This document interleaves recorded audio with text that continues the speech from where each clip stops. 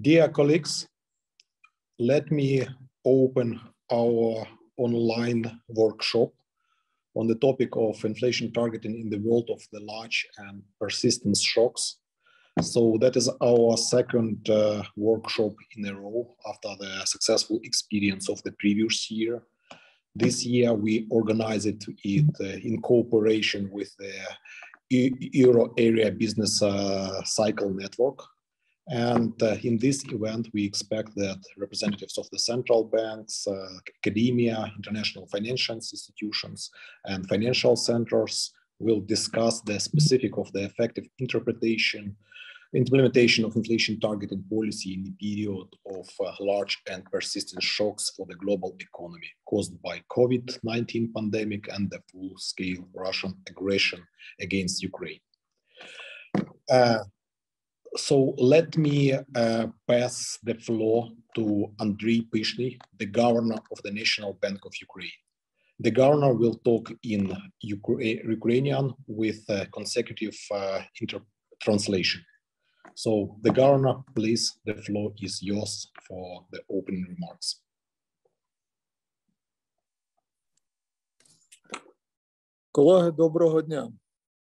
Dear colleagues, good morning. Я радий вітати вас на практичному семінарі інфляційне таргетування в світі значних і тривалих шоків. I am happy to welcome you at the workshop on inflation targeting in a world of large and persistent shocks. Мені здається, назва самого семінару і тематика сьогоднішнього обговорення дуже красномовні. I think uh, the name, the title of this workshop and the topics that we plan to discuss are talking Як for ніколи, themselves.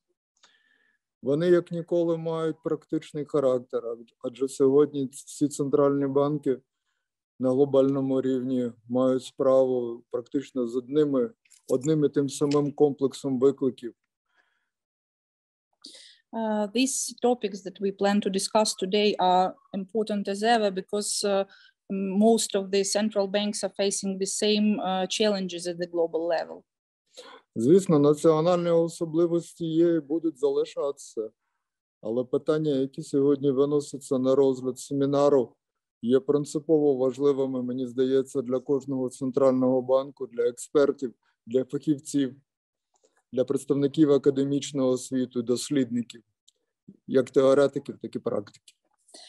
Uh, naturally, uh, each country has uh, its uh, specifics, its uh, domestic context, but uh, uh, the issues that we will discuss today are very important for the for all the central banks, for experts, for professional representatives of academia, researchers, and other people present here.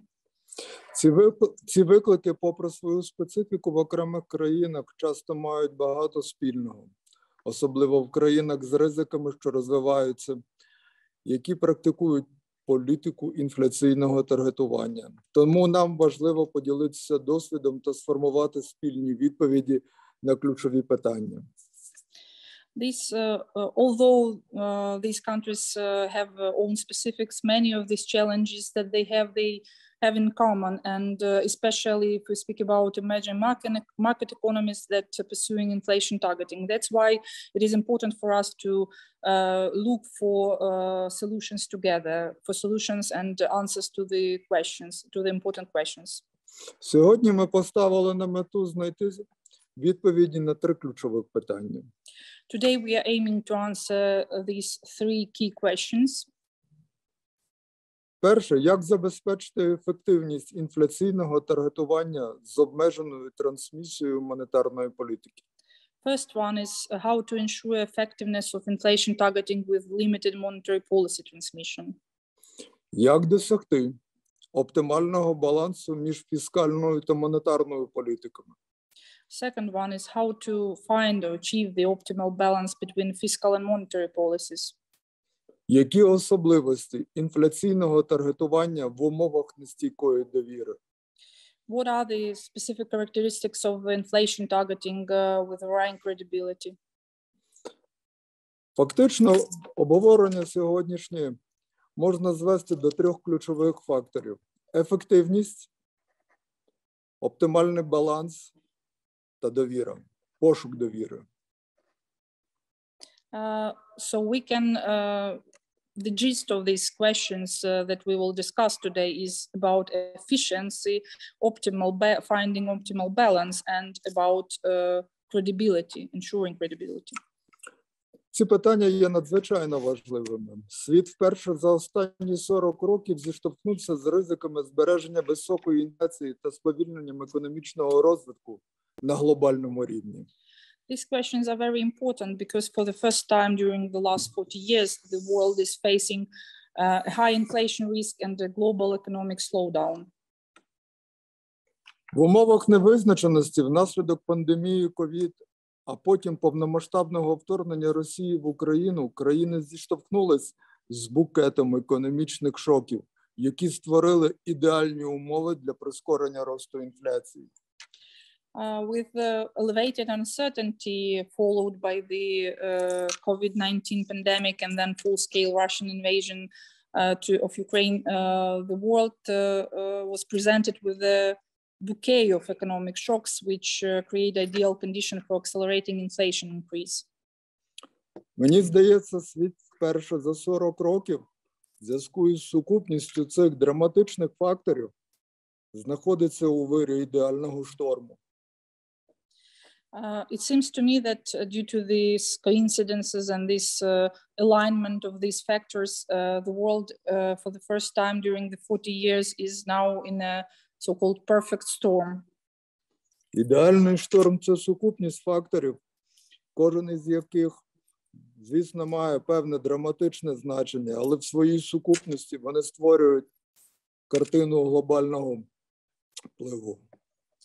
So uh, when I say perfect storm, I mean that uh, the factors aligned in a way that uh, if uh, separately they already have a dramatic ve- effect on the economy and on the world, together they have even uh, more effect and create uh, uh, certain conditions that are difficult to deal with. Це букет економічних шоків, з якими нам доведеться мати справу найближчим часом і вже сьогодні, які здійснюють визначальний вплив. Наступний тиск з боку попиту внаслідок відкладеного споживання та значних стимулів з боку центральних банків та урядів. This bouquet of shock, as I said, will, uh, due to this bouquet of shocks, we will have to deal in the nearest future and even today with the uh, certain uh, factors, for example, demand-driven pressure caused by the deficit consumption and significant fiscal and monetary stimuli. Шоки пропозицій внаслідок структурних зламів ланцюжків виробництва як на національному, так і на міжнародному рівні. Then supply shocks caused by structural breaks of production chains at the national and international levels. Спричинені російським вторгненням шоки вартості енергоресурсів та продовольчих товарів, що в значних в зазначених вище умовах дуже швидко проявляються в цінах кінцевих споживачів. Energy and food prices shocks caused by the Russian invasion under the existing conditions uh, that have a quick effect on final consumption prices. МВФ у своєму оновленому прогнозі очікує, що світова інфляція прискориться з 4,7% у 2021 році до 8,8% у 2022. According to the IMF's updated overview, global inflation is expected to accelerate from 4.7% in 2021 to 8.8 in 2022. Водночас економічне зростання за прогнозом знизиться з 6% до 3,2% At the same time, the economic growth is forecasted to go down from 6 to 3.2% У 2022 році та 2,7% у 2023. in 2022 and uh, to 2.7 in 2023. Центральні банки країн світу знову постають перед своїми класичними протиріччями. The central banks uh, face the classic dilemma. Досягнення цінової стабільності за рахунок жорсткої монетарної політики, що зумовить тимчасові втрати у зростанні, чи ігнорування інфляційних проблем і довгострокові втрати в економічному розвитку. They either have to choose to achieve uh, price stability through tight monetary policy, uh, but this will uh, will lead to a temporary slowdown of economic growth, or they can ignore problems with inflation and long-term losses in economic development. Монетарна політика це завжди комплекс непростих рішень. Однак саме зараз це комплекс важких і часто суперечливих рішень. І ми бачимо сьогодні, наскільки різною і відмінною буває політика центральних банків перед тими самими викликами. Uh, the monetary policy decisions are never easy, but today we know that monetary policy calls for especially hard and often contradictory decision, and we can see that different central banks uh, make different decisions and their approaches are varying. З одного боку, центральні банки мають спільний з урядом мандат у довгостроковій перспективі. Це підтримка стійкого економічного розвитку. On the one hand, uh, central banks and government, they have a common long-term goal to maintain sustainable economic growth. З іншого, саме центральний банк має піклуватися про макростабільність в короткостроковій та середньостроковій перспективі. On the other hand, uh, uh, it is the central bank uh, that shall take care of uh, macroeconomic stability in short and medium term. Надмірна реакція монетарної політики у відповідь на інфляцію послаблює економічне зростання та підвищує ризик рецесії. Excessive monetary policy response to inflation will weaken economic growth and increase the risk of recession. В той же час толерантність до інфляції може розбалансувати інфляційні очікування та нестиме ще більш тривалі та болючі втрати для економіки в майбутньому. At the same time, uh, tolerating inflation may result in unbalanced inflation expectations and uh, cause prolonged and more painful losses to the economy in future. Дуже нелегкий вибір. It's a very difficult choice to make. І в цьому аспекті баланс між фіскальною та монетарною політикою є необхідною умовою для правильного рішення. And from this viewpoint, a balance between fiscal and monetary policies is a necessary prerequisite to success. Практика показує, що надмірна акумуляція дисбалансів у фіскальній політиці та фіскальне домінування призводять до згубної для економіки хронічної інфляції та фінансової кризи, що зрештою змушує центральні банки до ще більш жорсткої контрциклічної відповіді. From practice, uh, we know practice shows that uh, excessive accumulation of imbalances and fiscal dominance uh, lead to chronic inflation that poisons the economy and to a financial crisis that at their final end forces central banks to give even stronger counter-cyclical response. Як наслідок, здатність реалізовувати свої мандати обох інституцій значно обмежується. As a result, ability of both institutions to exercise their mandate may become uh, very limited. Пошук балансу сьогодні це необхідна умова для забезпечення макроекономічної стабільності та стійкого економічного розвитку. Uh, today, to ensure macroeconomic stability and sustainable economic development, we need to start looking for this balance. Необхідна умова, але недостатня. It is a uh.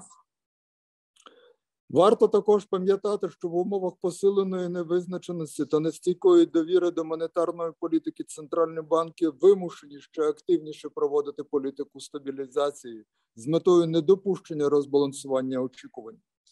We also need to remember that uh, under the conditions of uncertainty and varying credibility of the monetary policy, central banks have to be even more active in their stabilization policies to prevent imbalances of, of expectations.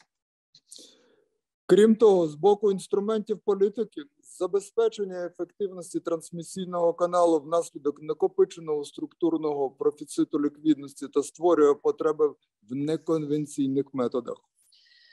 Again, speaking uh, of policy tools, uh, uh, we can tell that uh, uh, to ensure effective transmission, uh, effect effectiveness of the transmission channel, uh, we need to look for unconventional methods. На щастя, Історія має безліч успішних прикладів боротьби зі стійкою і надмірною інфляцією.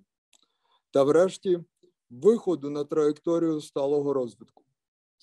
It is good that uh, history knows many examples of successful campaigns against persistent and excessive inflation that allowed uh, to come to the trajectory of the sustainable development. Окрім розвинених країн, які пройшли свої шляхи дезінфляції ще 40 років тому, сьогодні існує велика кількість країн з ринками, що розвиваються, досвід яких може стати ключовим для досягнення глобальної стабілізації економічних і інфляційних процесів. In addition to developed countries that uh, came through their disinflation trials uh, 40 years ago, uh, today we see uh, a lot of uh, emerging market economies uh, uh, that have the experience that might be a key to finding uh, solutions for global stab- stabilization of economic and inflationary processes. Такий досвід має Україна. Ukraine also has uh, this kind of experience already. Це унікальний досвід. It's a unique uh, experience and knowledge. Національний банк України в умовах обмеженої, а тепер і повномасштабної війни довів, що здатен приборкати та стримувати інфляцію. Uh, and the NBU have proved that uh, uh, under the conditions of uh, localized and now full-fledged war, it's still capable to uh, curb inflation and to limit its effects. Після запровадження інфляційного таргетування у 2015 році Національний банк Національному банку України вдалося знизити інфляцію з пікових 60% та стабілізувати на рівні 5% цілі. After introducing inflation targeting in 2015, the NBU managed to take inflation down from the record 60% and stabilize it at 5% target. Відмова від фіксованого курсу, посилення інституційної якості та незалежності центрального банку стали ключовими факторами успіху. Switching to the floating exchange rate and strengthening the institutional capacity and independence of the central bank were the key factors of this success. Сьогодні Україна, окрім глобальних викликів, змушена боротися з наслідками повномасштабного вторгнення, яке зруйнувало третину економіки і продовжує руйнувати далі. Apart from global challenges, Ukraine is currently forced to deal with the fallout from the full-scale invasion, which has destroyed one third of the economy and keeps causing destruction. І хоч в своїй реакції на повномасштабну війну Національний банк України був змушений відійти від еталону інфляційного таргетування, наші принципи і наше прагнення не зазнали змін. While uh, responding to the full-scale war, the NBU had to deviate from the uh, benchmark inflation targeting approach, but our fundamental principles and aspiration have not changed. Національний банк України відданий своєму мандату, що дозволило утримувати макроекономічну стабільність та стабільність фінансової системи навіть в умовах повного шторму і активної фази військової кампанії. The NBU is committed to pursue its mandate, which uh, has made it possible to maintain macroeconomic stability and the sustainability of the financial system, even as the perfect storm rages on and uh, with an active uh, military actions in, uh, going on. Перші кроки Національного банку України після початку повномасштабного вторгнення Росії були спрямовані на уникнення панічних настроїв населення та забезпечення функціонування банківської системи та платежів. The NBU's first step after first steps after Russia launched the full-scale invasions were intended to prevent panic behaviors among the population and ensure the operation of the banking system and payments. Функціонуюча банківська система та система проведення платежів і стабілізована Національним банком ситуація це колосальна перевага України в умовах цієї повномасштабної війни. The uh, operational banking system and functioning payment system is a huge uh, uh, achievement and uh, for Ukraine and the condition of this uh, active war. Для цього Національний банк України з перших годин започаткував жорсткі обмеження щодо руху капіталу і зафіксував обмінний курс з метою стабілізації інфляційних очікувань. In order to achieve this, the National Bank from the first hours uh, had introduced uh, strict restrictions and uh, also uh, turned to uh, fixed exchange rate to, in order to stabilize the system and uh, uh, in order to ensure operation of the uh, banking system. Для утримання фінансової стабільності Національний банк України змінив свій операційний дизайн та забезпечив фінансову систему необхідною ліквідністю і здійснив низку заходів для підтримки фінансового сектору. In order to ensure financial stability, the NBU has changed its operational design uh, and uh, supplied financial system with liquidity in order to support the, uh, the favorable conditions. Заходи вжиті Національним банком створили периметр довіри до рішень, які ухвалюються Центральним банком в умовах повномасштабного вторгнення. І ментально, в тому числі, підтримали банківську систему і менеджмент банків. The measures taken uh, by the NBU allowed to create this kind of trust circle uh, under the full scale inva- under the condition of the full scale invasions and uh, help the banking system on all levels and the management of the banks also. Крім того, для забезпечення безперебійності критичних видатків уряду Національний банк здійснив ви- викуп облігацій внутрішньої державної позики.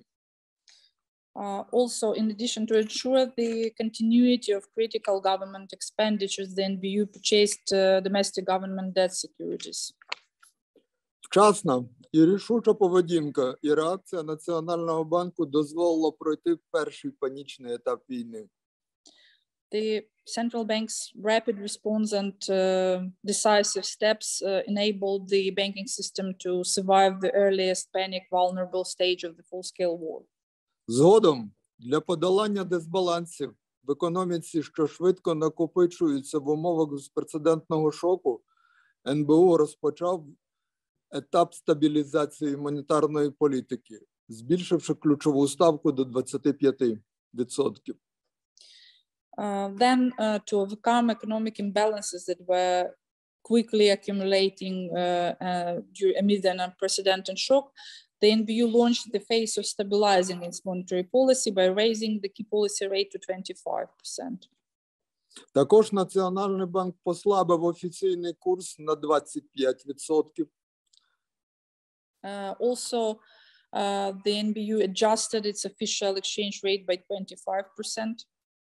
Разом з пожвавленням міжнародної допомоги це також дозволило зберегти міжнародні резерви на порівняно зручному рівні. Coupled with the revival of international aid, this also allowed the NBU to maintain its international reserves at a relatively comfortable level. Такі заходи дозволили втримати макроекономічну стабільність. These steps have enabled uh, us to sustain macroeconomic stability. Інфляція на кінець 2022 року, за нашим прогнозом, складне близько 30%. According to our forecast, uh, at the end of 2022, the inflation will be about 30%. Звісно, це набагато вище за інфляційну ціль. Але історичний досвід інших країн показує, що в умовах війни це досить вдалий результат. Of course, this is much higher than our inflation target, but uh, as we know from the experience of other countries, uh, during the wartime, it is a rather successful outcome.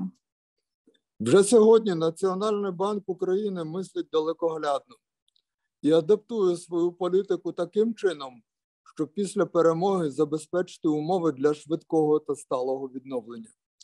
The NBU is already planning ahead and adjusting its policies to ensure a quick and sustainable recovery after the victory. Знову ж таки, досвід післявоєнного відновлення країн свідчить,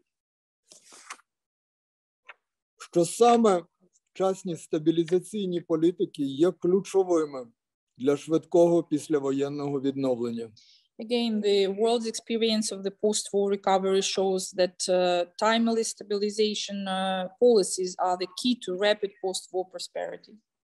Саме тому ми залишаємося відданими політиці інфляційного таргетування та вже сьогодні декларуємо якнайшвидше повернення до цього режиму за відносною нормалізацією економічного життя країни. Therefore, we remain committed to the inflation target policy, and even today we declare that uh, we will resume the IT regime as soon as uh, relative normalization of the economic activity of the country allows us. Адже стабільна і головне прогнозована інфляція є запорукою макростабільності. Uh, after all, uh, low, stable, and predictable inflation is a base, is a prerequisite to macroeconomic stability. та створює міцний фундамент для продуктивного розвитку економіки. And it creates a solid foundation for the productive development of the economy. І хоч Україна сьогодні зіткнулася з безпрецедентними і достатньо специфічними викликами, багато питань у нас залишаються спільними. Although Ukraine is now facing unprecedented and specific challenges, uh, many issues uh, that we have remain common to us.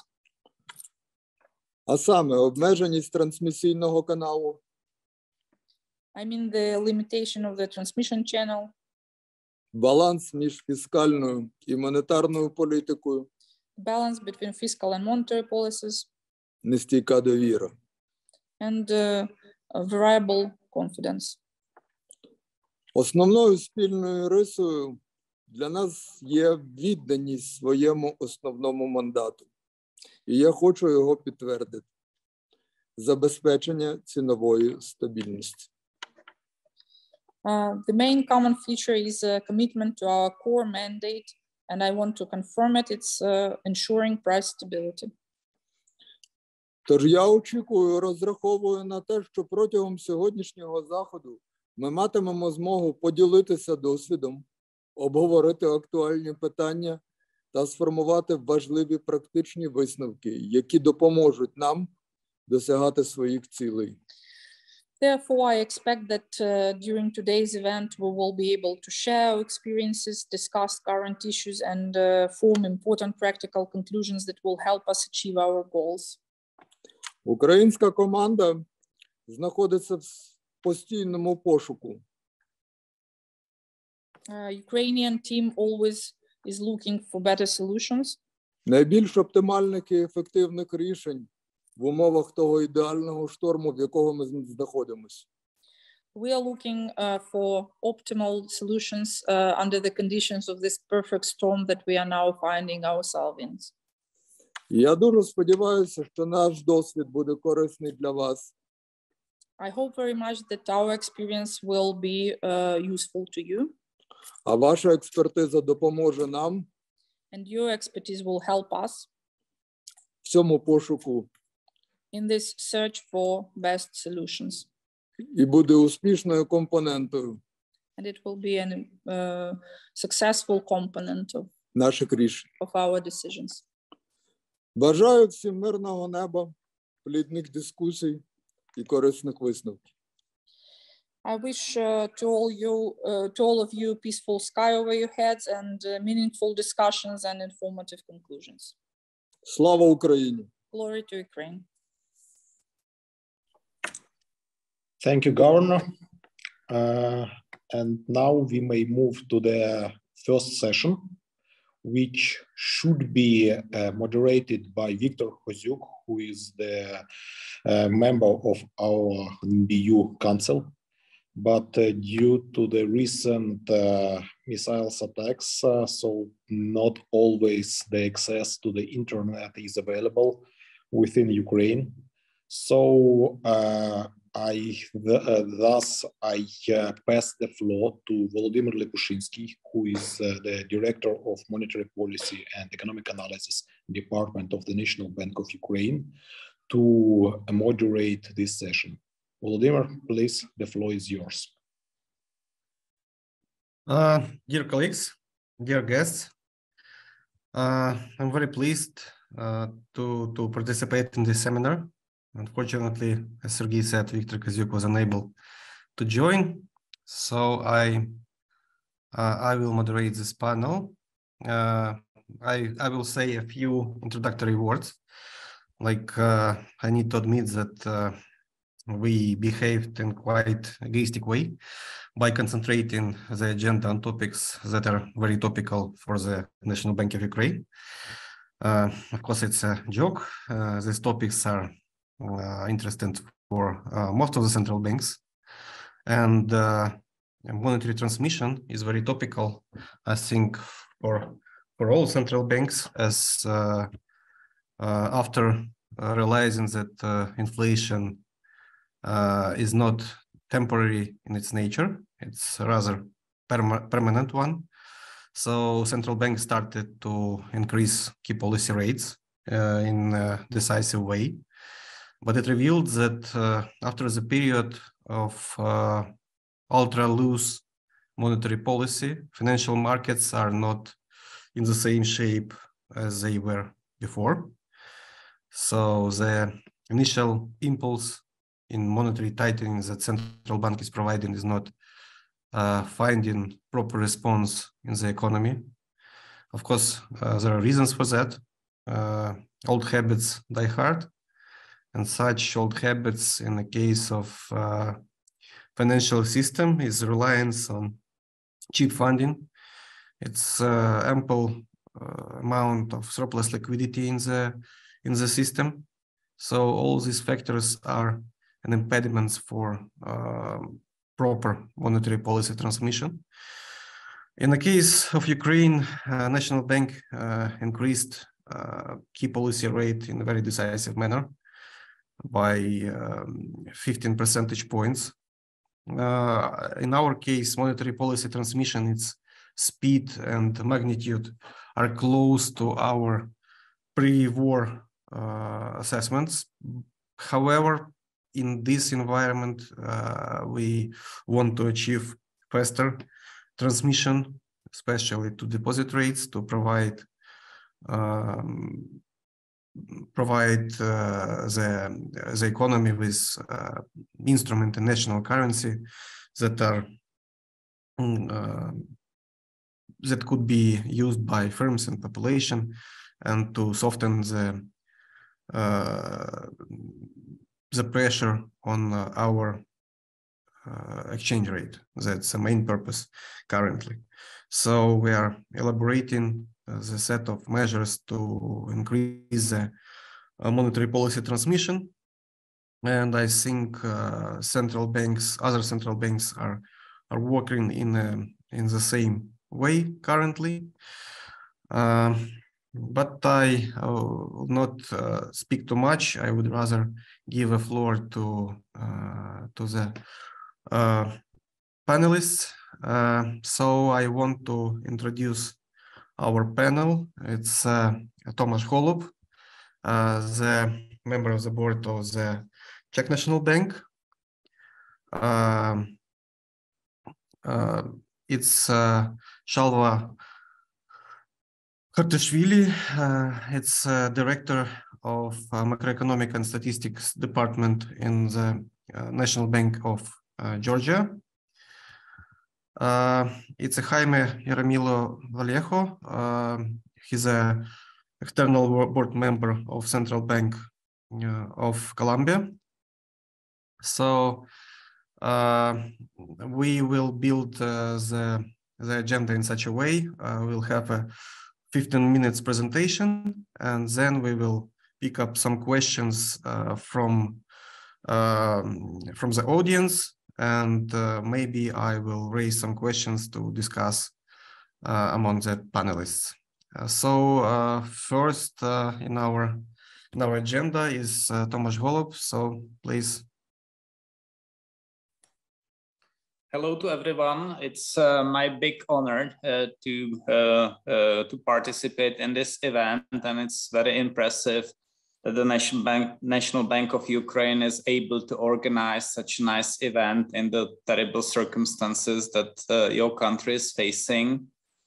Um, monetary policy transmission is uh, one of the crucial uh, policy topics uh, in general, but uh, even more so in the current uh, environment of uh, tightening of monetary policy by many central banks, including the Czech National Bank until recently. So I prepared a few slides. shall I?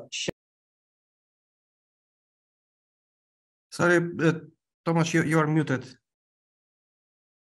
Okay, so sorry. Uh, uh, so, uh, and, and did you hear me until now? Yes, yes. Okay, okay. Uh, shall I uh, share my slides on my own or? Uh... Yeah, yeah, yeah. Please. Okay, so I will try to do it. Uh, so can you please see the slide now? Yes. Okay, okay, perfect. Uh, so I will start presenting. So I will talk about Czech uh, monetary policy transmission mechanism, some stylized facts and, and the role of forecasting and policy analysis system in uh, analyzing, but also maintaining uh, good functioning uh, of the transmission process. Uh, the title uh, of the panel is challenges of inflation targeting and uh, with uh, limited monetary policy transmission. Uh, in fact, in the Czech Republic, I believe that uh, the transmission mechanism uh, works uh, reasonably well. Of course, it's not easy to understand all the channels and sub-channels of transmission. ideally, we would like to have such good understanding, but in the end, uh, when we uh, design our forecasting models, often we uh, have to choose a few of the transmission channels uh, that we model explicitly. Uh, in the case of the Czech National Bank, uh, we actually focus on the exchange rate transmission channel, interest rate channel, and a very important one is also the expectations channel. the, the other channels that we usually communicate to, the public, such as the, the credit channel or asset price channel, are not present um, explicitly in our core forecasting model, but the model as such is uh, calibrating in a way to implicitly embody also those transmission mechanisms, at least in quiet times. Uh, uh, of course, uh, especially the credit channel, but to some extent the asset price channel may exhibit important uh, nonlinearities in crisis times and, and uh, if such things happen, for example, a kind of credit crunch or other financial stability issues, uh, one needs to incorporate those aspects via uh, expert judgments in, in each particular period. Uh, in Thomas, your slides are not moving. It's uh, yeah, yeah. I'm, I'm, I'm going to move it. So in any case, it provides a kind of uh, bird eye overview, the, the core model of uh, how, how the transmission works. And uh, it's, it's very, uh, has it moved now? Is it okay? No, it's, it's not in, in a full screen mode, so it's not. Um... Oh, I have it in full screen mode, but uh, I will try to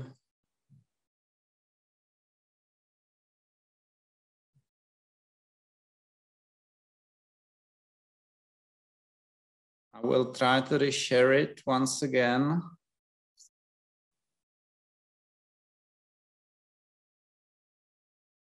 So can you now see the slide number three? Yes, but not in a full screen, but we can see the. And if I move, if I move it, can you see it? No, it's not moving. Okay, okay. Uh, you, you need to, sh to share this, the the screen, which is full full size like okay i will i will try to do it once more. Oh yeah now it now it's full screen. Okay. It's full screen but i cannot yeah yeah okay okay. Yeah yeah that's moving. Perfect. That's moving. Perfect thanks. Sorry for that. Um, so um, in the current uh, circumstances, when we started uh, to move uh, the interest rate upwards uh, in uh, the middle of 2021, uh, people have started to question whether the transmission mechanism works, even the direction. there have been some people, for example, arguing that by increasing the nominal interest rates, we increase the financing costs of companies, and, and this may uh, increase the inflation further through the cost push component, or uh, there have been some arguments that by uh, hiking the rates, we might actually attract the attention to the inflation problem uh, from the general public and thus increase inflation expectations and ultimately inflation. But uh, the truth is that uh, here, if, if you look at several methods, several models capturing empirically the Czech monetary policy transmission, uh, all the methods, uh, be it simple models like QPM or DSGE models like uh, G3 plus that we are using as the core model, or even empirically estimated models as the SVAR, they broadly concur on, they, they all concur on the direction of the impact uh, of uh, interest rate changes uh, that contribute to stronger currency and uh, with a time lag uh, of about uh, four to six quarters, also lower inflation. Of course, the the exact magnitudes of the responses differ, so we we never know uh, the transmission with certainty, but uh, the broad direction in the Czech Republic is, is clear.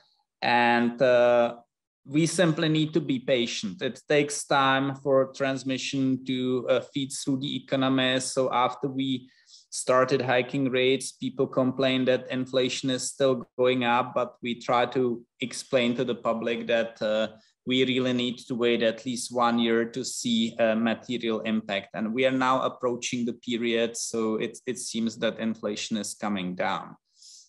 Uh, we also try to emphasize that usually the transmission mechanisms are not cast in stone, but they depend on the source of underlying shocks and also uh, on the behavior of monetary policy itself. So for example, when we introduced uh, our exchange rate commitment between 2013 and 2017, we tried to explain to the people that uh, the exchange rate pass-through of such systematic policy may actually be systematically larger than uh, the pass-through that we observe uh, normally for uh, one-off exchange rate shock, which tends to be relatively small in terms of uh, consumer price inflation and relatively uh, dispersed across uh, the subcomponents of consumer basket.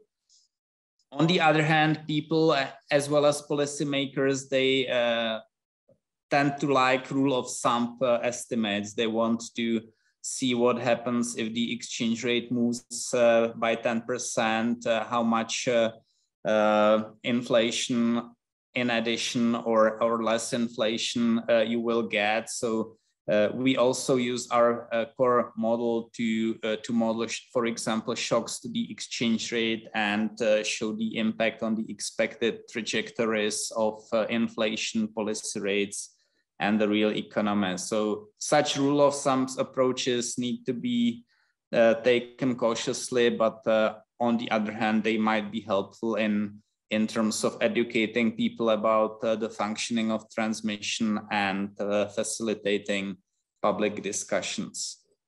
Uh, the fact that uh, systematic monetary policy is important for transmission can be shown, for example, looking at our past experience with uh, how well uh, we can manage uh, the market interest rate outlook depending on our own forecasting policy paths uh, in our models and also depending on communication. And what we can see is that uh, usually uh, the, the market yield curves tend to move closer to our forecast after the policy meetings, especially on those occasions when uh, the board's communications and decisions are consistent with uh, such a forecast. Uh, on the other hand, the experience also shows that uh, if the board decides to detach itself from the forecast, then its ability to anchor market expectations is significantly weaker. Uh, the fact that uh, transmission is functioning and that it's embodied in our core forecasting model in a structural way uh, was used, uh, for example, when the exchange rate uh, commitment was introduced in 2017 and the uh, the framework, the the FPAS helped us to calibrate uh, the policy instrument uh, at uh, the zero lower bound in an effective uh, way. Uh, the fact that it was effective can be seen by comparing the development of core inflation in the Czech Republic and euro area before the policy measure was taken, our our core uh, inflation was actually uh, slightly negative or close to zero, but it then started to drift, it, drift up, uh, uh unlike in the euro area uh, when uh, the, the core inflation remained very low until the recent inflation spike. And, and we can also find some effect of the exchange rate commitment using counterfactual analysis the effect was positive, not just in terms of core inflation, but also in terms of uh, real economic activity.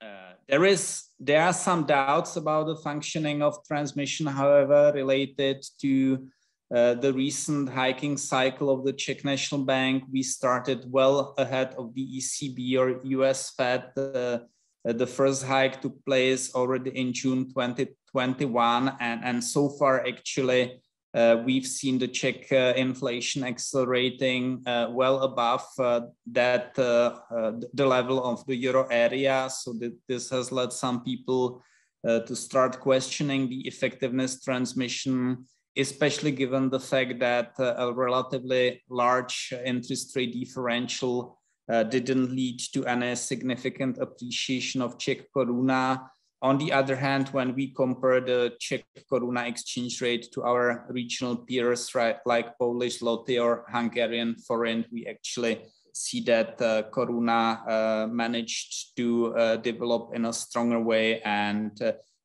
at least it was not making our inflation problem worse uh, relative to uh, what we observe. At the same time, we also believe that soon our uh, inflation will start turning down uh, at the beginning of next year, and our relative comparison to the euro area will look uh, increasingly favorable uh, over time. There is, however, one issue in terms of functioning of the transmission mechanism uh, that I uh, need to acknowledge, and it's the fact that uh, the high interest rate differential has uh, stimulated Czech companies to increasingly take uh, loans denominated in euros. Uh, there is a long-term increasing trend of euro-denominated loans, which is uh, related to a kind of natural hedging of uh, manufacturing, exporting companies, and also of companies in the uh, real estate sector that's traditionally quite heavily euroized in the Czech Republic.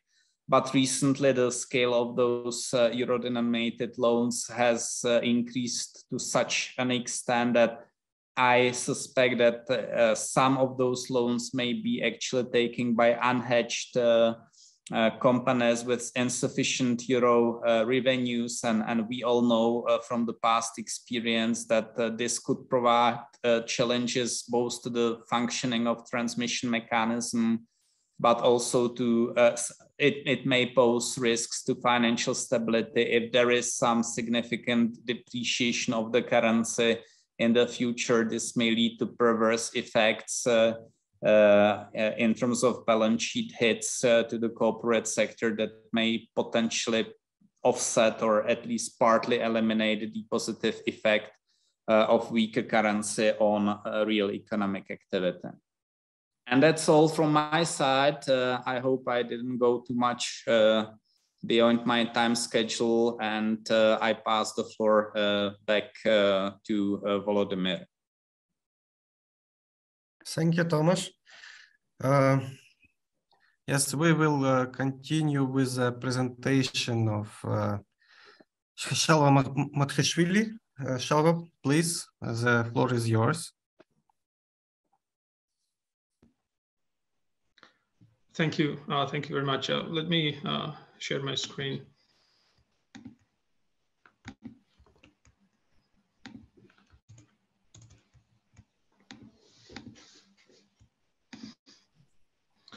Okay, I think uh, you should be uh, seeing my screen now. Uh, and first of all, let me thank you for inviting me to, to Uh, present on this interesting topic. Uh, topic. And uh, before I go, uh, I just uh, want, want to thank you also for organizing this workshop, even when even the, during these difficult times, even in this phase of Russia's aggression against Ukraine and then uh, let me use this opportunity and uh, express uh, support for uh, uh, for this fight uh, for freedom. And with that, so this is the, the this most important part. But let me now turn to economic side, and this is like the the biggest challenge for central banks in in terms of macroeconomic management is inflation. And one thing that the case of Georgia can tell is that simply using interest rates uh, may not be sufficient for uh, small, open, partially dollarized economies like Georgia and, uh, and like uh, many of us in, the region. Uh, and uh, this, is, this will be the key message of my presentation today. Even with this fancy title, the message is simple, and it's that we need to use several instruments when we have this kind of challenge. So before uh, I uh, discuss Georgia's case of how we uh, integrate, how we combine different policy instruments to fight the, this inflation challenge, let me give you a, a couple of stylized facts which motivate this integration of several instruments. And uh, the, the, uh, the, main line here would be uh, going through dollarization, as you will see. first, I want to emphasize that even uh, with uh, plain inflation targeting, it's uh, still much more successful in managing inflation. Uh, for example, if you compare inflation targeters uh, relative to non-targeters, you see that inflation uh, challenge on average is smaller. Like the, the average inflation, absolute deviation of inflation from its previous average is higher than the upper quartile of inflation targeters, which means that inflation targeters have fared better in terms of inflation management. However, and there's uh, this uh, uh, big but, uh, which means that uh, if we take these inflation targeters, uh, this group and look within this group, then we see some heterogeneity within this group. And you will see on the right-hand side that this inflation targeting group, even if it fared better in, in terms of inflation, uh, there's this heterogeneity in terms of uh, dollarization for each country. For countries that had higher loan dollarization, they fared uh, as, as, worse as inflation, like non, non-targeters. Uh, but inflation targeting countries with lower dollarization, they fared much better in terms of managing inflation. and inflation was uh, inflation deviation was uh, smaller on average in these countries. So this underlines these challenge, which is brought by dollarization, and that's uh, the aggravation, the amplification of uh, initial shocks. Uh, and there are several channels through which uh, this uh, shock can be amplified. The impact on inflation can be amplified through dollarization. And one of the channels is uh, discussed in our one of our working papers. This is an NBG working paper discussing how financial dollarization, loan dollarization in particular, can amplify the impact of exchange rate on inflation. And uh, this, this goes through uh, this uh, debt servicing costs channel, meaning that when there is depreciation, uh, domestic companies, even those that uh, have a relatively small share of imported inputs in their production, when they have these loans in foreign currency, they still face these uh, difficulties, these higher costs of debt service and they feel this pressure to increase prices. Uh, even uh, non-tradable sectors may feel this uh, pressure on prices coming from the exchange rate. So this graph shows um, uh, based on our uh, empirical estimates of uh, how much each percentage point of dollarization amplifies exchange rate pass-through to inflation. And based on this number, we calculate for some like illustrative levels of dollarization, how much would be exchange rate pass-through to inflation for this kind of different uh, levels of dollarization. And as, you've seen, for countries that have high dollarization, these empirical estimates suggest that the exchange rate pass-through is almost uh, twice as large as for uh, countries with, with low, low dollarization. So this is just one example how this dollarization can uh, uh amplify inflation shock and uh, make it more difficult for monetary policy to fight uh, this inflation problem. So with this in mind that inflation is usually a bigger challenge in dollarized economies, so again, this is just stylized facts. Uh, uh, we need uh, some structural model to talk about the causality, uh, which we do have in, in our monetary policy, uh, in our uh, paper. but still, what this suggests is that for those countries that have higher inflation, they usually have to respond with monetary policy more strongly. And that's also one of the stylized facts. We do see if you take this data and compare how much monetary policy rate has changed in countries that have high dollarization versus low dollarization. You see that uh, the former responded twice as strongly as, as the latter, uh, which means that uh, dollarized countries had to increase monetary policy rates much more strongly than non-dollar, uh, like low, low dollar, uh, dollarization countries. So of course, uh, this is a reaction, standard reaction to inflation challenge. If inflation is high in these kind of countries, monetary policy rate should also be high in these countries. But uh, this uh, brings some uh, side effects, and that's uh, what I want to focus on, uh, which is that for countries that have high loan dollarization to begin with, high domestic currency interest rates may incentivize even more foreign exchange credit. So this is a side effect of monetary policy tightening, uh, which is similar to hot money inflows in, in some countries, but in case of uh, uh, dollarized countries, this takes the form of uh, foreign exchange credit extended even by domestic banks. So this is uh, a challenge which uh, can incentivize central banks to use other instruments. And this is something that we do see. and let me show this additional stylized fact, which is that countries that had a higher loan dollarization, they usually resorted to, uh, tended to resort more to these additional macroprudential instruments. So this is data uh, from IMF. This is database of macroprudential measures. And as you see, uh, well, one thing is that uh, we saw some uh, relative increase in the usage of macroprudential instruments over the years. But if you look uh, within uh, these uh, countries and uh, compare low dollarization versus high dollarization case, there you see that high dollarization countries used macroprudential relatively more frequently than uh, low dollarization countries, which makes sense, uh, like I said, because high dollarization involves more difficult trade-offs. And almost by definition, when we face trade-offs, if we want to achieve several targets, if we want to uh, minimize the impact on several variables, we need several instruments. That's the Tinbergen principle.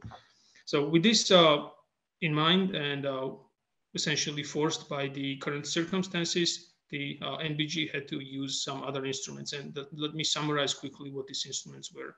For example, when we increased monetary policy rate, uh, which is now at an all-time high level to fight inflation, we saw some acceleration of uh, foreign exchange uh, credit, especially foreign exchange uh, mortgages and, and, business credit.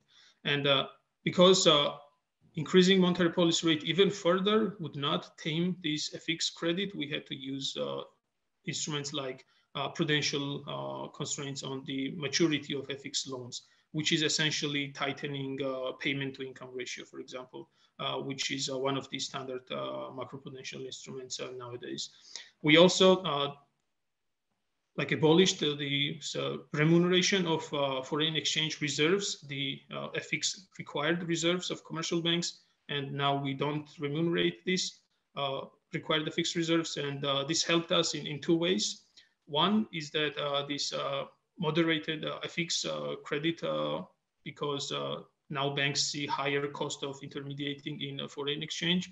and therefore they charge higher interest rates on FX uh, credit. And this uh, was essentially uh, similar to monetary policy tightening, but in the FX uh, side.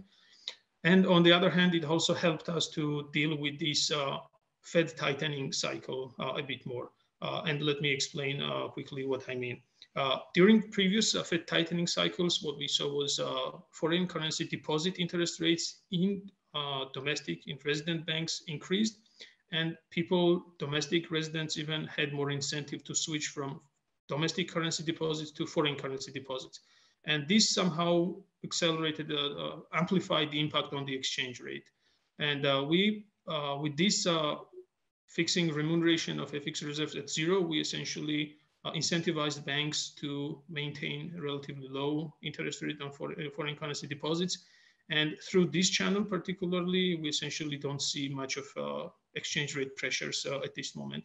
So therefore, this is uh, this uh, remuneration uh, instrument essentially served two purposes: moderating FX credit and moderating the impact on the exchange rate from Fed tightening. Then uh, we also used another instrument uh, because uh, transmission of monetary policy rate to some of loans and especially consumer loans is relatively weak. this is something we see in, in, our data.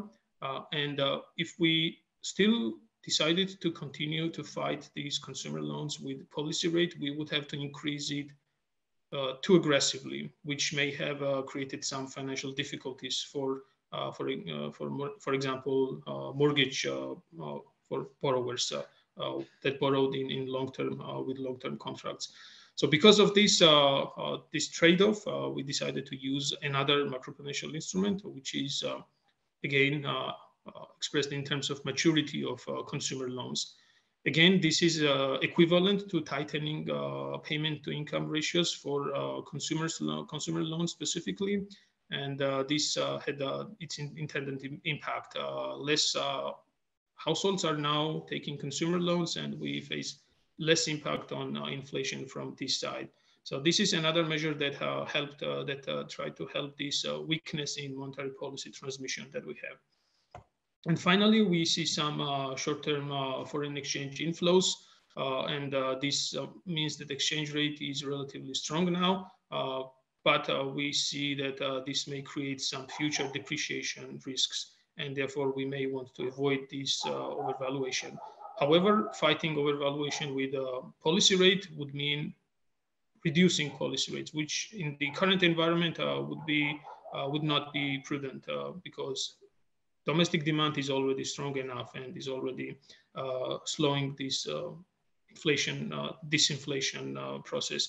So that's why uh, another, still another instrument, which is in the form of FX interventions, may also be useful to avoid this overvaluation. And that's what the NBG is trying to do by uh, buying foreign exchange. Uh, now, let me give you some quickly some numbers uh, and what the effect of those instruments were. As you see, uh, when we started monetary policy tightening, FX uh, credit has actually accelerated uh, and consumer loans have accelerated. On this slide, slide, we have these consumer loans. And after we decided to use this prudential instrument to use this instrument to help this weakness in monetary policy transmission, we see that consumer loans now have started to decelerate. So the same picture is in the in case of uh, uh, credit activity by currencies. As you see, even when we were uh, tightening policy, which we started in uh, early 2021, along with tightening in monetary policy rate, we saw acceleration in FX credit. And once we decided to use additional macroprudential instruments, now FX credit is uh, declining again and that's contributing to a decline in overall credit activity. So this is important for us because uh, what we want to achieve is moderate credit activity because that's essentially the key channel through which we can moderate inflation pressures because uh, central bank instruments are essentially demand side instruments uh, going through uh, credit. So of course, uh, this, uh, this is just one example, but I think it's important example to emphasize the importance of using additional instruments uh, in, in countries like Georgia when we face some weaknesses in monetary policy transmission on like high interest rate loans and foreign exchange loans. And we use this in a counter cyclical manner, essentially, but uh, those instruments may also be seen from a more structural perspective. And let me just simply quickly go through this slide and uh, we can uh, uh, spend more time if there will be more questions. So this is uh, instruments that we have used over the years to reduce dollarization. We started the de-dollarization agenda in 2010 and we accelerated it in 2017.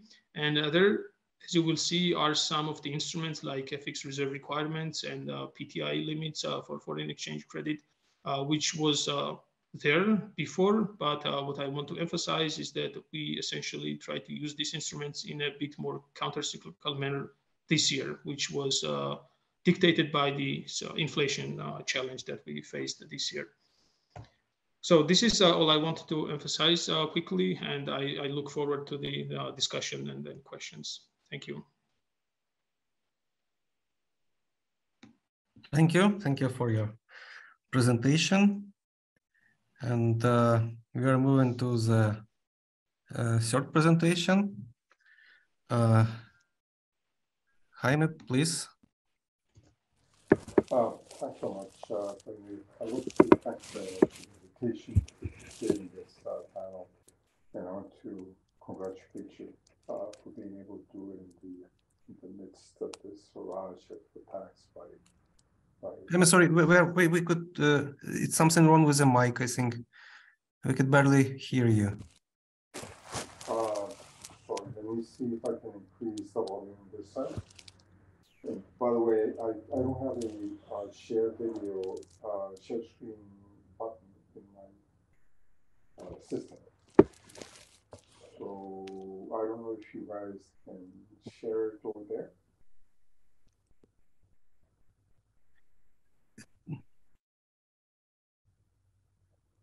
Can you hear me? Uh, yes, but uh... I don't I don't have a share uh, screen. Um, Maybe you could uh, send me your presentation and I I could share it. I'll do so.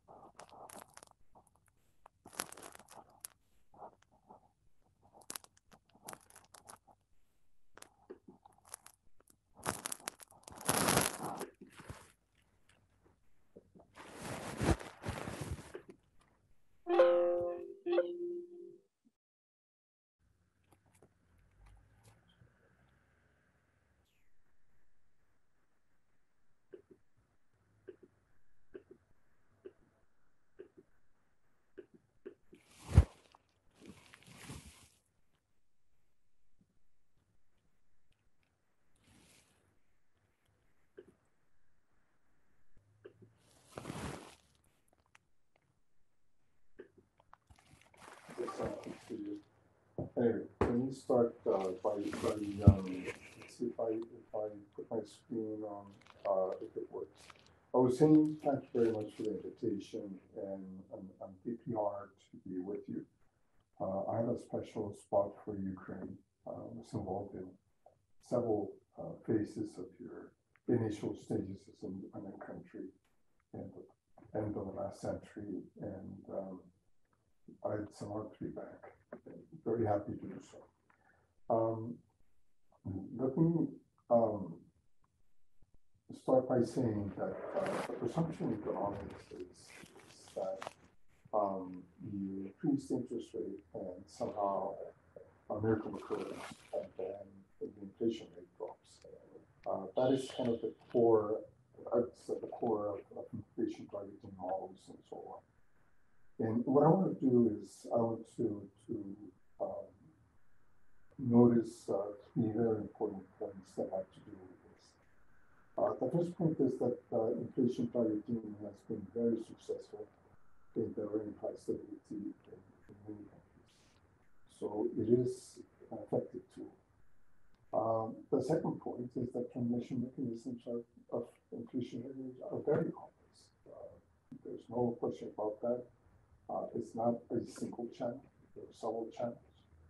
And then a third point I want to make is that the issue mechanism time privilege.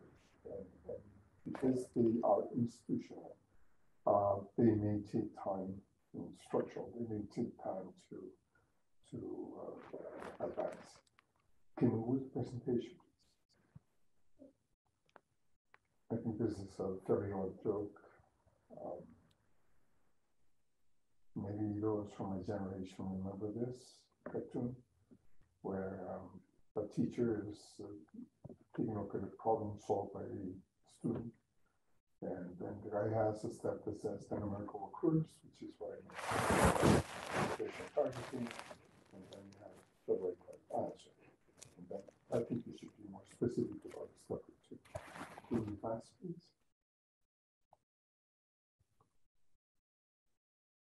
Can we advance? Again?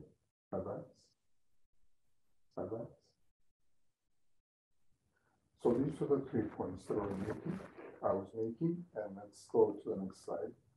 Uh, and let's look at the success in inflation targeting.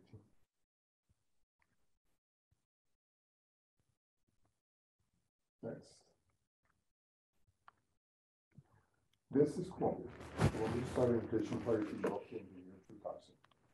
And you have in orange the inflation rate, the 12 month rate, and then you got the target in the gray line.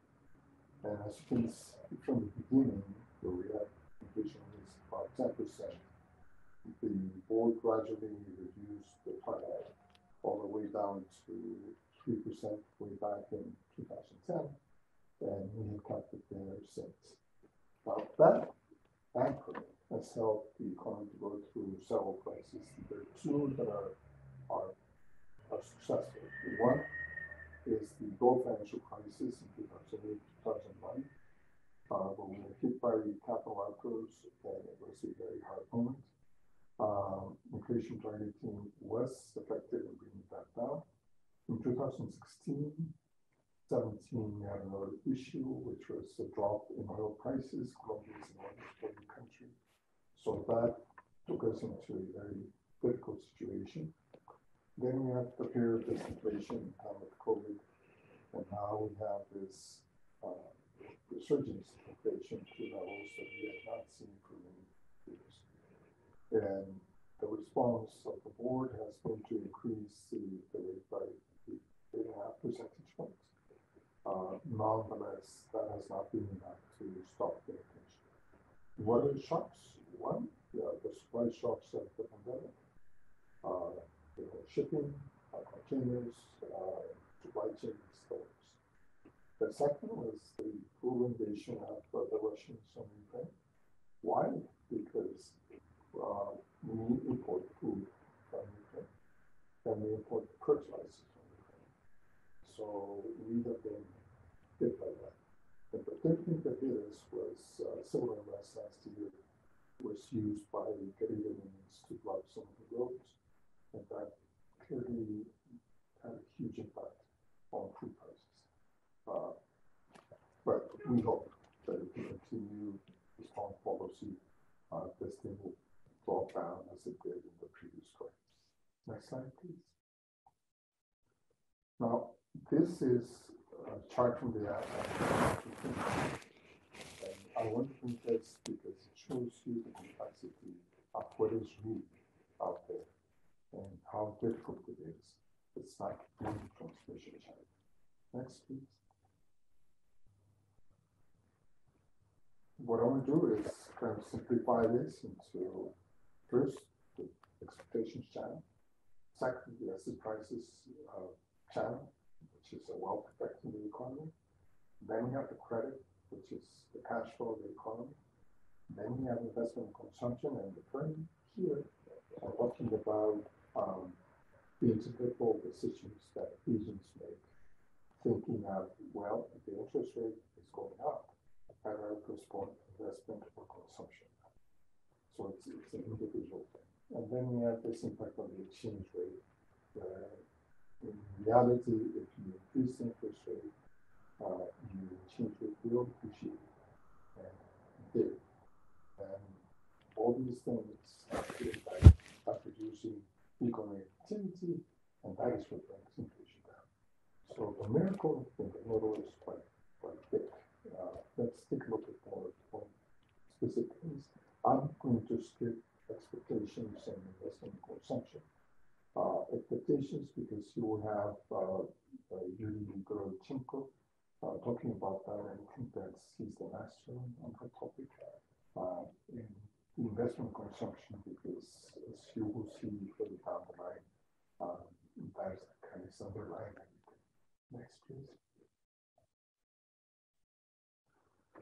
So the refit problem, this, this is something that I want to stress, is we economists have this fantastic ability to assume things and preconditions. And it turns out that life is more difficult than that. And you, you always assume that the markets are there, institutions are there to make all these things, all these transmission channels work. And maybe in many times it doesn't. It's not the case. And let me give you examples. You assume in markets, you assume there's a pipeline market. You assume that there's a capital market where public and private thinkers are traded. You assume that there's a foreign exchange market. Uh, you assume that there are some institutions, like the central bank that is independent and set its own policies. Like the banking system gets really competitive, that they compete among themselves. And then you have the presence of institutional investors, which makes a huge difference in asset markets. So I went to after this now after listening to Tomáš and and my colleague from Georgia, um, that having a currency that is foreign is also key to this. That is an institution. And, you know, we don't deal with organizations. Our currency is the only means of payment for legal tender. And banks are not allowed to have deposits in currency. Uh, people can getting loans from abroad, yes, they can, but they're loans. The protection limits on that. So, so those are assumptions that we always have there. Next, please. Let's look at the asset market. Uh, just for information, there are two major financial asset markets in Colombia. One is uh, mostly private stocks and bonds. It's very small, but it's, it's maybe 4% and then you have the TES market. TES is, is uh, short put disorder, which are the bonds issued by the government. That is a market that is about 38% of GDP, where foreign investors participate. So 26% of participants about this. Kinds of foreigners. Uh, there's a market for peso tests, and there's a market for UVR tests. UVR is an index value. So that, by the way, the difference between those two rates a relatively safe asset gives us a very good measure of the inflation. Uh, and then the other thing that's in there is the different maturities. So let's take a look at what happens out there. Next, please. Next.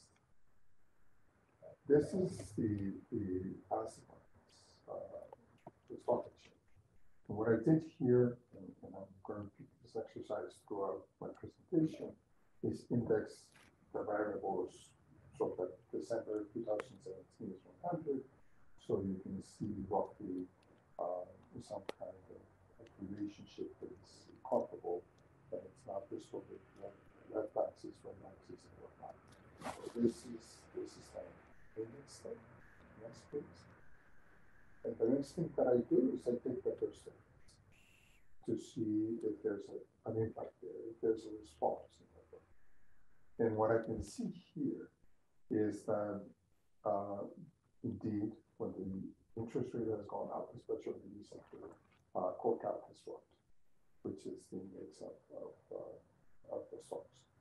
So, in a way, next please, we could argue that this more or less works. I'm not going to say paper, no, three point GDP. The response is not that clear, but let's uh, move to the next. Next. This is the TES market. Uh, and here, what I took was the interest rate uh, of TES. And I could have inverted this and take the price, but I thought it was more interesting just to show it like that. You can see the market moving. You can see a bump in the middle of 2021. What happened there? Lost investment grade from two other rating agencies. So that was an issue. That implied a severe increase in the funding costs for the government. Next. If I take those differences, here the ratio is very clear.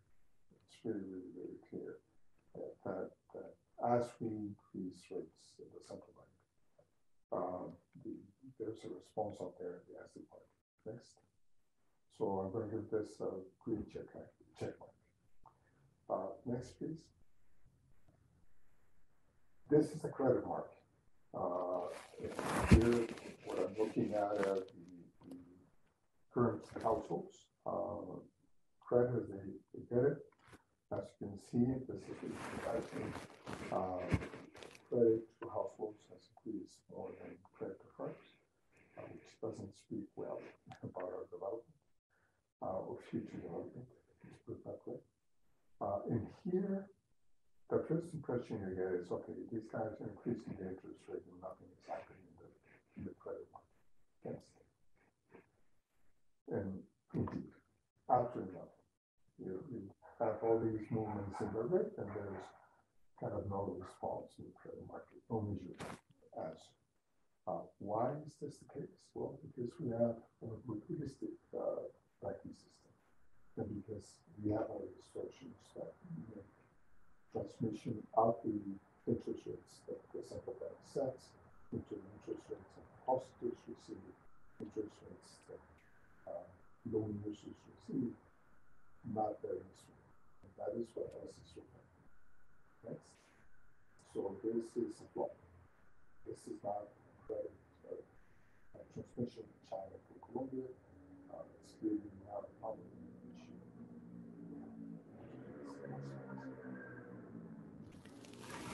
Other information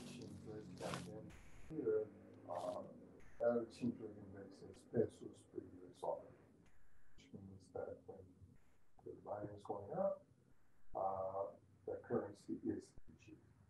And if I look at the first differences, next please, uh, you see that positive correlation there. However, there's there are two things in this period that are, are very, very important um, and that, that make it difficult. Um, that question as to whether we should expect a more definite response of each year. One is the appreciation of the dollar. We are part of the US dollar kind of area of influence, just as many of you are.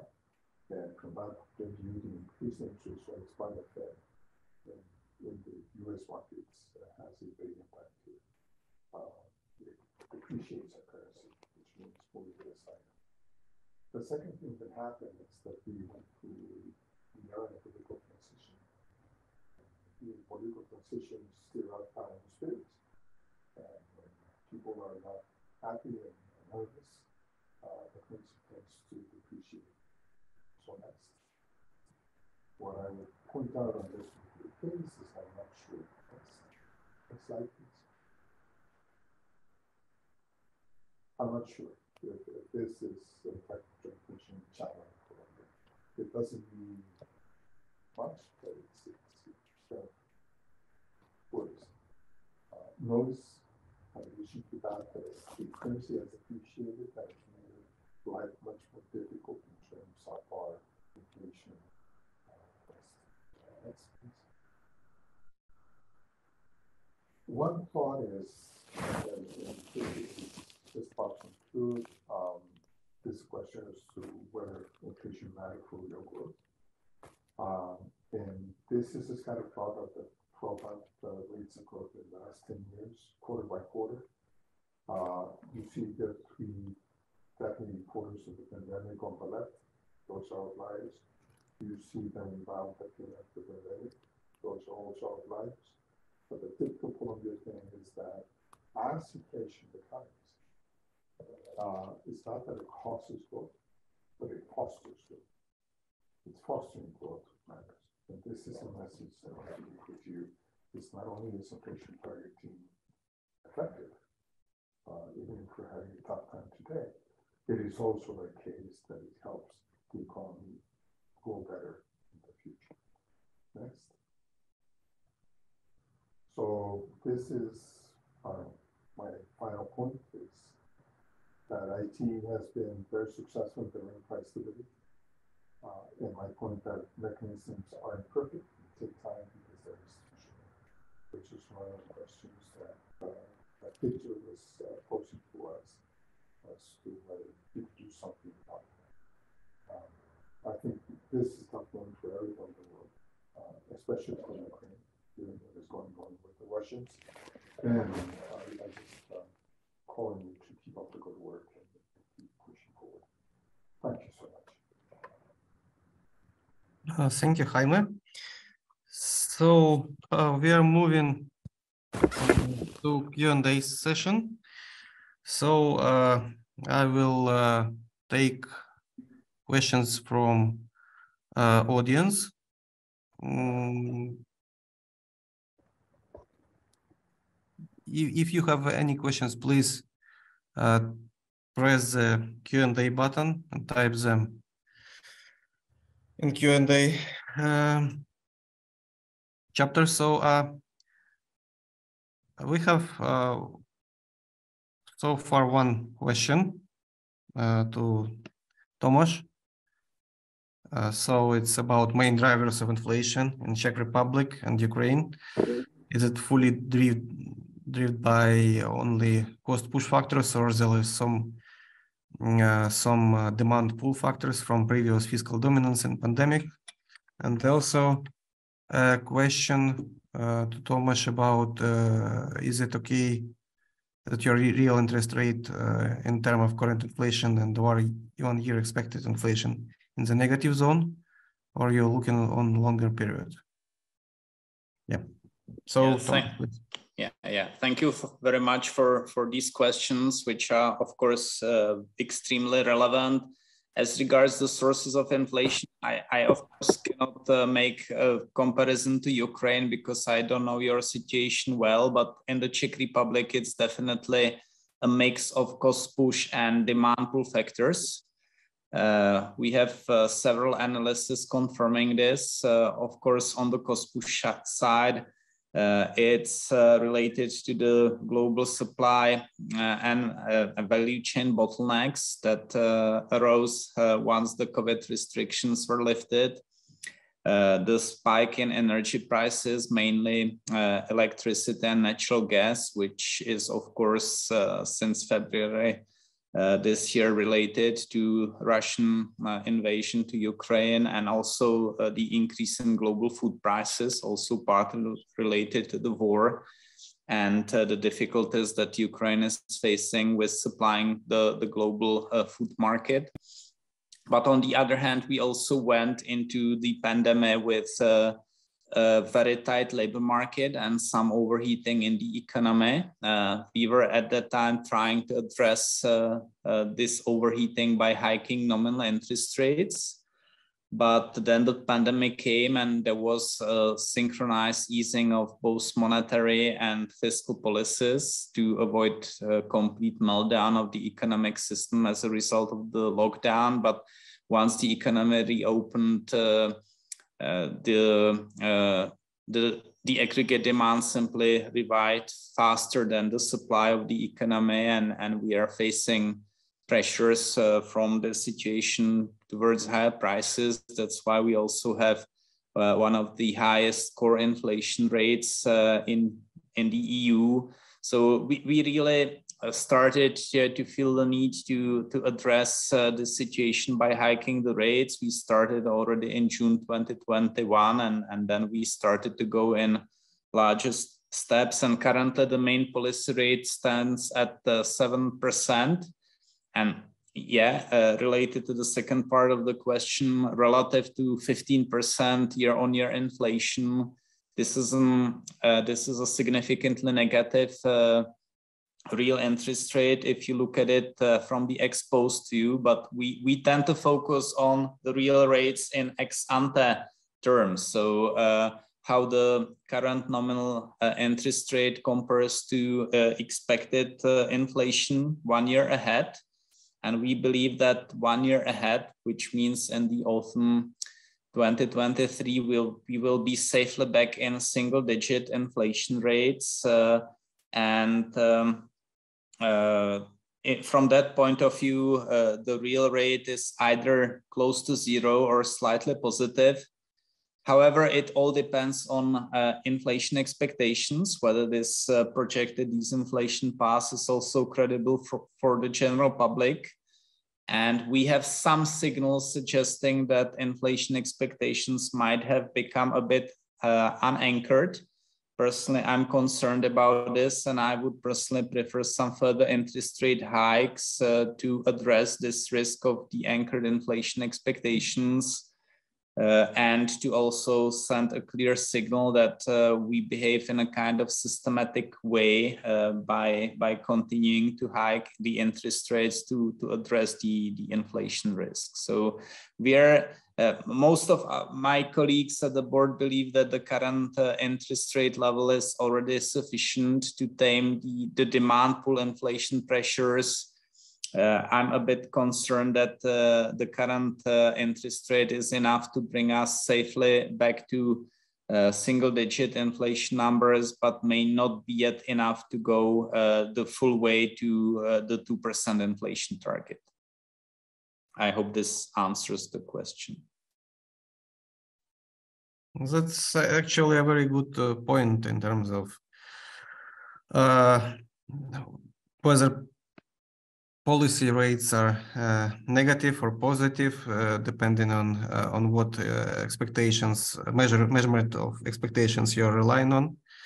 And uh, I actually want uh, to ask other panelists to to extend a bit on on on this issue, whether you think that the current monetary policy stance, um, in your case, is okay in terms of uh, bringing inflation to target, or uh, there are risks that it's not enough, and you at some at some point in time you uh, need to go uh, sufficiently uh, high in, in in terms of real key policy rate.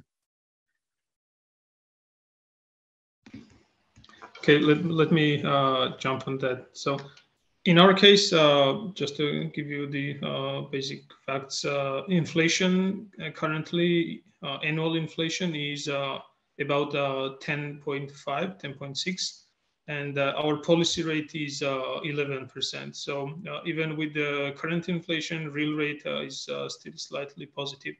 If we look through the expected inflation links, which is like ex ante real interest rate, this is even higher. So we think that uh, currently we have a sufficiently high real interest rate, uh, but this is uh, based on the assumption that our baseline forecast, which is inflation continuing to decelerate, is correct.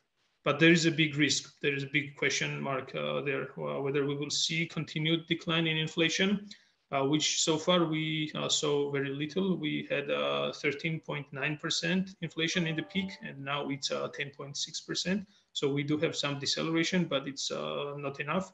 And uh, like Tomáš uh, said, uh, we think that this will be sufficient to generate some decline in inflation going forward, but whether it's sufficient to bring it all the way down to the target, uh, that's a big question mark. And uh, I think we would have to either maintain this tight policy for longer, which as I mentioned is already all-time high. policy rate is at an all-time high, or uh, we may have to even tighten more, uh, whether through policy rate or through some additional instruments, uh, some, some instruments that I mentioned in my presentation. Thanks. Thank you.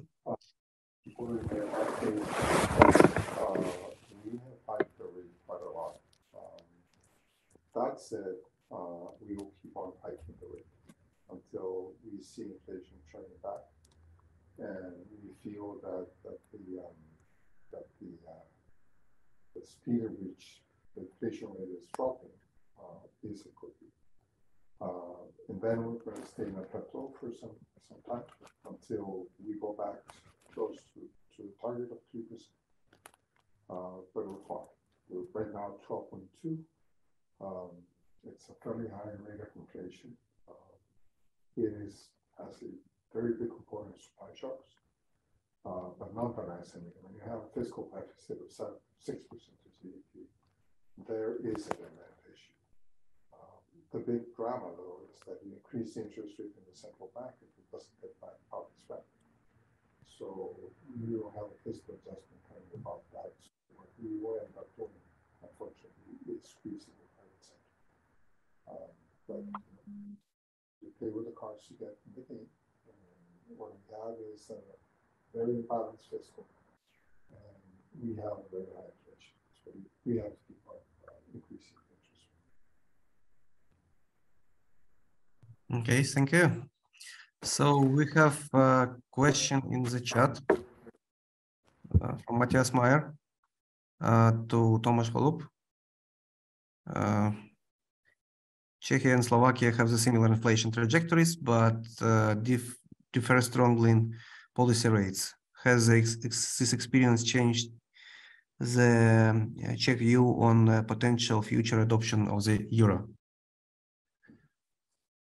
Well, uh, again, good question. I think it hasn't changed the, the general mood in the Czech society, which is the relatively skeptical towards euro adoption but uh, traditional uh, proponents uh, of euro adoption they take the current developments as a kind of sign that uh, monetary policy after all doesn't matter that much and that we could uh, live well also in the euro area under the more expansionary monetary policy uh, pursued by the ECB I would be a bit cautious in making uh, very direct and straightforward comparisons of uh, inflation developments in individual countries because it depends very much on uh, policies taken by the governments to address uh, the spike in energy prices and also on uh, the structure of energy market. So my understanding is that in Slovakia, there has so far been no major increase of electricity prices for retail consumers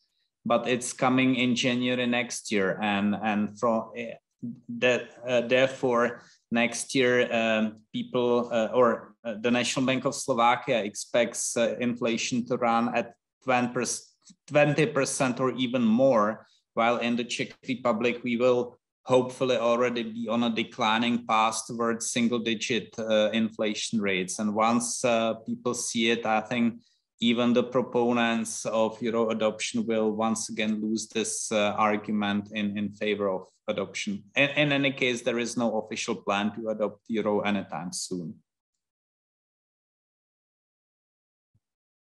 Okay, thanks. Uh, so we have a question in Q&A.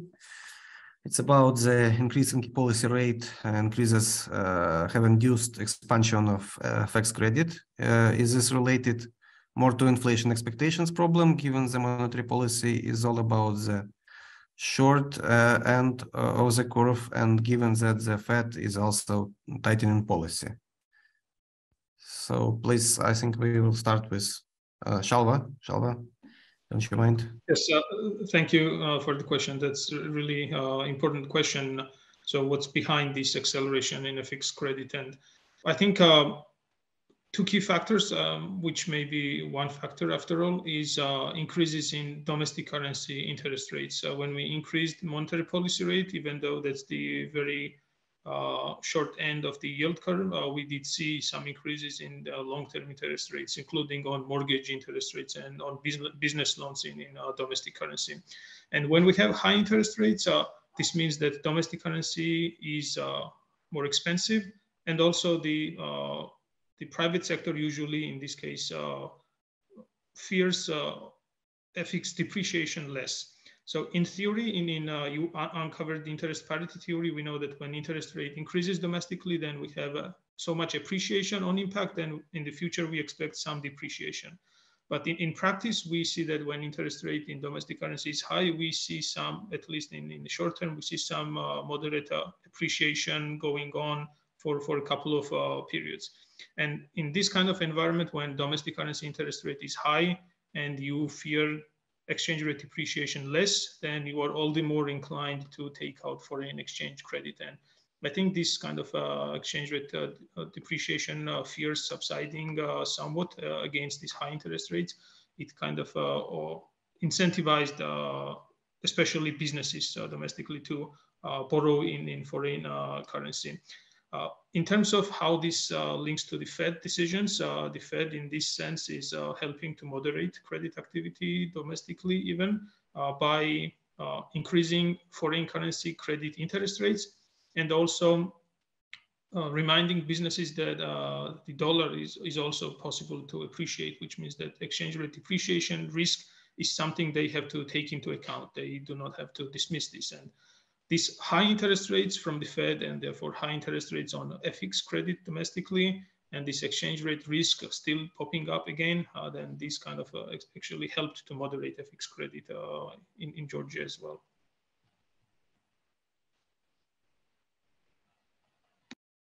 Thank you. So Tomáš, maybe you want to add something? Yeah, well, I think the explanation is quite similar to Shalva's. The interest rate differential between credit and Czech korunas and credit uh, in euros has gone up to five percentage points, which is a significant incentive for companies to resort to euro-denominated loans, especially if they don't fear uh, exchange rate depreciation. It is true that uh, recently the exchange rate of Czech koruna against the euro has been very stable with the help of uh, foreign exchange interventions by the Czech National Bank. Uh, we don't want um, uh, we don't want to allow uh, Czech koruna to depreciate significantly because it would be adding to the inflation problem. So we are currently using uh, foreign exchange intervention as a kind of supplementary tool of our monetary policy. Uh, my concern is that this may create the impression of too much exchange rate certainty for the companies, that they may simply underestimate uh, the exchange rate risk going forward. We haven't made any public promise to continue intervening uh, in the FX market for a long period of time. This is certainly not a kind of new exchange rate commitment with a reversed sign. So I can imagine bad scenarios that would lead to depreciation of currency and, and then the unhedged companies uh, would suffer financial losses uh, that could outweigh the interest rate differential that uh, they want to uh, benefit from. So uh, we, we tried to uh, really have more intense discussions with commercial banks through our bank supervision department to make sure that if foreign exchange credit is granted, it goes mainly to companies with euro denominated revenues. In that case, it's safe and it can be even considered a kind of natural hedge we, we, however, want to discourage uh, euro-denominated borrowing by uh, companies that don't have sufficient uh, foreign currency revenues. I see. Thank you. So Jaime, maybe you have something to add on, on, on this question, or it's not relevant for, for your case? For me. What, when I started the presentation, I talked about these assumptions that we make, um, economists. Uh, and of course, I'm, I'm listening to Tomáš and, and, and I hear that they, they tend to stabilize the exchange rate. Uh, we have a policy of floating exchange rate uh, so whatever the market asks, that, uh, the bank only intervenes when we consider that we need to increase or decrease the level of foreign reserves. Um, our foreign reserves level right now is, is. Uh, it's a level that surpasses the, the metrics that the IMF uses. Um, we have a year more stringent metric than that, um, but we don't intervene in that one. And that, by the way, makes a big difference in terms of uh, beating with inflation because we have to put up with the, the increase in critical groups. Um, the, that has an impact was stuck in consumer pricing. And that is a difference in uh, other countries, uh, Peru, uh, just like uh, the Czech Republic, they tend to to to use uh, a more graduated path to the. Um, we decided against that many years ago, uh, thinking that the independence of the monetary policy instrument should be optimized, which means not having to deal with the sterilization of the stuff that goes on in the exchange market. Uh, but this is one of those things where, again, we're very good at making assumptions to clients. We should.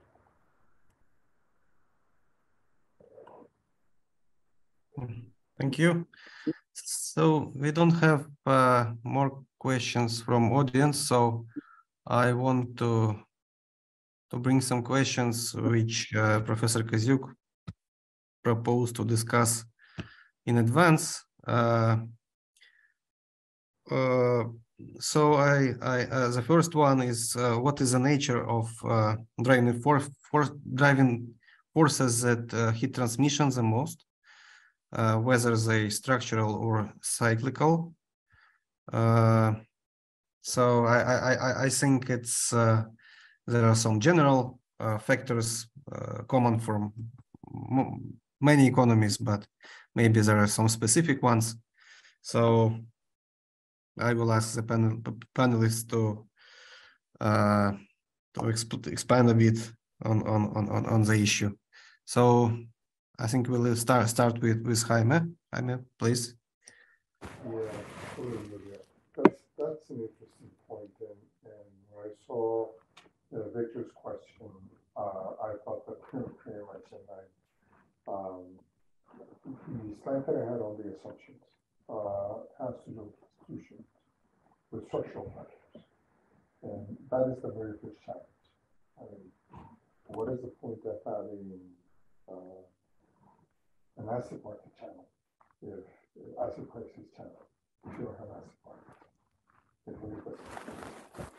Uh, what happens to add some credit if you have a distorted credit market because of a lack of competition in the system, then you have an issue because that instrument, that just is not there. So, in a way, our policy is less effective because of that uh, those two, uh, I think uh, there's always scope to work on the institutional thing and develop markets and develop institutions. Uh, I, I think uh, what Georgia is doing with microprudential measures is a very good example of how you can actually get your hands into the market and try to improve the efficiency of your monetary things. But certainly, was for me a huge issue is the institutional part. In the absence of uh, the institutions and markets, it is very difficult to have this thing. Uh, we all have to remember that this is that was developed mostly uh, in the US, in the UK, uh, and uh, all of which have a level of institutional development that is. Far greater than ours. And from that point of view, we cannot assume that just a, miracle would happen and things uh, would be It's really, really important. Uh, now that said, yes, there, there are uh, things that happen out there that are shocks. Uh, like I was explaining to you on the exchange rate. Uh, when the Fed decides to change a long-standing policy of loose money, then it becomes tighter and increases interest rates by a lot and that makes whatever we've done on the interest rate uh, washes out. So that hits it on the foreign exchange channel, on the exchange rate channel. That, and it is important to, to realize that even though the structural and institutional things are very, very important, there are other things as well that can create a lot of Mm. Thank you. So maybe we continue with uh, Shalva. Yes, uh, thanks. So I think uh, there are uh, some some structural factors that may uh, hinder monetary policy transmission. Uh, one is something I uh, talked about, uh, which is this loan dollarization. this high loan dollarization essentially complicates monetary policy making and makes it difficult to manage aggregate demand. And that's one key hindrance to monetary policy transmission. And there are some other potential problems uh, in monetary policy transmission, uh, which may be uh, dealt with uh, monetary policy operations uh, framework, the respective framework. And uh, two most important factors, I think, is dealing with liquidity risks and dealing with interest rate risk. This is something we have done over the years when we switched to inflation targeting. one was um, dealing with interest rate risk uh, essentially through uh, interest rate targeting framework, meaning that providing as much liquidity as is uh, demand for uh, liquidity from the uh, commercial banks for from a financial system, and this essentially stabilized the interest short end of the yield curve. And we also tried to communicate uh, our intentions about uh, future interest rates. Uh, this is what we call uh, conventional forward guidance, publishing monetary policy rate and uh, uh, discussing different uh, scenarios under which how central bank would react to these shocks. And this kind of communicating reaction function and making it easy to anticipate uh, for the private sector what interest rate may be in uh, some scenarios, what they whatever they expect. This essentially reduces uh, longer term part of the interest rate risk. And this also helps to uh, moderate this yield curve and make it uh, easier to manage uh, the whole yield curve, the longer term rates with a short policy, short term policy rate. The other part was liquidity side, uh, which is uh, already I, already mentioned, but I just want to um, give uh, one example, which is very interesting. something happened in 2015 in Georgia, which emphasized the importance of minimizing liquidity risk in terms of managing the economy. And this was when we saw big depreciation pressures in, in domestic currency. And there, there was some political pressure, some uh, uh, external experts discussing uh, the reasons behind this depreciation and uh, some of the uh, ideas that floated was that maybe central bank providing liquidity is depreciating the currency. And there was this pressure to essentially curb uh, liquidity provision. And uh, the, the result was uh, liquidity risk shot up. Longer term interest rates on government bonds increased like almost six percentage point and uh, this was a big cost for the uh, government budget essentially. And uh, since then, uh, the central bank tried to with, uh, withstand this uh, pressure, and we continue to provide liquidity as much as the banks needed to maintain money market interest rates close to the policy rate. And after this, some kind of a test or showing the commitment to this liquidity provision, then we saw that liquidity risk has declined longer term interest rates are, are, now much closer to policy rate.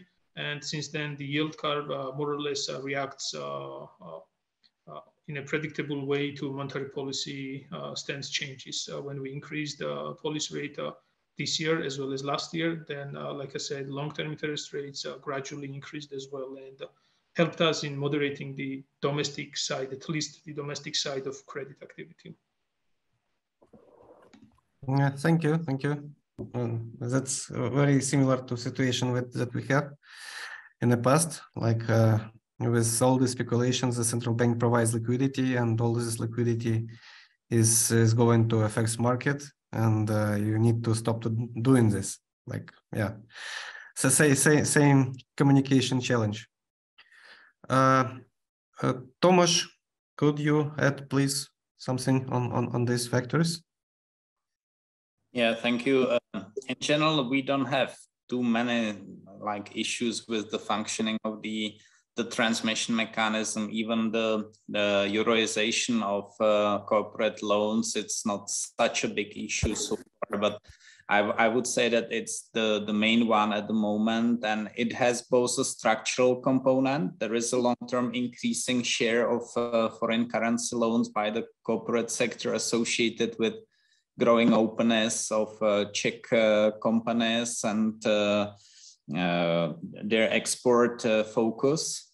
Uh, on the other hand, there is also a cyclical cyclical component. So I think the current sharp increase in euro-denominated loans, it's really related to the cyclical increase in interest rate differential and it will probably start to reverse now as both the ECB and Fed uh, continue hiking quite fast while uh, we are on hold. Uh, the interest rate differential has already started to narrow and and I think it will provide less incentive uh, for companies going forward uh, to take euro-denominated loans. So, so the issue will partly reverse back to the long-term trend. Uh, then speaking about inflation developments, I think the, the main structural issue for us will be the deglobalization of uh, the, the economy, the global economy after the COVID uh, and now the war. Uh, uh, the, the whole world was experiencing low inflation pressure previously related to increasing globalization and it's now partly reversing and and I think we will need to maintain a bit more restrictive monetary policy in the future than uh, what was the case in the previous decade, simply because of these structural pressures on higher inflation. Thank you. Thank you, colleagues. Uh, we are approaching to the end of, of this session. Uh, I, I, I, I'll be really grateful to, to, to the participants uh, uh, to their presentations, for the discussion, and for uh, their support. So thank you. Thank you. Thank you very much. Bye bye and Slava Ukraini. Bye, Slava. Um, to proceed, uh, Paulo, uh, we'll uh, discuss uh, some results of a recently launched paper at IMF on discussing the return of fiscal policy. All the screen is yours. Uh, can you hear me? Yes. Okay, perfect. Let me then uh, share the screen.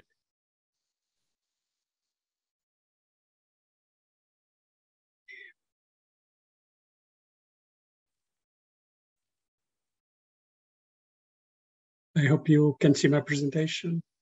Yes. Perfect. Thank you very much for the invitation and uh, I share Joanna's uh, wishes that the, the war ends soon and uh, we have a swift return to peace, which will be good for Ukraine, but for the world in general. So my presentation is going to focus more on thinking about uh, fiscal frameworks and how we have been learning from the last years and decades and uh, with um, uh, I'll put a bit more the focus on how we think fiscal frameworks need to reflect more the interactions with monetary policy, which has been something uh, has become more pressing uh, in recent years. So the world has been hit by a succession of shocks, as John already mentioned, in the pandemic, with implications for people's lives and livelihoods. Uh, in order to respond to this crisis, countries have adopted um, very large fiscal measures, uh, supportive measures, and that implied that many countries suspended their fiscal rules, or their uh, rule-based frameworks. And more than 100 countries in the world are, have rules. So this is really um, very significant. Uh, as we exit the pandemic uh, and debts have, have risen significantly, uh, many countries are now a return, a return to fiscal rules. And this is an opportunity to review the lessons uh, from recent years and, try, and how we can improve fiscal frameworks more generally. And one, one key aspect, again, that Juan already mentioned, is that we are in a really a difficult, a world of difficult policy trade-offs and the, the interactions and consistency of fiscal, monetary, and financial policies is absolutely critical. Uh, and the presentation will discuss how fiscal rules or fiscal frameworks more generally can be improved, taking into account these lessons and challenges ahead. And of course, my presentation reflects the work of a large team at IMF, which is. So let me just give you very briefly that uh, crises have a large impact on how countries abide by rules. And in the charts, we compare uh, fiscal deficits and debt levels to the limits or anchors under the rules. Uh, in terms of deficits, we observe a spike on the number of countries that have deficits well above limits around the global financial crisis and particularly the pandemic, when 90% uh, of the countries deviated from their deficit limits. This is not surprising because it was a crisis, but we also see that a still large share of countries continue to have sizable deviations outside crisis periods. And this has contributed to a persistent rise in debt deviations. So especially among advanced economies, the share of countries systematically above the limit or, or fiscal anchors rises persistently over time. And more than half of the countries are well above their debt limits or anchors. In some cases, the deviations from uh, the debt limits are more than 50% of GDP. So we're talking about very, very large deviations. And this raises issues on how to deal with this uh, in many countries and as we consider a return to fiscal rules. So, uh, as already been mentioned, fiscal policy is at a critical conjuncture. Right? As countries emerge, as countries emerge from the pandemic, policymakers face record levels of public debt. Okay? The debt surge during the pandemic was the largest single year increase since the World War II. Uh, before the pandemic, the cost of carrying high levels of debt was relatively low, especially for advanced economies. The neutral rates were on a declining trend and inflation was low. So it was easier to, to manage higher levels of debt and few countries actually managed to significantly reduce debt levels prior to the pandemic. But now most countries are experiencing much tighter budgetary constraints due to rising borrowing costs, even as debt ratios fall. Weaker growth prospects, large contingent liabilities, uh, combined with rising risk premiums, is leading to growing concerns with debt sustainability, especially for emerging and low-income countries. So in this context, governments are under pressure to develop medium-term fiscal plans. And in that context are also many are considering a return to fiscal rules and how they can be improved. One aspect I wanted to mention here is that when you're thinking about fiscal frameworks, it's also crucial to reflect on the interplay between monetary and fiscal policies. In the most recent major crisis, the global financial crisis and COVID-19, fiscal policy played a decisive role governments took unprecedented measures in terms of the size, but also the type of measures. And moreover, the effects of the interactions between monetary and fiscal policies were in full display. And here I illustrate with a period of 2020 and 2022. And what you see for 2020, which was an impressive uh, uh, uh, synchrony between fiscal and monetary policy. So in a, in a very large number of countries, we saw both massive monetary loosening and fiscal loosening uh, in response to COVID. Uh, so the, the two policies uh, were trying to achieve, uh, uh, react to a situation of an economic contraction, health crisis, obviously, and in, a, in an environment of very low inflation and very low interest rates, which allowed uh, the, the, made it possible the fiscal response, the unprecedented fiscal response in 2020. In 2021, as the, as the economies already started to rebound and, and uh, inflation started to rise, monetary policy uh, uh, paused in most countries, and fiscal policy started to tighten uh, first. So we saw countries already starting to tighten, and part was the withdrawal of the emergency measures during the pandemic. Right? And 2022, we see now a completely different world with high inflation and where most uh, central banks are tightening and the fiscal po policy is also tightening. Again, the two policies are responding to very different uh, concerns now than in 2020. Now it's a concerns is, uh, is ensuring price stability and avoiding that inflation gets, expectations get an anchor. So you have uh, a significant uh, response of the two policies. And as I, I will mention more, uh, these actions of monetary policy have significant fiscal implications. Uh, and I'll talk to about uh, a bit more, but the general point more from a, a policy framework perspective is that because, uh, or the lessons is because of the effective lower bound as proven more frequently, fiscal policy needed to be more active than originally envisioned. So this is changing the way we think about fiscal policy. But this also requires building larger buffers in normal times so that governments have the fiscal space to react. Similarly, in periods of large inflation surprises, as we're witnessing now, fiscal policy needs to support the efforts by monetary policy to fight inflation. So we see really a rethinking of the role of fiscal policy in reaction to these shocks of the last years. Let me go then. So in our work at the fund, we are been thinking how you can uh, upgrade the medium-term fiscal frameworks to address some of the past shortcomings and also help navigate these difficult policy trade-offs. And I want to spend a bit of time on two issues that have generated significant discussion when designing fiscal rules, uh, which are fiscal sustainability and uh, economic stability, which are two key objectives of policymakers. Now, just to give you the first questions about fiscal sustainability. And the long-term decline in interest rates has ignited a very lively debate especially just before the recent rise in inflation. But some argue that with a permanently low neutral rates, there is basically no limit on how much governments can borrow.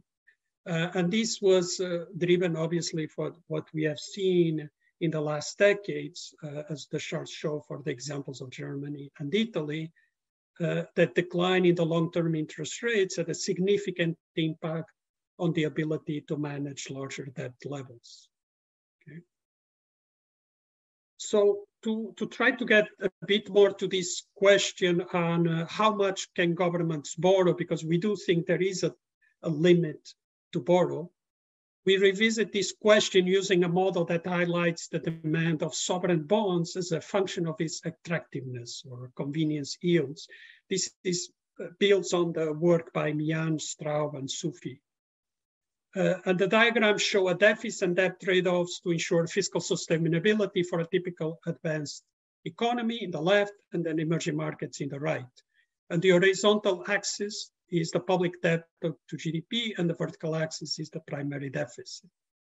So the left side of the peak is what's so the so-called free lunch zone that many uh, economists have focused uh, before this latest uh, rising inflation, and basically is where countries can borrow without having to tighten primary balances.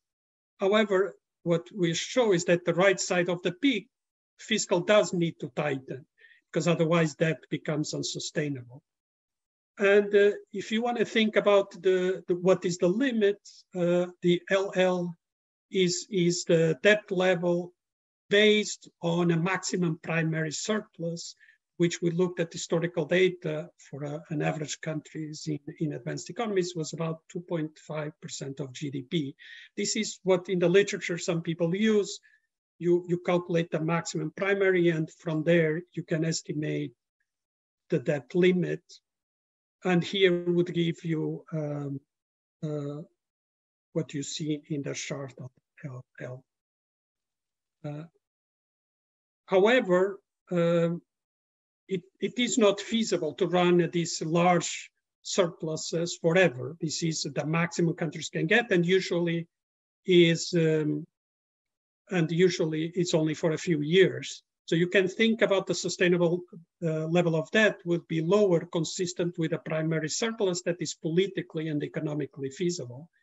And for instance, if a country can only sustain uh, primary surplus of about 0.5% of GDP over the long term, as is suggested by historical data, the corresponding sustainable level of debt for an advanced economy be about 200%, uh, which is point L star. That is, debt levels above L star can be seen as a high as an area of high and rising risk of debt distress, as markets may lose confidence on the ability of governments to deliver sufficient high primary surplus to prevent an unsustainable debt. Uh, so one other point I want to make, the long-term decline in the neutral interest rates increases government's ability to borrow over time. And you can see it in the figure, shows the two lines for each income group, depicting two different period times, mid-2000s in the blue line, and the baseline of the pre-pandemic year in uh, red. And the key difference between two periods is the global interest rates are higher for the earlier period. As a result, the line shifted outwards, implying larger fiscal space just before the pandemic. Uh, the question is if, if this trend will continue or if we could have a, a, a reversal on the, on the long-term interest rates. Just spend too much time. But of course, fiscal limits so the, the chart shows you the long-term trends and the, the concept of long-term debt sustainability. But the fiscal limits, however, also depend on other factors and can vary significantly across countries and time. And when setting fiscal frameworks, fiscal rules, governments need to take into account the uncertainty around key macro financial variables and other risks. And the attractiveness of governments also depends on structural factors such as the quality of institutions and and policy frameworks. And fiscal limits also depend on factors that could shift considerably in the short time horizon. So for the estimates of fiscal limits can change quickly with market conditions and risk perceptions, as we have seen in, in recent months. In particular, when governments are operating with debt in areas considered riskier, they may face difficulties in rolling over their debt. Also, the tightening of global financial conditions can lead to a loss of attractiveness for government debt, especially for emerging markets. So the chart shows how fiscal space can diminish depending on the interest elasticity of public debt. The green bar shows that an increase in investor sensitivity to the level of debt, as we are seeing now in the markets, can have a large impact. And for example, in our example, decrease fiscal limits for advanced economies and EMs by 40% and 20% of GDP respectively.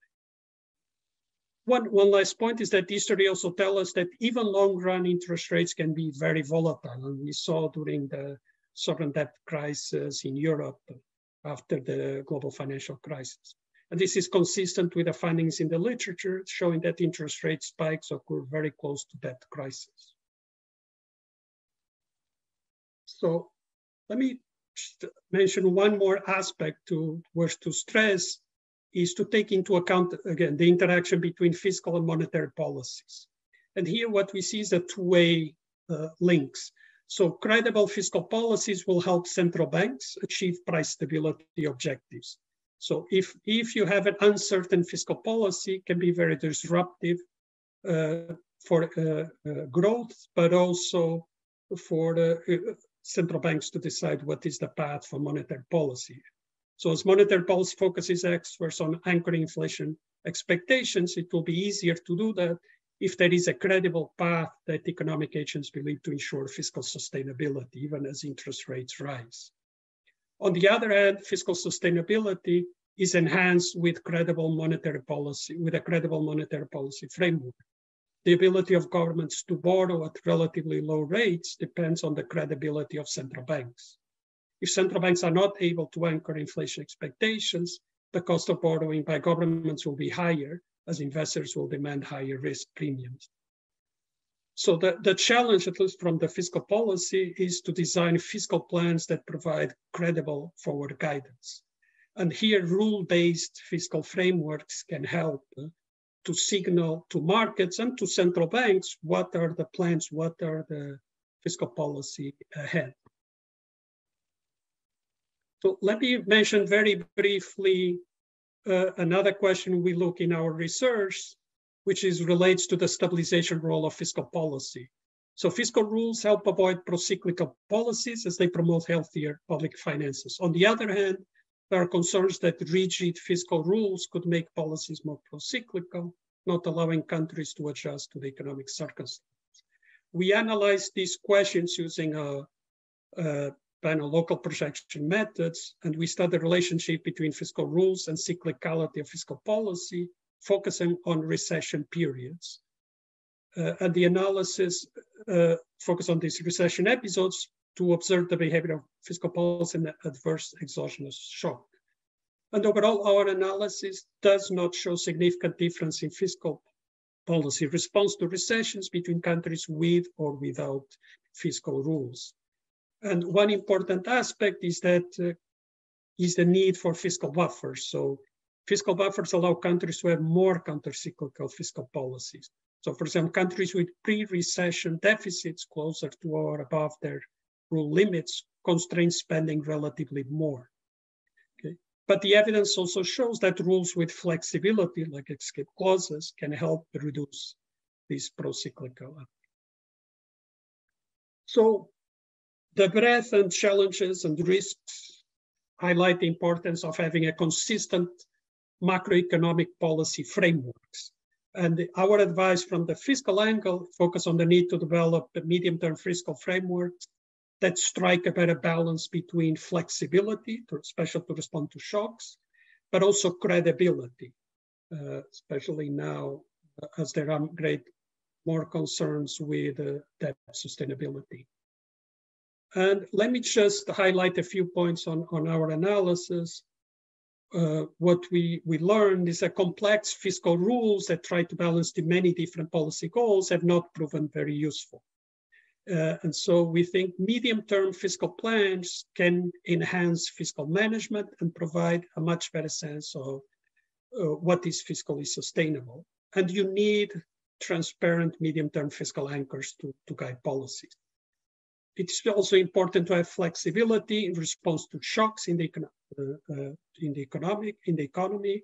In the case of large shocks, uh, escape clauses can allow significant flexibility within the framework. But this implies that buffers need to be built to make room for fiscal policy against future shocks.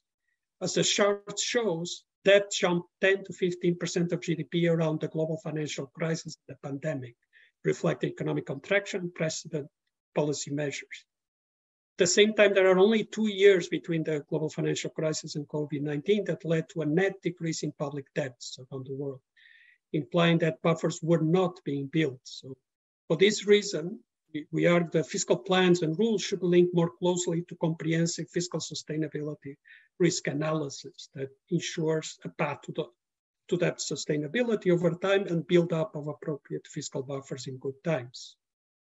So Operational rules here can play an important role in translating these medium-term goals with the annual budget.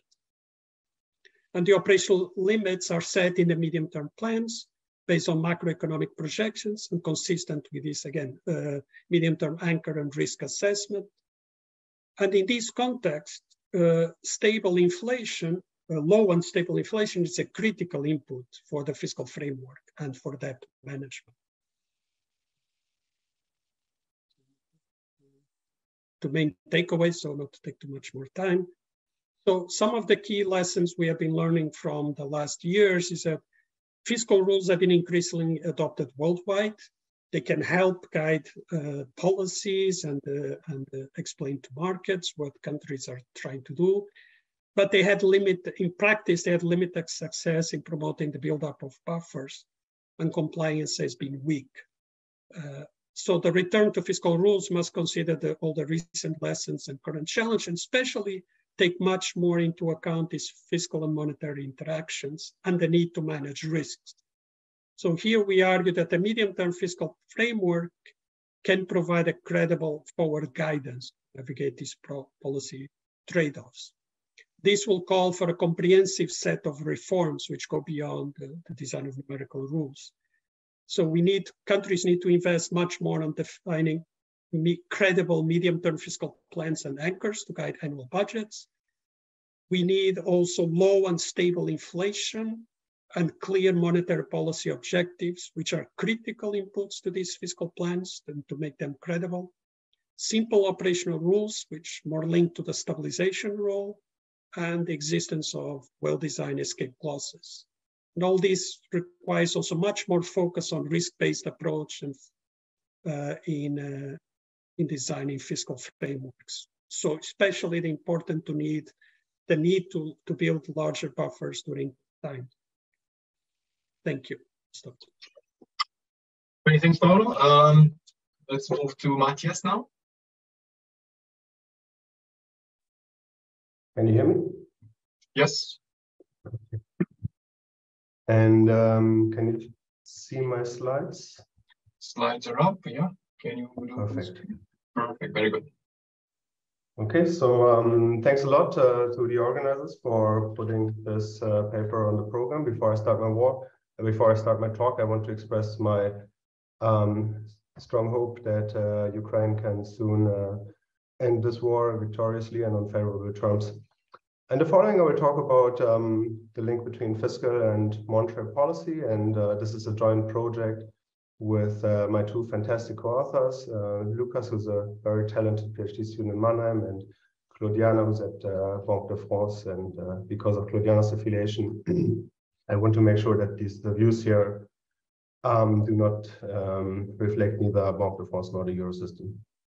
So the broad uh, question that we um, address in this, in, in this paper, in this project, is how systematic monetary policy affects the response of the economy to business cycle shocks generally, and more specifically to fiscal spending shocks. Um, this question is, uh, in some sense, a classical question in macroeconomics. And if anything, I believe it's a question that has become more relevant over the recent past, which, uh, for example, is characterized by high and increase, while increasing levels of uh, military spending uh, in response to the to the war in Ukraine. Um, in theory, um, how systematic monetary policy shapes the uh, effects of uh, fiscal spending is, uh, I would argue, quite well understood. Just to fix ideas, suppose, for example, a Stylers-Taylor rule in which uh, this, this coefficient, time-varying coefficient phi t captures, can be thought of as capturing uh, systematic monetary policy. Now, this what typically comes out of uh, DSGE models is that the expansionary effects of higher spending on GDP are dampened the, the larger fires, the more aggressively systematic monetary policy uh, operates uh, against it. Um, well, in theory, we think this, this, this link is, is well understood, and there are many other theories than the simple one I, I put up here. Um, empirically, we think much less is known about um, the link between systematic monetary policy and fiscal spending shocks. Um, in particular, when I say empirically, I mean uh, reduced form, uh, without imposing any, any, any, any, much, much structural assumptions. Um, we think the main reason why we don't have much um, um, reduced form evidence or reliable reduced form evidence on this question is there are two major challenges um, one of them is the endogeneity of uh, the potential endogeneity of systematic monetary policy. So the, in, in, the context of the simple Taylor rule, the phi t may be high because we are in recession or because we are in boom or because there's expansionary fiscal policy. Um, and another problem, um, a broader problem, if you, if you, like, in, uh, is the is the Lucas critique, which uh, cautions us against exploiting statistical relationship for, um, for policy analysis because the statistical relationship uh, may change if systematic monetary policy uh, changes. Now, what we do in this paper is we address both of these um, challenges by providing a new identification design, which I will talk, tell you more about uh, later. This identification design can be applied to any type of business cycle shock you may be interested in. In this, in this paper in specific, we uh, apply it to the question of uh, the effects of government spending shocks. And broadly speaking, what we find is that for an, uh, and we apply to the US, we apply that for a, an average US systematic monetary policy, the fiscal multiplier is roughly about one. If the FOMC uh, is, uh, is more hawkish than average, the multiplier can fall to zero. And if it's more dovish than average, it can raise up to two or, or even higher. And we find consistent response of both interest rates and inflation.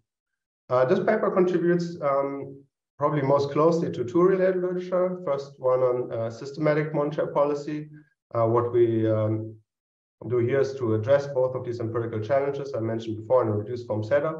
Um, the paper also contributes to literature that uh, studies estimates the effects of government spending shocks and their state dependency, including contributions by Yuriy Gorodnichenko.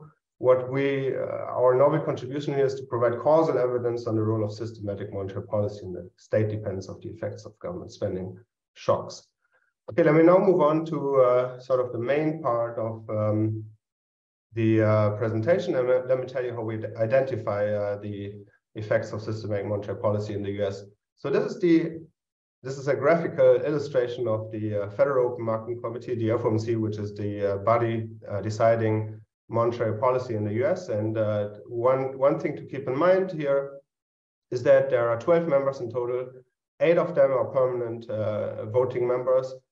four the, the four other members are rotated to the pool of regional Fed presidents, excluding uh, New York. And this, uh, this is there's an annual rotation um, organizing this, this, uh, this, and it's it's mechanic, and that's what we will use for identification.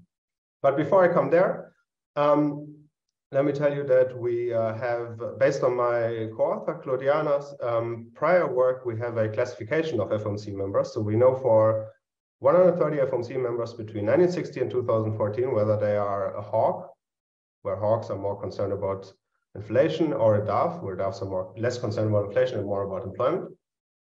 And this is based on real-time uh, newspaper coverage, and, and, and, and, and Klodiana has shown that these measured perceived preferences actually reflect actions and tendencies and beliefs and can be traced back to education and, ex and experience.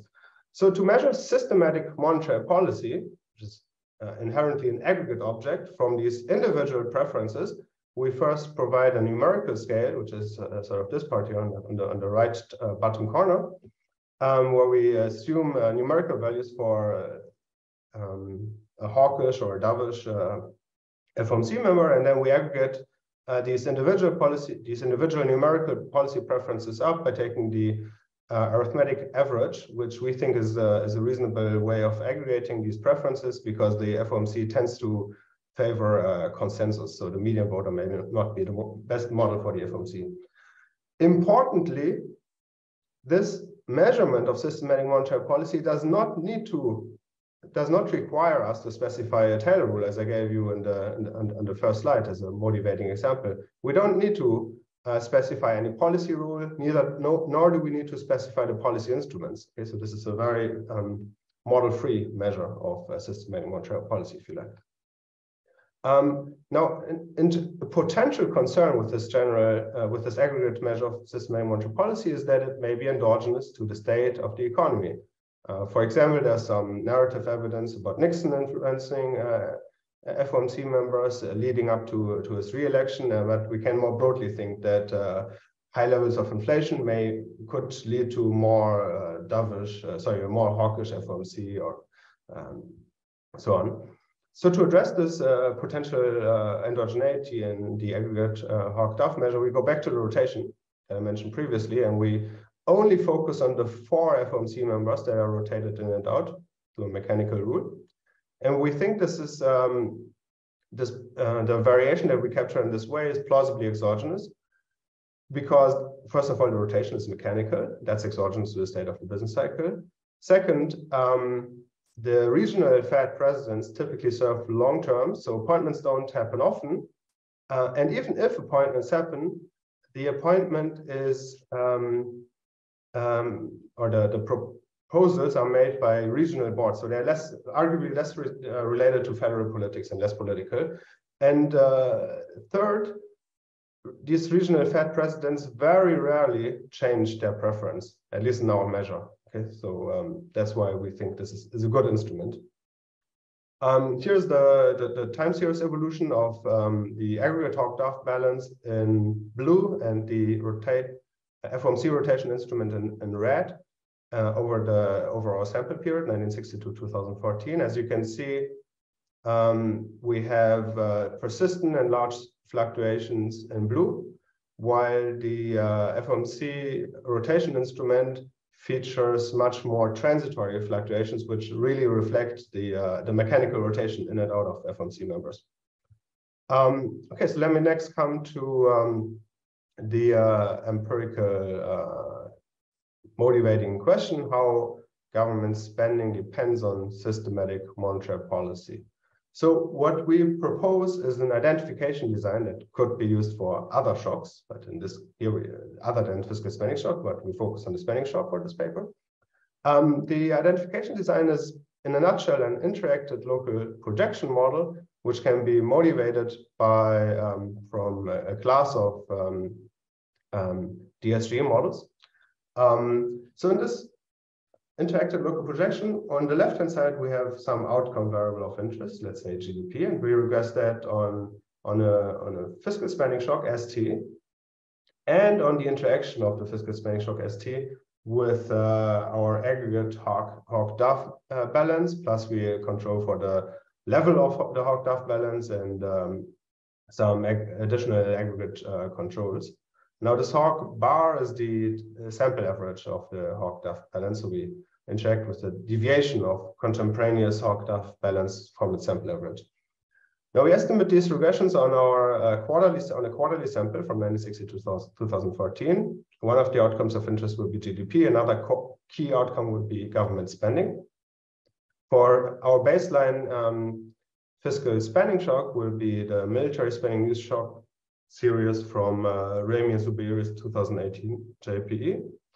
Um, in a sense, we closely follow this specification. Closely follows their frame, their, their linear framework. When you take out the two uh, Hawk terms here, um, we, um, and we do we do follow them closely by specifying these regressors here is exactly in line with them. So we take four legs of GDP government spending at the shock.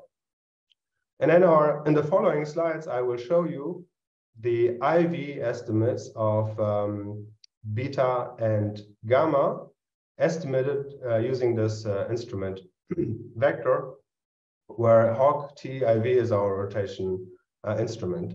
Okay, so in the following, I will first show you beta, which captures the response, uh, which will capture a response of GDP and government spending to a fiscal to military news shock when the um, Hawk-Dove balance is at its sample average, okay, this term being zero. And then I'll show you gamma, which gives you the, as the differential effect, and then I will put beta and gamma together to talk about the state dependency.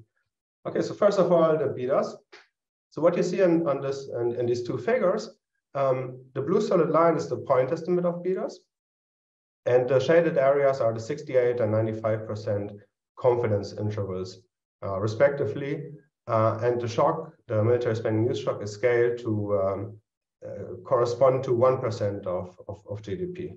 Okay, so in response to the shock, most importantly, the most important takeaway from this figure is that we see for an, an average FOMC composition, we see a significant um, increase in, um, in both in GDP and in government spending. And the fact that GDP becomes significant at rather long horizons may reflect the fact that the government spending response also responds most longly at, at long horizons, which is a which is not surprising given that we talk about military spending news shocks. That that's that's the the, the variable constructed by uh, Ramey Zubairy. Okay, so let me next show you, move on to the, to the gammas, which give us the differential effect. So to be clear, um, this, this, this line here is the point estimate of differential GDP response when there are two more hawks in the FOMC than, than average.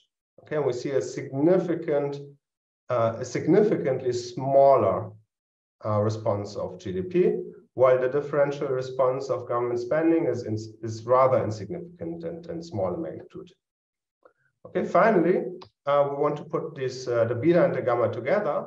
Uh, we subtract and add gamma from the beta to obtain um, an estimate of the total response of GDP when the FOMC is more dovish than average, more dovish by two members than average, and when the FOMC is more hawkish than average, more hawkish by, by two members. And as you can see, um, under the more dovish FOMC, the GDP response is significantly positive, while under the more hawkish FOMC, the GDP response is uh, negative, less, a bit less significantly, but uh, rather negative, um, while the G, G response is uh, insignificantly different, somewhat larger for the dovish FOMC. Now, note that uh, the shocks are military spending news shocks, and this is the total government spending uh, response. And we, if we split it up, we actually see there is some differential response in and non-military spending. Okay, so next we want to translate these uh, these estimates into into fiscal multiplier. So what we do is we compute a cumulative um, fiscal spending multiplier in line with Ramey and Zubairy, and we focus on the on the four-year horizon. So on average, what we see here, on average, we have roughly a, a multiplier of one, it's a bit above one. Um, so a one dollar increase in, in, in, spending increases GDP by 1.3 um, dollars. Uh, well, if you if the FOMC is more hawkish by one member, the multiplier drops to zero. Well, it's insignificant, but uh, point estimate is zero. While if the FOMC is more dovish by one member, the, the multiplier increases to above two. Note that uh, these two estimates, plus one hawk, plus one dove, they are significantly different from each other. Um, it's also interesting to observe that if we if we had estimated a linear model, uh, which means a model in which these gamma terms are restricted to be zero, so which would not allow for state dependence with respect to systematic monetary policy, in that linear model over the, over our sample, the average multiplier would be smaller, but more, most interestingly, it would be very insignificant. Well, significantly different from zero in, in our nonlinear model, which is further evidence suggesting that the um, state dependency with respect to systematic monetary policy matters.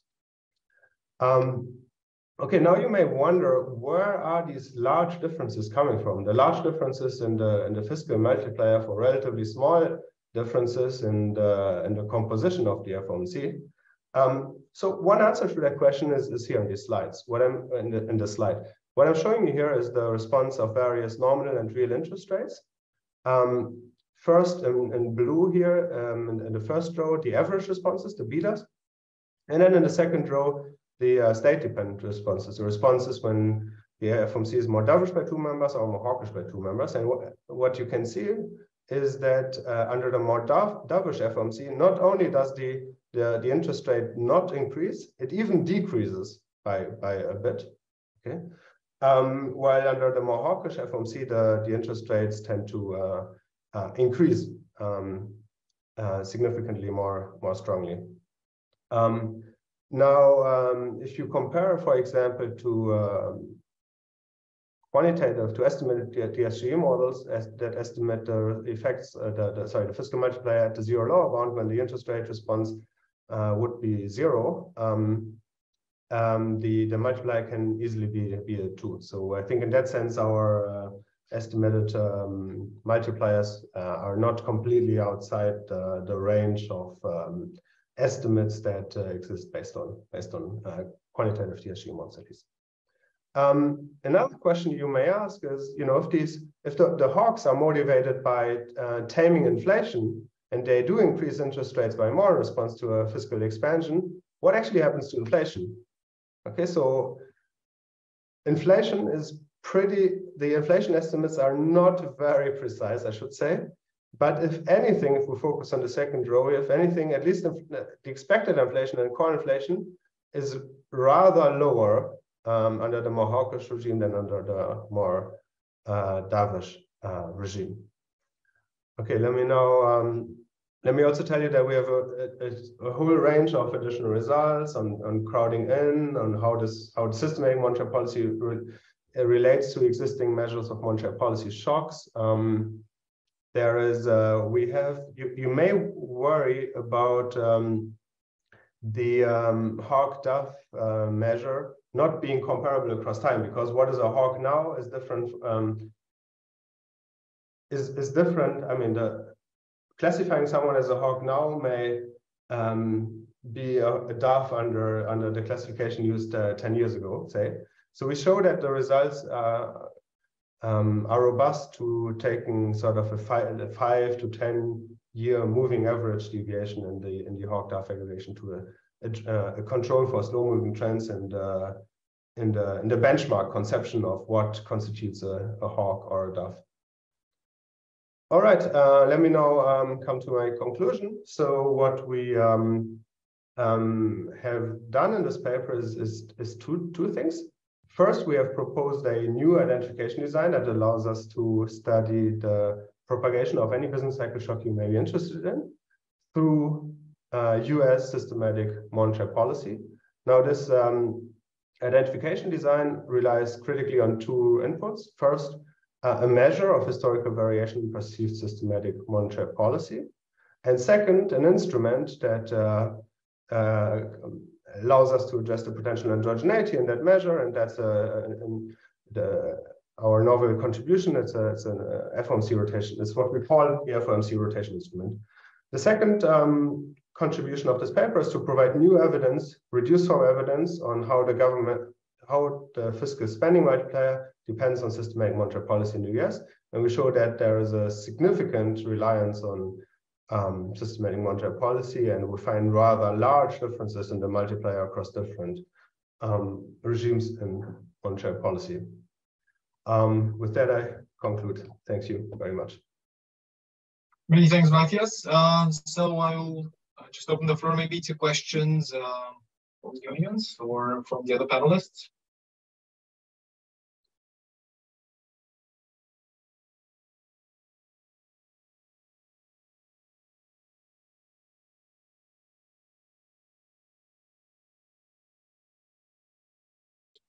Right. So in the meantime, while these are getting uh, while these are getting uh, mature, let's say, um, I, I just wanted to start by asking a, a few questions, maybe, uh, Paulo. Um, so return to fiscal rules um, seems to be a way to signal more commitment to to uh, to let's say policy paths, uh, uh, fiscal policy paths. Is this something that has is is is this something that has been in a sense conditioned by the fiscal responses during the COVID period? Is this a mix of, you know, this, let's call them cyclical factors uh, and more structural factors such as, you know, increased pension uh, uh, pension outlays in the expected in the future because of aging, uh, perhaps uh, too high too high uh, debt levels and so on and so forth. So what what motivates in a sense this this return to, to fiscal rules. Oh, thank you. Uh, yes, in general, countries adopt fiscal rules uh, in, after crisis or when they have uh, growing uh, debt sustainability concerns. Uh, the markets start to price more higher uh, cost to for the debt of those countries. So that tends to be a strong motivation in, uh, in many countries. What we, what we have seen in the global financial crisis and now in the pandemic was the problem was that when you try to adopt these rigid numerical rules, uh, while they can help initially signal uh, commitment to healthy public finances, they can undermine the quality of fiscal policy, especially in the response to shocks um, if they are to reach it. So we have seen in the global fin- after the global financial crisis, countries started to adopt more uh, what we call escape clauses. So basically, the ability to uh, uh, to uh, not abide by the rules temporarily if hit by a shock. And this has happened in the pandemic. So a vast majority of countries have uh, activated escape clauses or outright suspended fiscal rules because they needed the ability to quickly respond to this massive shock. Uh, and they did so appropriately, but the problem, of course, was that uh, debt rose significantly. That was uh, in a context initially where monetary policy was being loosening, so interest rates were very low, inflation was low, so that was manageable. But the, as we all know, the environment has changed significantly, and uh, countries are now increasingly worried uh, with uh, with the debt dynamics because markets are starting to uh, price significantly uh, much more expensively uh, if you are considered to be a high risk country. So that is driving this return to fiscal rules. But the, the long-term considerations are also there. So countries want to go back to these frameworks that provide credibility but at the same time, and, and basically show, and some more countries are doing this long-term debt sustainability analysis, which includes considerations of aging and climate change related investment to uh, to show they are taking that into account, but still a small number of countries. Uh, so so they are trying to, and this is what we are we are also advocating to countries is you need to strengthen your fiscal frameworks to allow this both uh, objectives that are sometimes a tension, which one is to show credibility to markets uh, and to people that uh, the governments are committed to fiscal discipline, and at the same time grant enough flexibility to respond to the different economic conditions and shocks. Um, and a key issue is the um, the the ability to ma to to manage better uh, risks and an assessment of risks, and this depends, including as as uh, others have mentioned, including Matthias' paper, I think is very nice. Uh, that the, the effectiveness of fiscal policy and the fiscal stance really depends also on the inflation, but also on the monetary policy response. So this is where we think, you know, going back to rigid fiscal rules is problematic. You need uh, a medium-term fiscal framework that allows more flexibility to, to design your operational rules based on all these considerations. But yes, the achieving uh, signaling credibility of public finances is a key motivator behind the fiscal rule. Many thanks. So in the meantime, we have a question to Matthias uh, uh, from uh, Viktor Koziuk. He's asking if um, you've considered that the more hawkish Fed offsets fiscal impacts and if the analysis takes into account the level of public debt. Yeah, that's an excellent question. We, we, we thought quite a bit about that. Um, so um, I can tell you, well, the baseline estimates that I showed you do not take into account the level of, of public debt. Um, but the results are quite robust to adding uh, that as a control. And a related concern we had was the way that the new spending would be financed could uh, could have play, play a role. So we also have a a, a control for that, and uh, it surprisingly makes uh, makes little uh, difference to the effects of systematic monetary policy. I mean, we, we do think it, it plays a difference per se, but uh, it, do, it does not seem to be systematically related with our variable capturing uh, systematic uh, monetary policy. Mihnea, if I may, I also have a question to to Paulo. Go ahead, yes, sure. Um, so, I, in the in the end of your talk, you were highlighting, uh, among other things, that uh, low and stable um, level of inflation is critical for achieving that sustainability or a return to uh, fiscal rules. And uh, I was a bit surprised. Uh, I mean, maybe maybe it's a bit provocative to ask, but uh, I was a bit surprised because the um, um, at least the transitory spike in inflation can be a pretty good thing if your if your debt to GDP ratio is far away from from target. I was wondering what your thoughts are on that.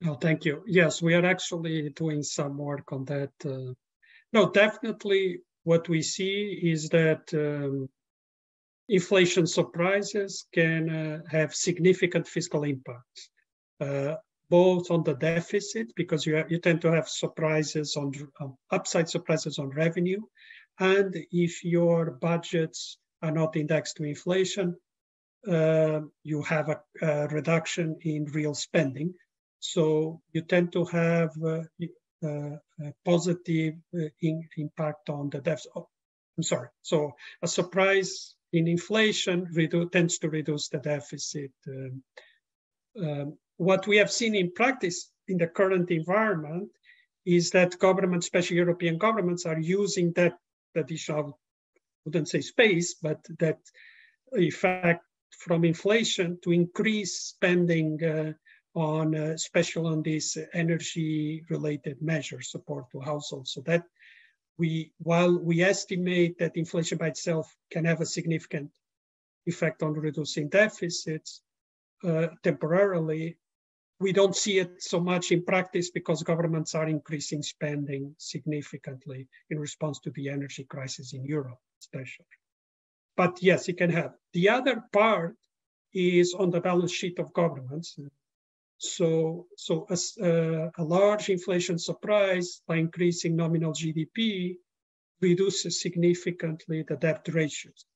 So, so what we, we see, for example, uh, in 2021 already, that the, the significant hike, uh, surprise hike in inflation helped reduce uh, to some degree the large increase in debt that we had observed in 2020. So we say on average, like one third of the large increase in 2020 uh, has, has been already compensated in 2021 uh, because of the higher nominal GDP. Of course, this includes inflation and the surprise also strength of the, the, the, the rebound from the worst of the pandemic. But in 2022, based on what we are seeing already, we're going to see again another positive effect on debt ratios in many advanced economies and some emerging markets. However, this effect actually is very small or negligible for many low income countries and some emerging markets because their debt is indexed to inflation or to the exchange rate. So they have FX debt. And what we see is that movement, uh, this high inflation is also having a significant impact on exchange rates and interest rates and risk premium. So, so what we see is that, for example, uh, low-income countries and, and some EMs are seeing almost no benefit from the surprise in inflation, and they're going to see the cost in the future because what we are seeing is interest rates are now uh, projected to be significantly higher and borrowing costs significantly higher. So, so that would be my last point: is that surprise inflations tend to have a, a temporary positive effect on the on uh, so reduce debt levels and reduce deficits, but over time they if inflation is persistent, uh, this would lead to significantly higher interest rates and borrowing costs in the future. And so that is bad for that sustainability in a long-term perspective. Uh, but you're right, in the short term, especially if the if governments, uh, if central banks can contain inflation and keep the inflation expectations anchored, they could potentially have uh, this positive effect in the short term without too many costs in the long term. So it, it is possible.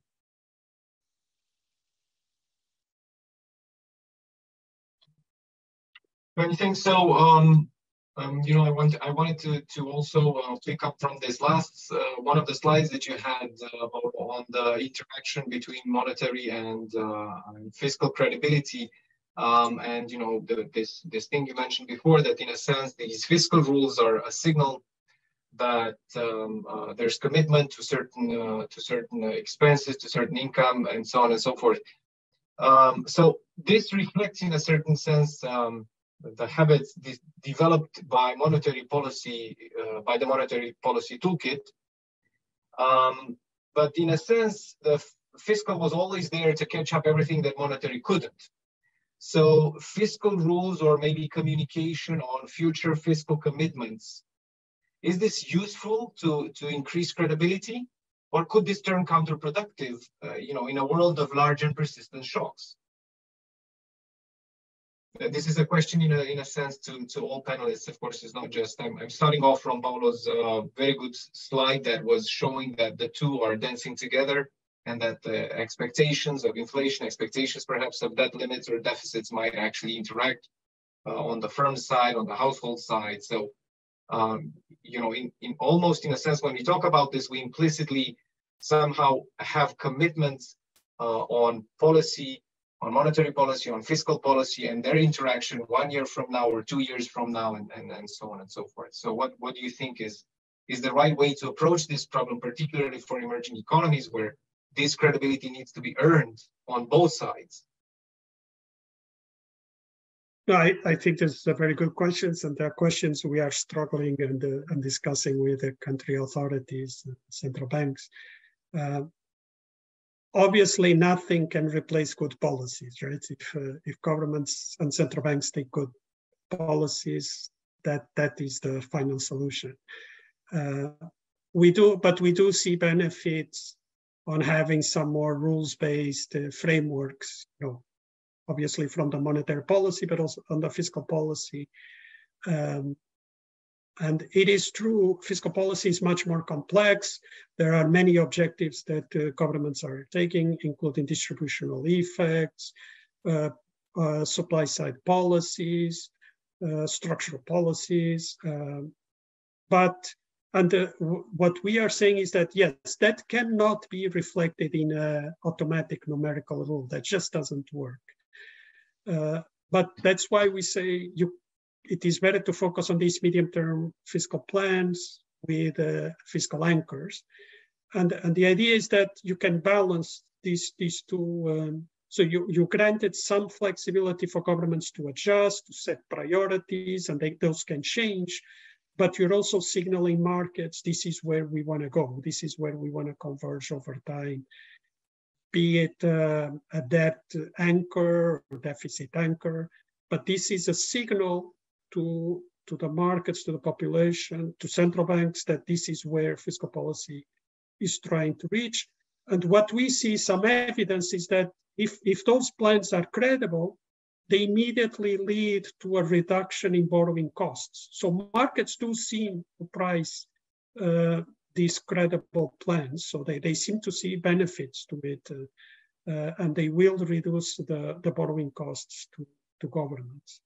Uh, the, another important aspect, I think, which had been underestimated in the past, but it's becoming more important now, is because of these uh, links between monetary and fiscal policy, uh, is that, um, you know, there's, I've talked with several central banks and they, they, they need uh, some type of coordination with fiscal policy that would help them set monetary policy. But at the same time, they they they need to keep their independence, right? You need you cannot uh, have a central bank that is has to somehow act according in coordination with ministers of finance is a very difficult.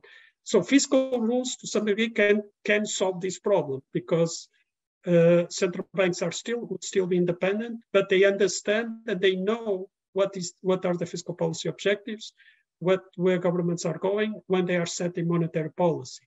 So rules can also help in that type of coordination or game uh, when setting policies.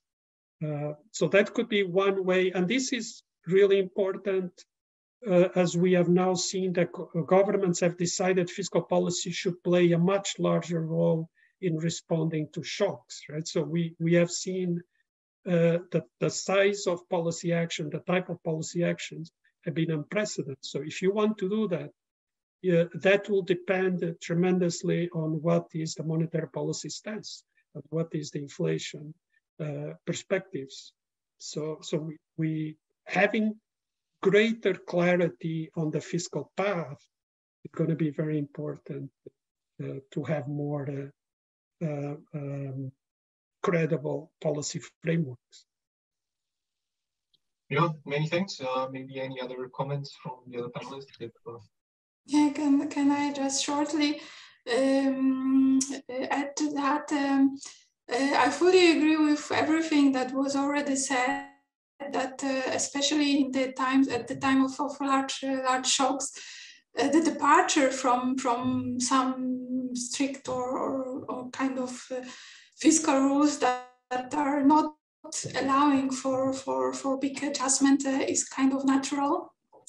Uh, and it was clear both during the pandemic and, and, and nowadays, uh, I think it's also quite, quite visible.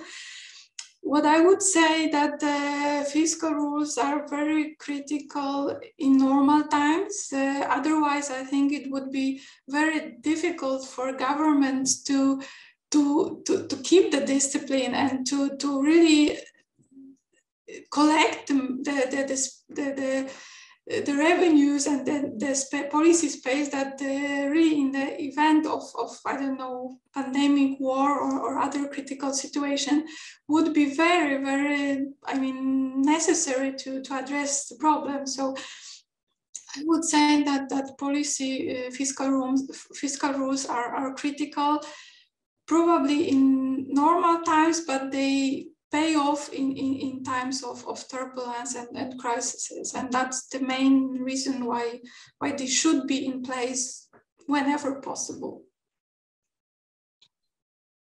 Many thanks, Jonah. So, Matthias, there's a question to you um, uh, regarding your presentation. So, um, the question is if um, uh, your analysis controls for periods when inflation and output are moving in the in, in different directions, and would be interesting to see if these results hold also in times of recession, presumably when both hawks and, and doves kind of align in their interests in a sense.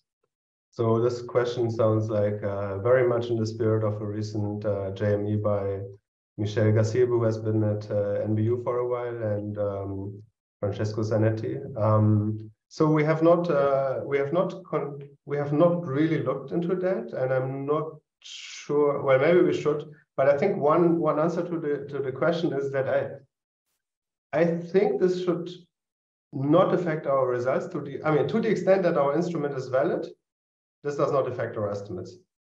Okay.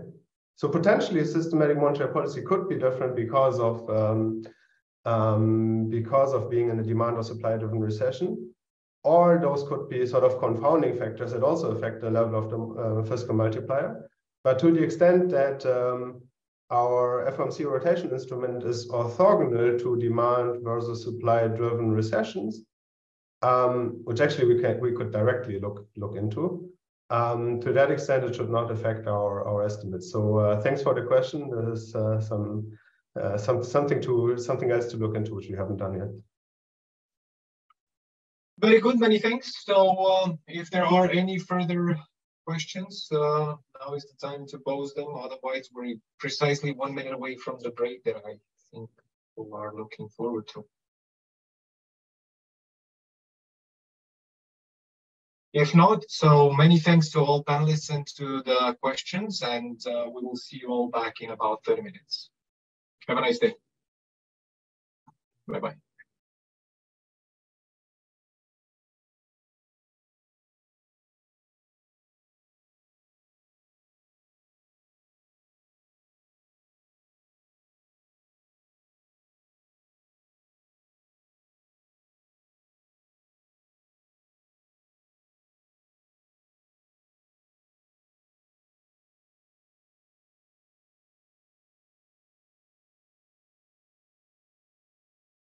Try again.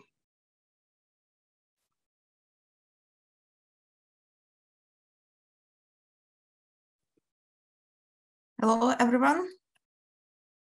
Can you hear me? I can hear you. So, yeah, uh, so we are ready to continue our uh, inflation targeting uh, workshop, and it's an honor for me to present the next keynote speaker, Yuri Gorodnichenko. Uh, I'm sure uh, most of the participants know Yuri well, as he is uh, uh, one of the most cited young economists uh, in the world and the number one top economist according to the RePEc. Um, he has many prizes and other awards, but anyway, I would like to present him as a um, presidential professor of economics at the University of California, Berkeley. Yuri also has many other affiliations. he is an editor of Journal of Monetary Economics, um, faculty research associate at the National Bureau of Economic Research, a research fellow at the Institute of Labor Economics and Center of Economic uh, Policy Research, uh, visiting scholar at the San Francisco uh, Federal Reserve Bank of San Francisco.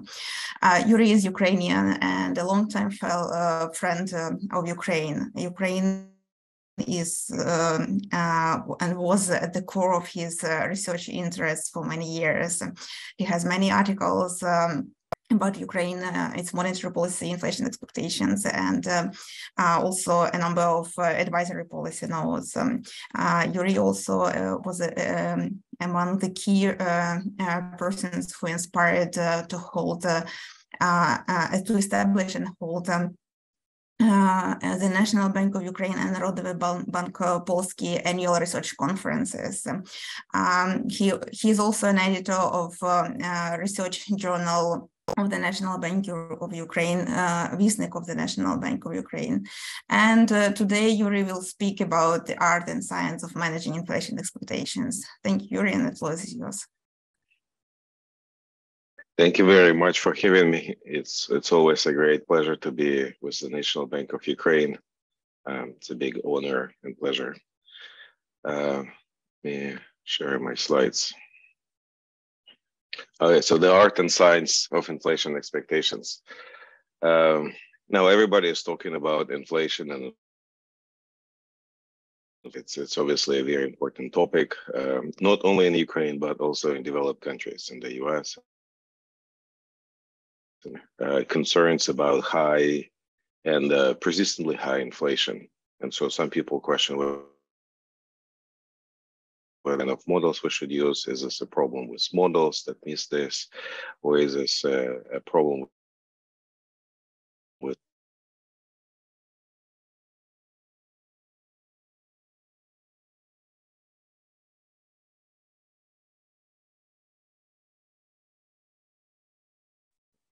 I got disconnected. Now we can hear you well. Okay, I'll share my slides again. All right, so I was saying that inflation expectations is a big deal. Everybody is concerned about this. And one of the questions out there is whether uh, this happened because we had their own model or because we had uh, some type of discretionary behavior which created this inflation. Now, inflation expectations are um, everywhere in our models. You know, you, for example, you look at the Phillips curve, inflation expectations are there. It gives us the connection between the real economy, output gap, and inflation. Uh, it also shows up in consumption uh, decisions, so it's important there as well. It's important for uh, pricing assets, uh, in Tobin's Q uh, in uh, asset pricing. famously, it's also in in the Taylor rule, Okay, and so we have versions of the Taylor rule where you respond to actual inflation, but you also have some versions of the Taylor rule where you respond to expectations. And uh, you know, statistically, expectations in the Taylor rule are better uh, kind of descriptions of what policymakers are doing. But to this day, there is a debate about you know whether this uh, specification with expectations should be used by policymakers or it should be something you know more backward looking or more uh, more current. Now you would think that you know it's not going to make a ton of difference most of the time, and it's true most of the time it's not making a ton of difference. This figure here shows the dynamics of actual inflation in the U.S. This is the black line. You see there is a lot of volatility here. Uh, it also gives you nowcast from professional forecasters. That is in the current quarter, what professional forecasters think inflation is. And the blue line is one year ahead inflation forecast. And so what you should see here is that the black line is very volatile, but the blue line is relatively smooth. Now, most of the time, up until COVID, it doesn't really matter what kind of measure you use uh, for policymakers uh, making. You know, all of these measures are basically giving you more or less the same picture. But now when you see what was happening post-COVID, here we see a sharp difference. The actual inflation accelerated very, very fast and stayed elevated for quite some time. Now, when you look at nowcast, you see it's consistently, this red line is consistently below actual inflation. And this is a big difference. Okay, so if you look at, at this number here, it's like three, four percentage point difference. Now, if you Taylor rule here, this coefficient is 1.5 or something like this. This difference, you multiply by 1.5, it has hugely different implications for where the policy rate should be. This is even more extreme when you look at one year ahead inflation expectations for professional forecasters. This blue line. This line here is moving even less. So if professional forecasters are telling you we're not expecting a ton of inflation going forward, so all we see here is just a temporary spike in inflation, you should not be raising uh, inflation. Uh, I'm sorry, you should not be raising interest rates aggressively. Okay, so it makes a crucial difference in this episode what kind of measure used for policymaking, actual inflation, uh, kind of short-term nowcast inflation expectations, so one year ahead inflation expectations. Now, why would this blue line evolve so slowly? Okay, so why do we have this different behavior of inflation expectations? Now, you would think that with so much research and so much importance attached to inflation expectations, we should know everything about inflation expectations. Uh, but it's not true. It's not true. And to highlight this, I will give you a few quotes from prominent central bankers. This is from Alan Greenspan when you know, he was talking at the FOMC uh, and he was saying, look, I don't know what it is, I can't make a judgment, but I know it's a key variable. So we kind of care about inflation expectations, but we don't know what it is, and we would like to have a better understanding of inflation expectations. Now, some years later, Ben Bernanke gives a major speech about inflation and inflation expectations. And again, he, he says in this speech roughly that it's a, an extremely important variable, it's important for policy, uh, but we don't have complete answers. So we still don't know much about this. And the evidence is particularly scarce for businesses. That is how firms set their prices. Now, some years later, Janet Yellen also gives a major uh, speech about inflation and inflation expectations. And she says, most importantly, we need to know more about the manner in which inflation expectations are formed and how monetary policy influences them. She goes on and says, you know, it's important how we can use it for policy. Again, you kind of get this impression that we we understand that inflation expectations are extremely important, for explaining macroeconomic dynamics and for policy. Uh, but we don't know how these expectations are formed and how we can use them for policy. Uh, Jay Powell recently didn't give a speech specifically about inflation and inflation expectations, but whenever you listen to his press conferences or kind of other speeches, he keeps talking about, you know, they're watching about, uh, they're watching inflation, inflation expectations, they're terribly important, and we, we want to kind of know more about where they're going and how we can use them for policy. So, you know, this this this quotes can give you an impression that we know actually very little about inflation, uh, inflation expectations. But it's not entirely true. We actually made a ton of progress over the years. Uh, we have better models, we have better measurement. Uh, we don't have complete answers for sure, but we are not at the state when we know uh, nothing about inflation expectations.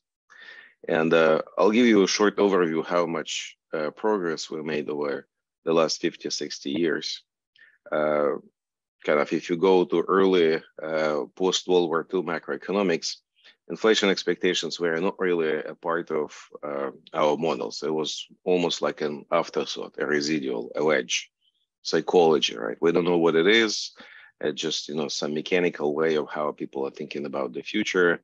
Typically, uh, expectations are described with past realizations of inflation or other macroeconomic variables. So it's kind of a very simple mechanical way to summarize what people are thinking about the future. Now, obviously, this framework failed miserably in the 1970s when we had the great inflation and uh, we had simultaneously high inflation and high unemployment, kind of similar to what we had uh, in, in some countries more recently. Uh, and so this obviously created a, a, macroeconomic revolution, the full information rational expectations, where you had another extreme. Uh, in this framework, you have economic agents that know everything about everything. So they know the structure of the economy, they know the shocks, they can quickly calculate the equilibrium, they can calculate optimal policies and responses for themselves as well as for other agents in the economy. So it's kind of an extreme version of how much people can know. So you have this extreme where everything is known to everybody, and you have this extreme where people are actually not that smart, if you will. Now, these two extremes are not entirely satisfactory. This is unrealistic. This is also unrealistic. People are not stupid, but probably not as smart as predicted by uh, the full information rational expectations. And so a lot of work over the years has has been focused on trying to come up with some intermediate solutions, somewhere in between these two. And in a nutshell, you had uh, two classes of models. One is where you preserve rationality, but you say people don't have the full structure, uh, don't know the full structure of the economy, or they uh, don't have full information. And another model where you uh, you kind of know uh, the structure of the economy, but uh, you do not have rationality. And so to this day, there is active work between you know these two subclasses, trying to figure out what kind of models are going to be uh, the best uh, description of the reality. And we have some progress here. I'll describe this um, a bit later in my lecture.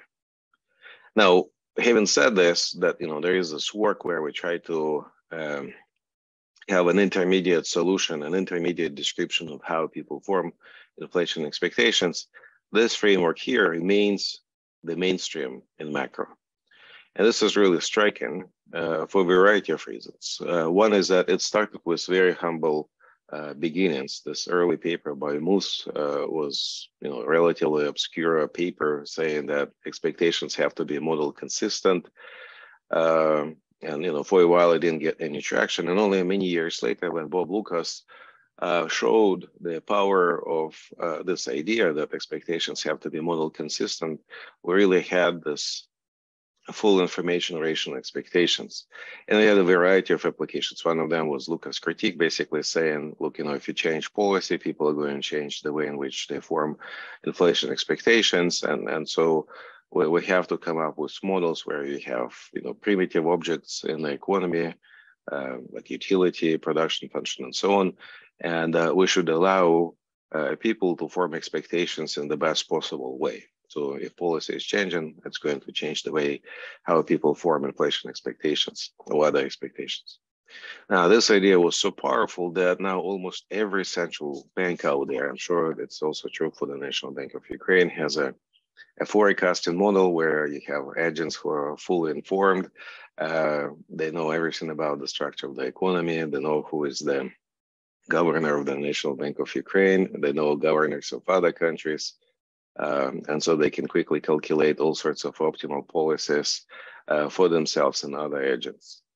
So this is kind of a testament of the success of this. Um, another example of, of the success of this models is that we had kind of old ideas in macro about how various macroeconomic variables are related to each other. For example, the Phillips curve, inflation and unemployment rate. And the early versions of this idea didn't have any expectations but then in the course of this you know, full information rational expectations, uh, we came up with basically the same Phillips curve uh, with you know, some modifications where expectations are going to be uh, featured more prominently. And we have more sophisticated models than uh, this ones. But the idea is that uh, you can basically recast lots and lots of insights we had in early macro uh, uh, developments and, and, and cast them in this you know, full information rational expectations framework. And so if you look at the basic structure of macro models today, you know, you have New Keynesian macro where everything is micro-founded as, as, as, Lucas wanted. It has full information rational expectations. It also has extremely forward-looking agents in the economy. And so this is really kind of the bread and butter of modern macroeconomics. Now, if this is so dominant, if this is so important, uh, then you would think that all these, you know, elements are going to be tested and tested again to, to show that, you know, we really have the right type of model used for policy and forecasting and for understanding macroeconomic dynamics. Kind of one element of this exercise should be that we want to check if rational expectations are consistent with survey data when we ask people to make predictions about inflation, GDP, unemployment, and so on. And this is a huge literature. It goes back, you know, 40 years, uh, a lot of important work, and I'm not going to justice to it, but I will summarize it with basically two bullet points. One is that in the long run, full information rational expectations is a good description of how people think about the economy. That is, eventually people figure out what is happening, they can understand the shocks, trade-offs, and so on. But in the short run, or even medium run, you have massive deviations from um, full information rational expectations in the survey data. So people don't know the structure of the economy. They fail to realize that there are shocks. And you know what was happening during the post-COVID recovery when we have this sharp divergence between expectations and actual inflation.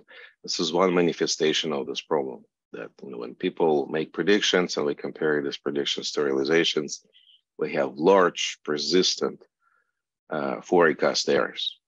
Okay, and that's important for policy. You know, should we have inflation targeting? Is this the right model? Is this the right variable in our models when we think about this? Now, if you have these results, then you might say, well, in probably we should have a slightly different model where we have to relax full information rational expectations, at least in the short run. Uh, but there was some uh, disagreement out there.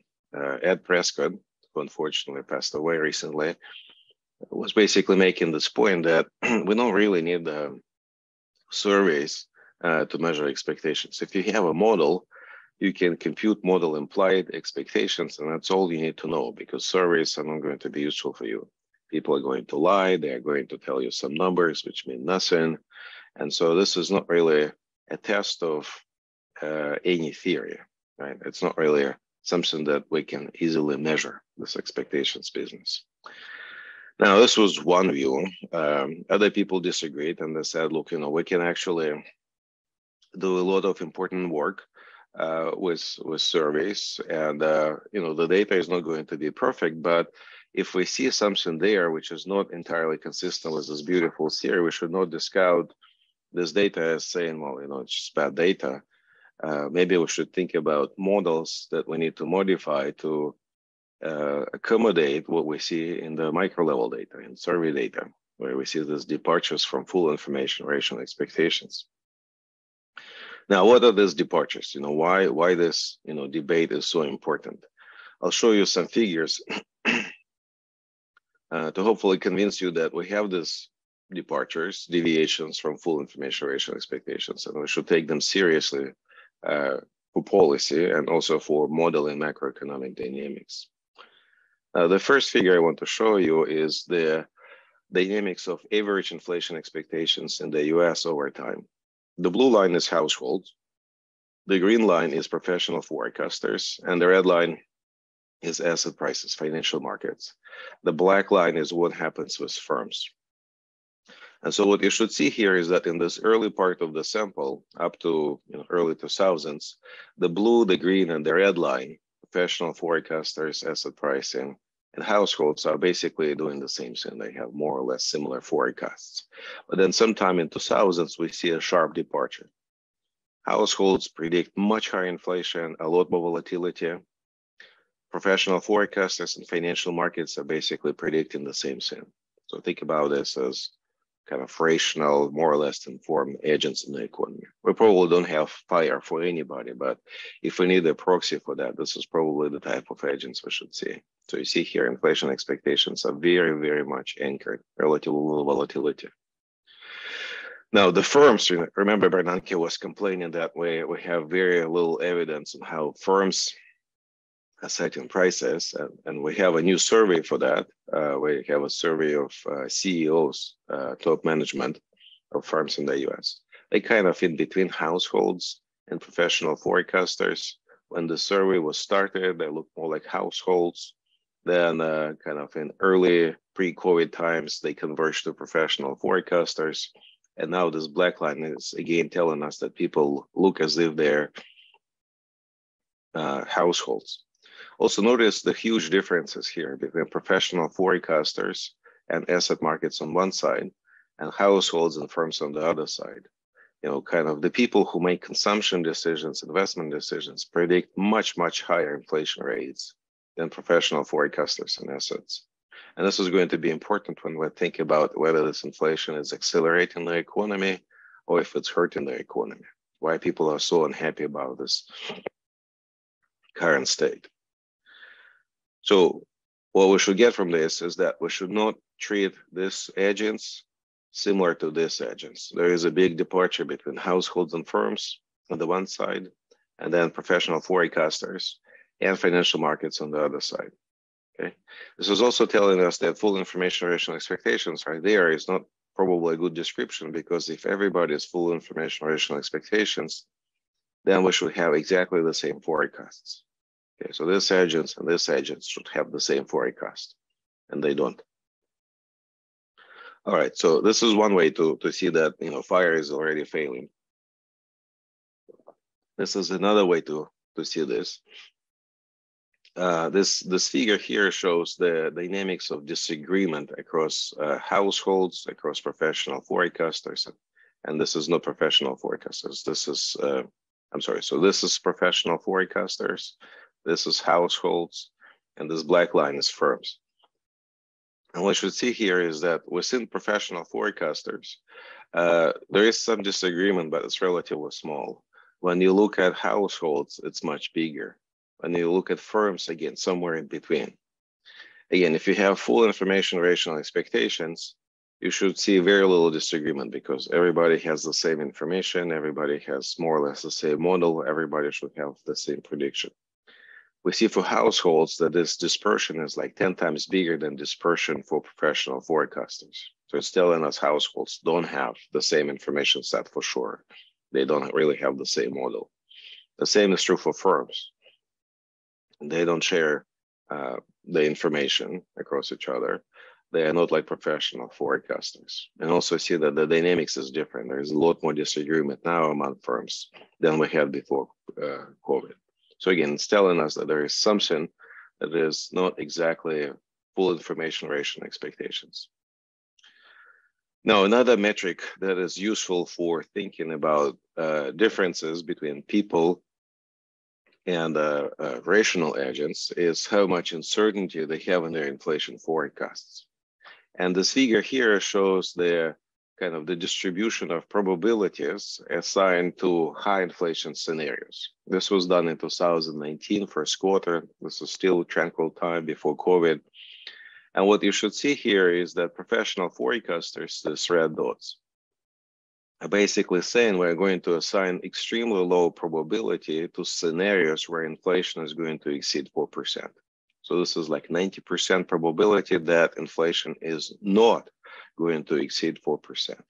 And then, you know, there is a small group of people saying, well, you know, maybe there is some chance here between 10 and 15%, 10 and 20%.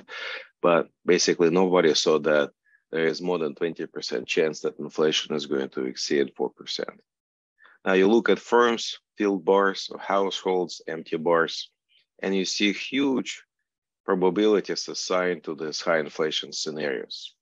Okay, so it's not unusual to see somebody saying, well, there is a 50% chance that inflation is going to exceed four or 5%. In fact, you know, if you take an average across all these bars, it's going to be something like 25, 30%. That is households and firms assign 25 to 30% probability that inflation is going to exceed four or 5%. And this is really striking because in the US in 2019, you didn't have this kind of inflation for 20, 30 years. And so, you know, if you're fully rational, you know, why would you think something like this can happen next year? You know, with one year ahead inflation expectations. Uh, now, eventually, we know that households were better at predicting uh, this. But in real time, it seemed like you know households have no idea what is happening. They have really bad forecasts, but it's not true. Anyway, so what I want you to get from this is that uh, professional forecasters have like really anchored inflation expectations. They didn't think high inflation is possible. You look at households and firms, and they thought high inflation is entirely possible. It's not an unreasonable scenario. They were happy to assign high probabilities to the scenarios. Now, why would something like this be, be there? You know, one possibility is that people just have different perceptions of reality. They have different perceptions of inflation. You know, you go to a store, you buy one consumption basket. I go to a store, buy a different consumption basket. And because of that, we have different perceptions of inflation. And as a result, we can have this big volatility in inflation rates just because sometimes I have expensive milk and you don't. Now, it's certainly true in the data, uh, not only for households, but also for firms. Now, there is a lot of disagreement about uh, past inflation. This is pre-COVID. Okay, this is also pre-COVID. There is a lot of disagreement among managers about what the rate of inflation is. Some people thought it's zero, some people thought it's 10%. There is a lot of dispersion, and actual inflation was just below 3%. Now, the reason why this figure is important is because if we have full information rational expectations, we can disagree about forecasts for a variety of reasons, but we should definitely agree on realizations. We should share information about the past, okay? Because, you know, this is publicly available information. You can go to the website of the statistical office. You can look up these numbers. It's published in newspapers. It's said on TV and radio. So it should not be a problem for people to report this number correctly. And yet we see big departures. Now, this is the most, re- most, most recent reading we have for this question uh, in the post-COVID recovery. And here you see even bigger dispersion of beliefs, perceptions about actual inflation. Some people say it's zero, one, some say it's 10, 15, actually it's five. Um, much more disagreement. Okay, so this is not consistent with full information rational expectations. People should share information. They should definitely know their realizations of macroeconomic data. Here's another interesting metric for us uh, to think about. If you have uh, agents who have anchored inflation expectations, then one of the requirements for them should be that they should not revise their inflation expectations by a lot. So if you ask me what year do you think inflation is going to be, and I tell you 5%, you ask me again next year what inflation is going to be. If I have anchored inflation expectations, I should tell you, okay, it's going to be 5%. So even if it's not uh, anchored at 2%, at least I don't vary this over time. I have a firm belief of where inflation is going to be. And you know, something like this is true for professional forecasters. You see small revisions in their inflation expectations from you know one year to another. You look at households, huge variations. It's not unusual to see somebody who is changing his or her expectations by minus 5% or plus 5%. Firms again are somewhere in between. And it's not just short-term inflation expectations, these are field bars. It's also true for long-term inflation expectations. So when you ask somebody, what do you think inflation is going to be over the next five years? You know, people should basically say 2% because whatever happens today should have very little bearing on future inflation. At least in the US, until recently, inflation was not terribly serially correlated at the annual frequency. It was a very small correlation. So it's as if inflation is white noise. And yet we see that households have extremely persistent inflation expectations. It's as if they think inflation is a random walk and it's certainly not consistent with uh, with anchored expectations. So it was the true data generating process we have uh, in in the U.S. Uh, now, another useful statistic is uh, what is the correlation between short-term and long-term inflation expectations? And again, the logic here should be that we can have variation in one year head inflation expectations, short-term inflation expectations for all sorts of reasons but it should not be correlated with what we think about long-term inflation expectations. Again, the reason is that whatever happens today should have no bearing on future inflation in five years, 10 years, because inflation is not serially correlated. Everybody should think it's going to be 2%. And so there should be zero correlation. You look at firms, households, firms, households, professional forecasters, and you see significant correlation now for professional forecasters, notice the scale is much, much smaller. So there is some variation there, but it's very, very concentrated. You look at households and firms, and here you have much more variation in these numbers. Now you may say, well, you know, probably this is reflecting the fact that uh, people have different views about where the inflation target is. Okay, so this may be one reason that can create this movement between short-term and long-term inflation expectations. And one way, one simple way to measure this is to ask people to report their perceptions of the Fed inflation target. This was done for firms uh, before COVID. You ask firms, you know, what do you think is the inflation target of the Fed? A third of people said we basically don't know. Then 20% of people said, you know, some philosophical spiel about, you know, what they think about the economy and monetary policy, uh, all sorts of you know ideas, some conspiracy theories that you know it's run by such and such group of people, all sorts of problems. Um, in any case, so we can't really assign a numeric value to this response. So you add these two bars, and you have like 50% of people who have basically no idea what the uh, Fed is trying to do in terms of uh, inflation. And then you have somewhere between 20 and 25% of people who gave you a response within you know reasonable range between one and a half and two and a half percent. Others, uh, you know, were on either upside or um, downside. Now, one uh, interpretation of this is to say, well, you know, people just don't take the Fed as credible, and this is a problem. Uh, and certainly, this is a possibility. Uh, I think a more likely explanation is that if you have low and stable inflation for so many years, people just don't care about monetary policy of the central bank.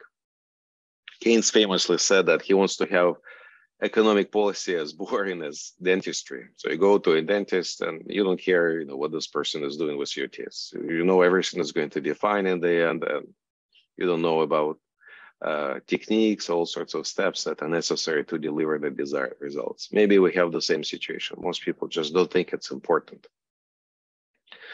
Now, whether it's true or not, um, it, it, remains to be seen. But you know, as a stylized fact, we know that in countries with low and stable inflation, it's much less likely to find people who know much about monetary policy. Now, if you go to Ukraine, I'm sure, or other countries with high inflation, it's much more likely that people will know that there is a national bank, uh, central bank, it has monetary policy, it does something, it prints money. They will know lots and lots of things about monetary policy. So this is not in our DNA not to know anything about monetary policy. This is really a function of you know how much we can get out of this. It's a matter of incentives. Now, let me summarize this finance I had uh, so far. We have predictions about how anchored inflation expectations should look like. For example, they should be close to the target. The people should disagree, not disagree too much. They should not revise their beliefs. Uh, people should uh, assign low probabilities to extreme events. Their sh short-term and long-term inflation expectations should be basically uncorrelated. You look at the data and you see none of this is true in the US. Okay. Now, one line of argument we can use is, basically Prescott saying, well, you know, this is just noise. People don't know what they're doing, uh, just pure noise. Uh, but it's not true. You look at the quality of inflation expectations for different groups of uh, agents in the economy. This is for firms. And uh, we see this, you know, clear positive relationship here. This is kind of quality of uh, perceptions. This is quality of inflation expectations. And if you have firms who have strong incentives to have good inflation perceptions and forecasts, they will do that. Okay, this is this group people. If you have firms who don't have very strong incentives, for example, they're not going to reset prices for a long time. Why would you care about inflation? It just consumes your resources to collect and process this information if you're not going to use it. You're going to have bad perceptions of inflation and also bad inflation forecasts. So it's not just noise. Now, how much difference it can make for policy? Let me use the COVID uh, dynamics, uh, I'm sorry, post the Great Recession uh, and post COVID um, dynamics to highlight the differences. Um, you know, at this time, uh, many central banks uh, struggle with the zero lower bound, and so you have to use unconventional policy tools. And Mario Draghi was basically summarizing how this works. You know, nominal rate is fixed at zero. You can't do much there, but you can raise inflation expectations. And if you do this, the real rate is going to decrease. This is going to stimulate investment, employment, and so on. That's how it's kind of going to work. As inflation is a good thing. It's going to stimulate the economy. Now, is this really how people think about these issues? Uh, do they really believe that you know more inflation is a good thing for them? And uh, I will use COVID to illustrate this. This is professional forecasters, how they uh, revise their beliefs as the crisis was unfolding. This was just before the COVID started. They think inflation is going to be 2%. And they predicted that output is going to expand, you know, somewhere between 2 and 3%. Now, as the scale of the COVID disaster was becoming more and more clear, we see that they start to change their beliefs and move in this direction. So in June 2020, they said, okay, we're going to have relatively low inflation and we will have a huge uh, economic contraction. So it's as if they think it's a demand-driven shock. Right? We have so much slack in the economy, it's going to push inflation down, and uh, this will be the dynamics for us. Now you look at households and you see a very different dynamic. You start, first of all, with high inflation expectations. That's not unusual. We discussed this before. And then you start to move in this direction. So as people revise their beliefs of macroeconomy down, they think we have a big problem in the economy. They raise inflation expectations. They're going in this direction rather than decrease. Okay, so these guys are decreasing inflation expectations. These guys are increasing inflation expectations. So this is demand-driven crisis. This is supply-driven crisis, stagflationary, if you will. We have high unemployment and high inflation at the same time. So people have a kind of a dark view of inflation. Here they say it's all demand driven. We can handle this. Now, this is not just you know obvious from this dynamic. You can look at other metrics and uh, this figure, this data come from the daily survey of the Cleveland Fed, which is really cool. The black line is expected inflation measured at the daily frequency, but I'm going to use a five day uh, moving average. And the red line is what happens with uh, the saving rate. You know, this is the share of income that people want to set aside. And what you should see here is that generally there's a positive correlation between these two lines which is telling us when inflation is high, people are not willing to consume. They want to save. That is, people withdraw from consumption. They don't take inflation as a good thing. And you can see this in other metrics. Uh, for example, fear of losing the job. Okay, so this is really bad scenario. Positive correlation. Storm of food and supplies, right? So create reserves. Similar story. Refrain from purchases of items. Uh, uh, similar story. You don't want to buy a durable good or anything like this. So people think inflation is a bad uh, state of the world. Now, this is during COVID, but it applies more generally. Uh, and to kind of visualize this for you, I'm going to focus professional forecasters and households. This is professional forecasters over many, many years in the US. And uh, I take out forecaster fixed effects. I also take out period fixed effects. So everything is going to be normalized around zero here and zero here. Now, this figure is telling you that if you pick a person who has above average inflation expectations, this person is going to have above average expectations for the growth rate of output. So it's as if you have some notion of the Phillips curve out there, which is downward sloping, and you have demand driven shocks. Okay, you have more output, that's going to generate more inflation. You have below average output, you're going to have a disinflation. Okay, so very clear upward sloping relationship. Now you look at households and it has a very different relationship. You have inflation expectations above average, you're somewhere here. This is going to be below average predictions for the growth rate of output. Okay, so people think inflation is stagflationary. They think it's the bad state of the world. And by the way, if you look at surveys of households in, in Ukraine, it's going to be exactly the same thing. Nobody in, in Ukraine thinks inflation is a good thing. So when we think about stimulating the economy, we should never ever say that we're going to raise inflation to stimulate output. It's not going to be helpful. It will backfire. Will reduce consumption, not increase consumption. Now, remember, I kept telling you that firms are going to be in between professional forecasters and households. Uh, and it's true in, in this data as well.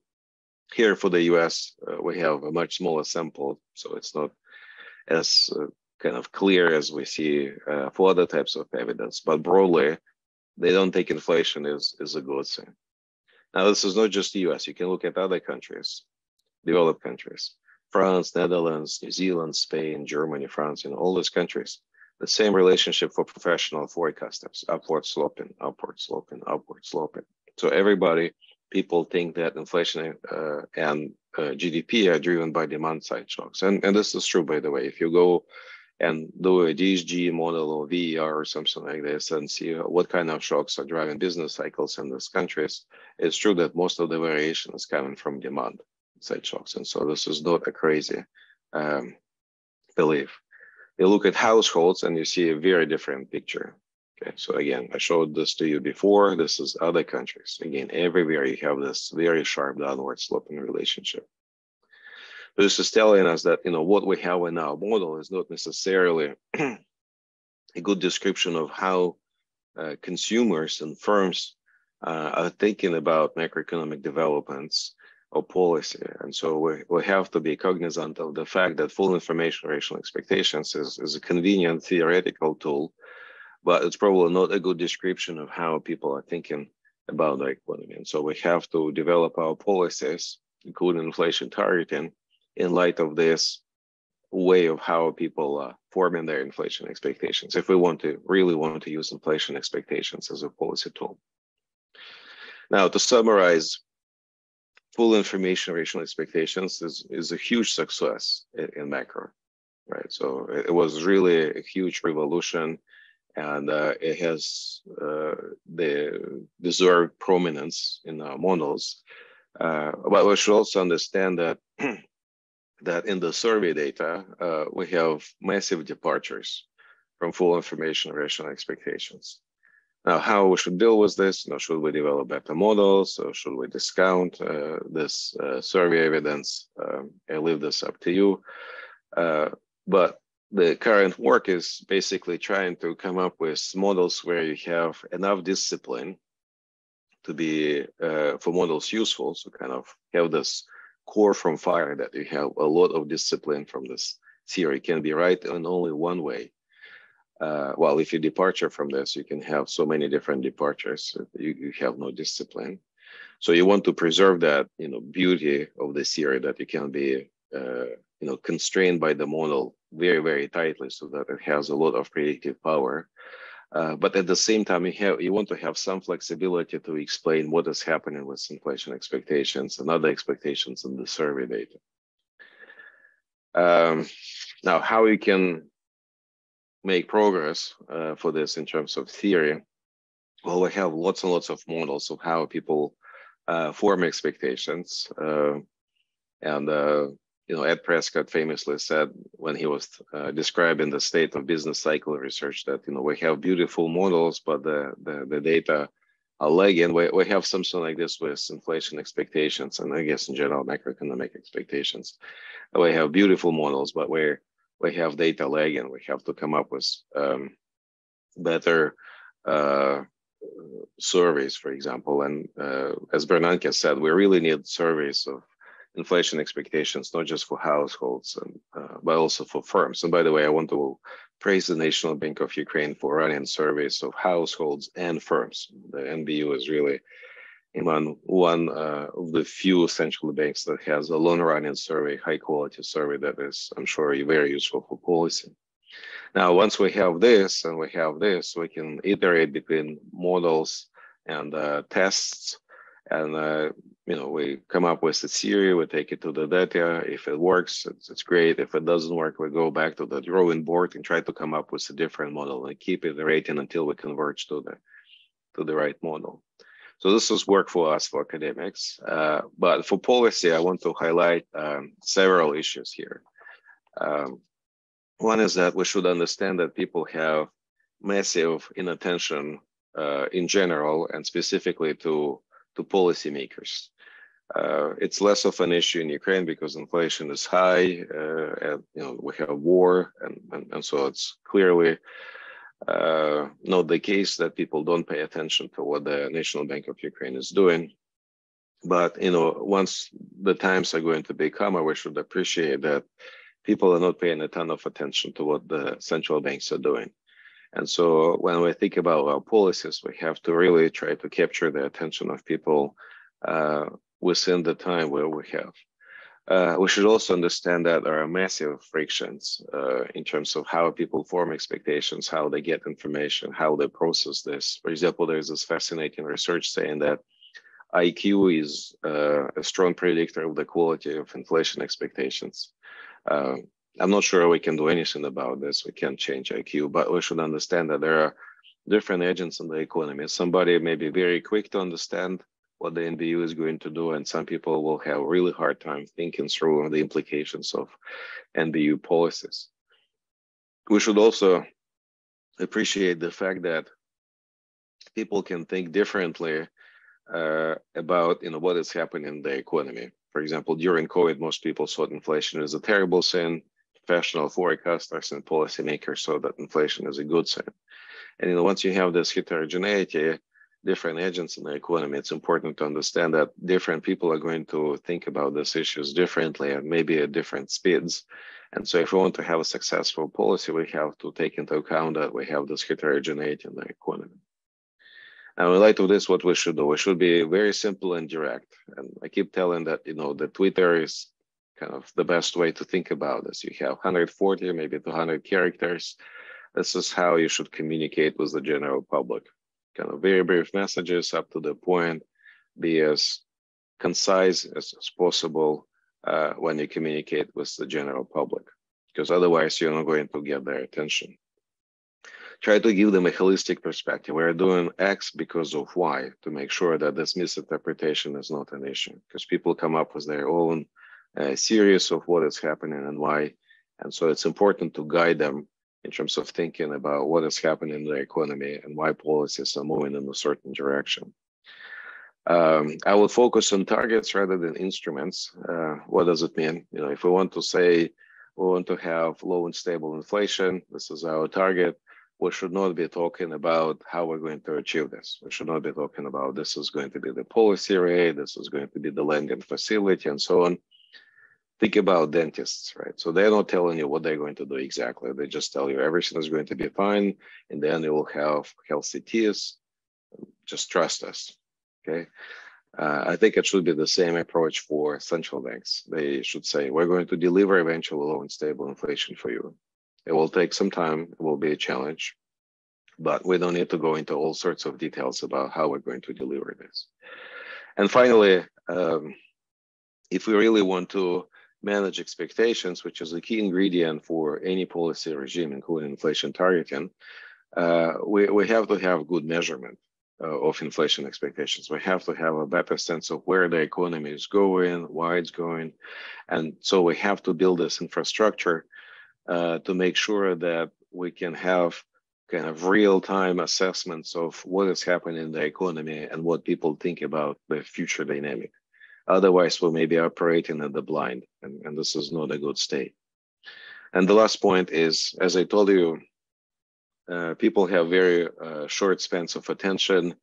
Uh, we should not expect people to listen to just one press conference and remember this for the rest of their lives. It's not going to happen. We have to have sustained campaigns. Think about as this is, you know, a marketing campaign. If you want to sell your product, you have to be consistently present uh, on TV and radio, newspapers, and so on. It should be the same with policy making. It should be constantly talking to the general public, trying to convince them what you do is uh, this objective, or, or, or you know, this is what we're going to do in terms of policy. Let me stop here and thank you again for having me uh, at the conference. Uh, Thank you, Yuri, for a very interesting presentation.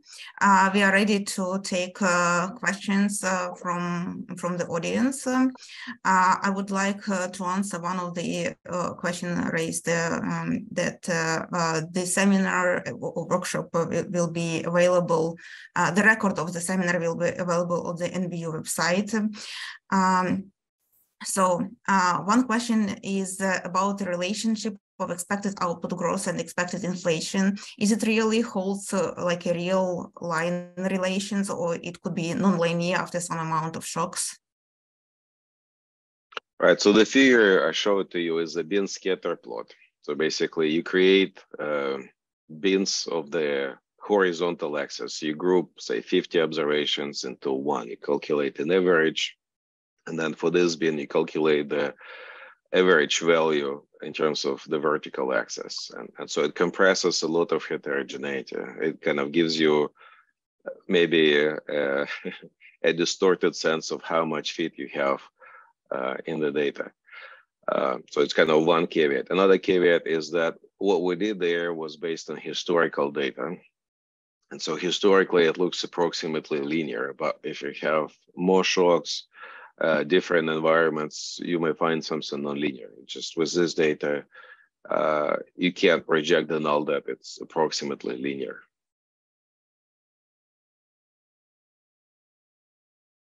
Thank you. Uh, we have a, uh, another question uh, uh from the audience.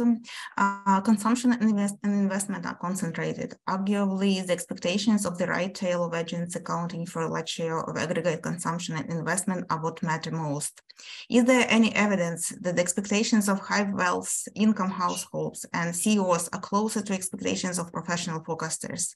If so, are the expectations of the average household and CEO less important for business cycles and policy transmission? Thank you. You know, one example of uh, what CEOs of big companies are maybe thinking. Uh, Elon Musk. I don't think he had a, a Twitter uh, about his inflation expectations, but I'm sure if you ask him what inflation is going to be, he will give you some unusual number, not necessarily what is predicted by professional forecasters. Now, more seriously, when you look at the quality of inflation forecast by the size of the firm, Uh, you know, larger firms are probably weekly better, but they are not close to professional forecasters.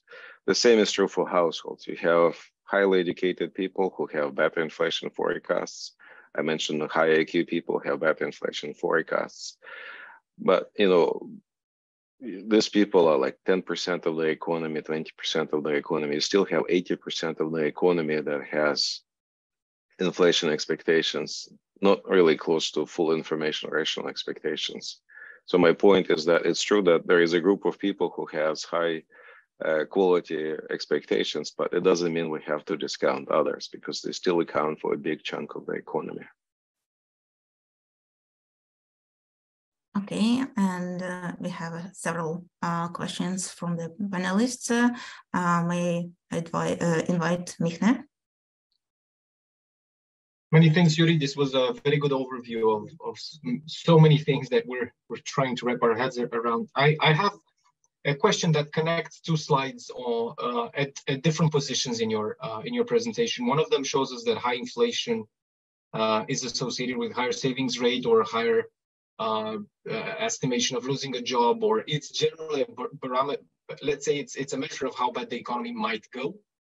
And the other one is uh, the Mario Draghi uh, uh, explanation on why QE works or is expected to work. Now, of course, it's, it's not the place to discuss this, but if you expect, if you're at the zero lower bound, you expect inflation to go up, you think you're going to lose your job, you're not necessarily going to go get a credit.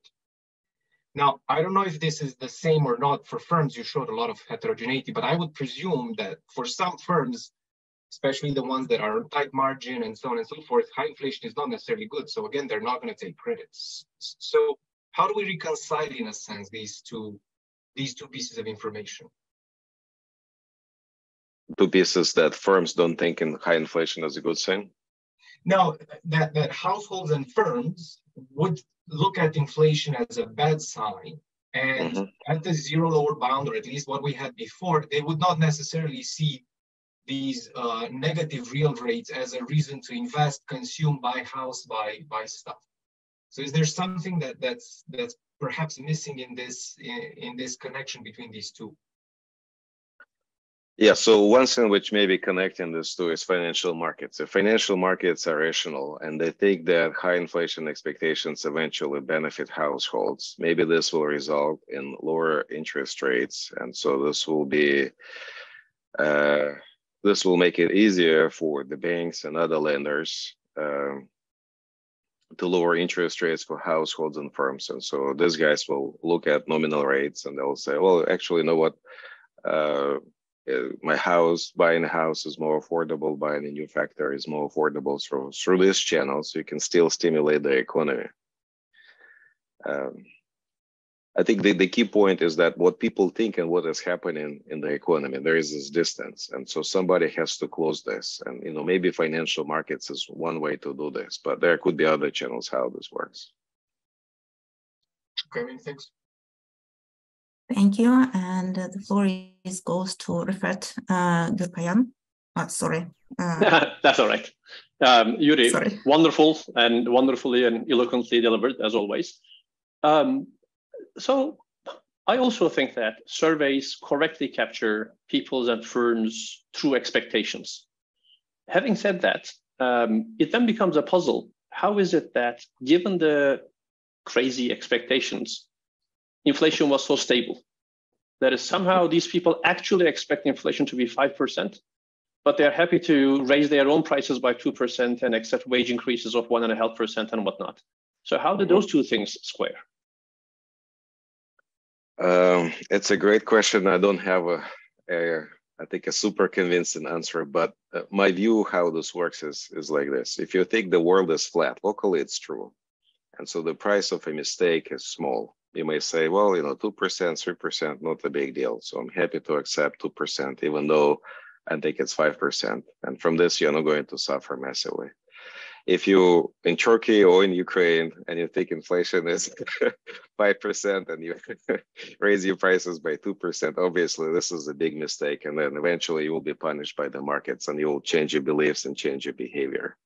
But in low and stable inflation environments like in the US, you know, if you on average raise prices by two percent, it's not a big deal. By the way, so one thing I also wanted to emphasize is that there is a big discrepancy between uh, what kind of expectations people have about their personal situation and what they think about the aggregate economy. For example, for firms, if they ask you, if you ask them, what do you think inflation is going to be at the aggregate level, they'll tell you like 5%, 3%, some, some number that is unreasonable by many metrics. If you ask them, you know, what is going to happen with your personal unit cost or with your wages or prices of your competitors, the quality of those responses is going to be much, much, much higher so locally on their island, they have a good idea of what is happening, but they don't care about the broader economy because it's too complicated or not really related to what they do immediately. And so if you think, you know, the world is flat on your local, local island, you know, it's totally fine to assume 5% inflation and then raise prices by two because everybody around you is raising prices by 2%. Okay. Um, we are running out of time. Uh, we have several questions from the audience yet, uh, and I um, want to say sorry in advance if someone is not answered uh, uh, right now. But I uh, would uh, take um, a question from David Archer, which is quite interesting for me um, as a practitioner. Um, and a person who is also involved in analyzing inflation uh, uh, expectation surveys. So are there any good ways of extracting expectations from behavior rather than relying on what people say? For example, what assumptions about inflation do small businesses make explicitly or implicitly when budgeting or writing contracts?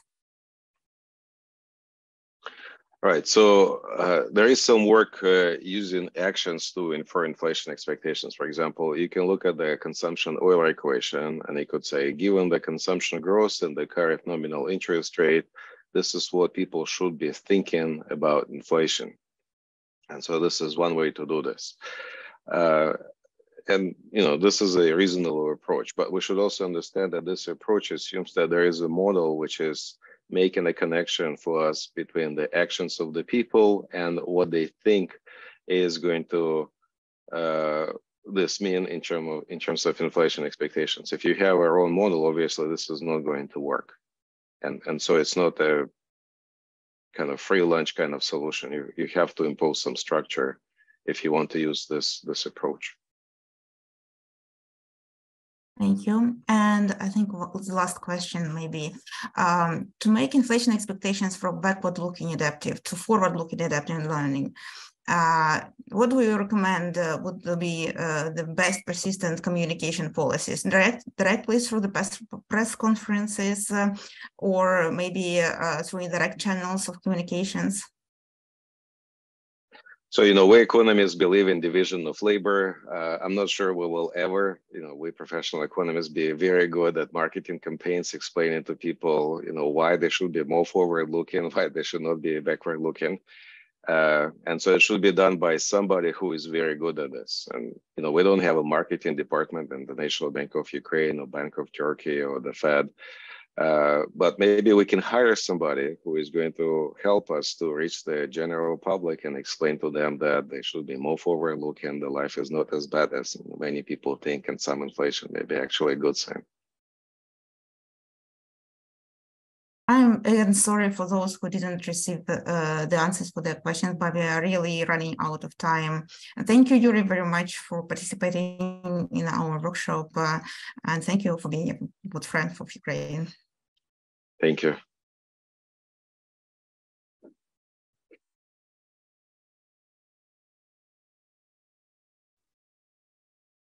Uh, so uh, we are moving to the third session. Uh, it's uh, inflation targeting with varying credibility. Uh, the issue of credibility is very vital for inflation targeting. You know, this motto of inflation targeting, do what you uh, say what you are doing and do what you're saying.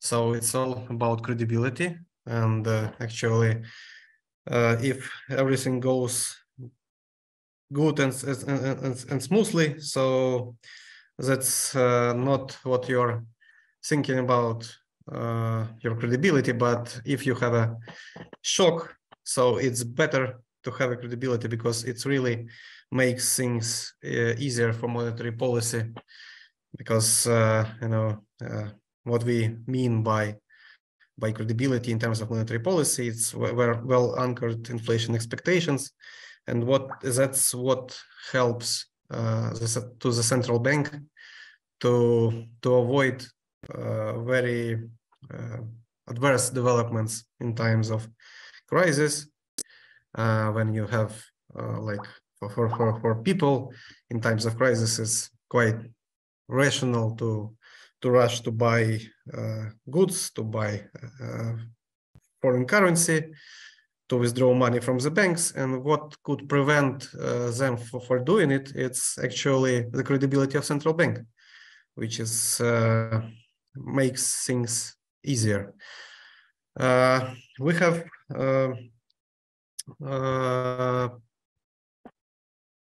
uh, quite, let's say, the, the different uh, to different topics of presentations, but all related uh, to the issues of uh, inflation expectations and credibility of central banks. So uh, uh, our panelists are uh, uh, Refet Gürkaynak. So welcome, Refet. Federica Sturzenegger. Hi, Federico. Uh, Carlos Carvalho. Hello. And we have uh, Oleg Korenok. Hello. So the schedule of this uh, panel is uh, follows. I um, I will give the floor to the participants to present for uh, 15 minutes. Then we will have a Q&A session and then some discussion uh, around the topics of credibility and uh, expectations. Uh, so we will start uh, with Refet. so Refet, Refet, the floor is yours. Thank you very much. Um, it's let, let me get my slides to the right place first. Um, it really is a pleasure to be here for two reasons. This is a very nice conference and also uh, gives a sense of um, being able to support uh, my Ukrainian friends. Now, um, this is a sad paper from a personal perspective and a fascinating one from a professional one. Um, as you may know, Turkey has undertaken a rather crazy monetary policy experiment. And you may have heard of this in the past year or so, but it's been going on for a decade. And this kind of experiment is terrible when you are a citizen being experimented on, but it's fascinating when you are a macroeconomist looking for identifying variation. And a good way of putting this, um, in the words of Edouard Chalais, who discussed this paper, is we assess our monetary policy models in two ways. One is the Christiano Eichenbaum Evans way, where there's a monetary policy rule and we think of how the economy responds when, when there are shocks to that rule. Okay. The other one is the um, Kildare way, which is where the rule itself is changing. And you ask what happens when there is a new monetary policy framework. The CGG framework, of course, was mostly concerned with the gain in the credibility of the Fed with the Volcker disinflation. Okay, so we're going to ask a reverse question. Imagine that you had a central bank that was credible, that was doing good monetary policy. Um, and these models, of course, identify good monetary policy with uh, satisfying the Taylor principle. Right? And then you shift to a framework where you no longer satisfy the Taylor principle. What happens then? Okay. Our macro models have fairly clear implications about what will happen. Our data doesn't quite have much to say about this because I would say, luckily, given the Turkish experience, most countries has not uh, followed such let me not call it insane, but at least bizarre policies. Okay. Now that we have this, uh, we can talk about, you know, what happens if you follow a policy where the central bank essentially isn't allowed to raise interest rates for a decade. Okay. Now, this then is going to whet your appetite, uh, hopefully, to read the paper itself. Um, the paper has a lot in it, so I'm going to go a little bit over the main points, and then we'll try to highlight a few of these. Okay. One of them is a discussion of the Neo-Fisherian effect. We wrote the first draft of the paper. And then in presenting, we realized that we don't quite understand how it is that the Neo-Fisher effect. That is, if you lower interest rates now, inflation will go down now. That's the Neo-Fisher effect, okay? Which is clearly in contradiction to the standard, you know, Taylor principle-based DSGE model. Is consistent with the Fisher effect, which is if nominal interest rates are lower at steady state, given the marginal product of capital and the growth rate of the economy that exogenously determines the real rate, inflation will have to be lower in the steady state. Okay, if one is violated, how is the other one true? So the paper now has a um, nice and accessible discussion of this, and I'd like to spend a minute on this, which I will. Then we talk about what the hell was going on in Turkey. This is useful for, I would say, three reasons. One of them is, I think, you know, everyone should know something about Turkey because it's a great country. But the second one is, um, regardless of whether you're a monetary economist, macroeconomist, if you're any kind of applied economist, you're always looking for exogenous changes in stuff, okay? And, and usually we're happy to have, you know, tiny exogenous changes. And, and Turkey has this experiment where, you know, we had this huge exogenous change that was very long lasting. Okay, and we are able to actually show that this indeed was exogenous. Okay, so it wasn't driven by, in particular, fiscal policy pressure. Right, and the third reason is it's useful for our purposes because we are interested in the dimensions of our macro models that are usually not tested. What happens when you don't satisfy um, basic determinacy conditions? Okay.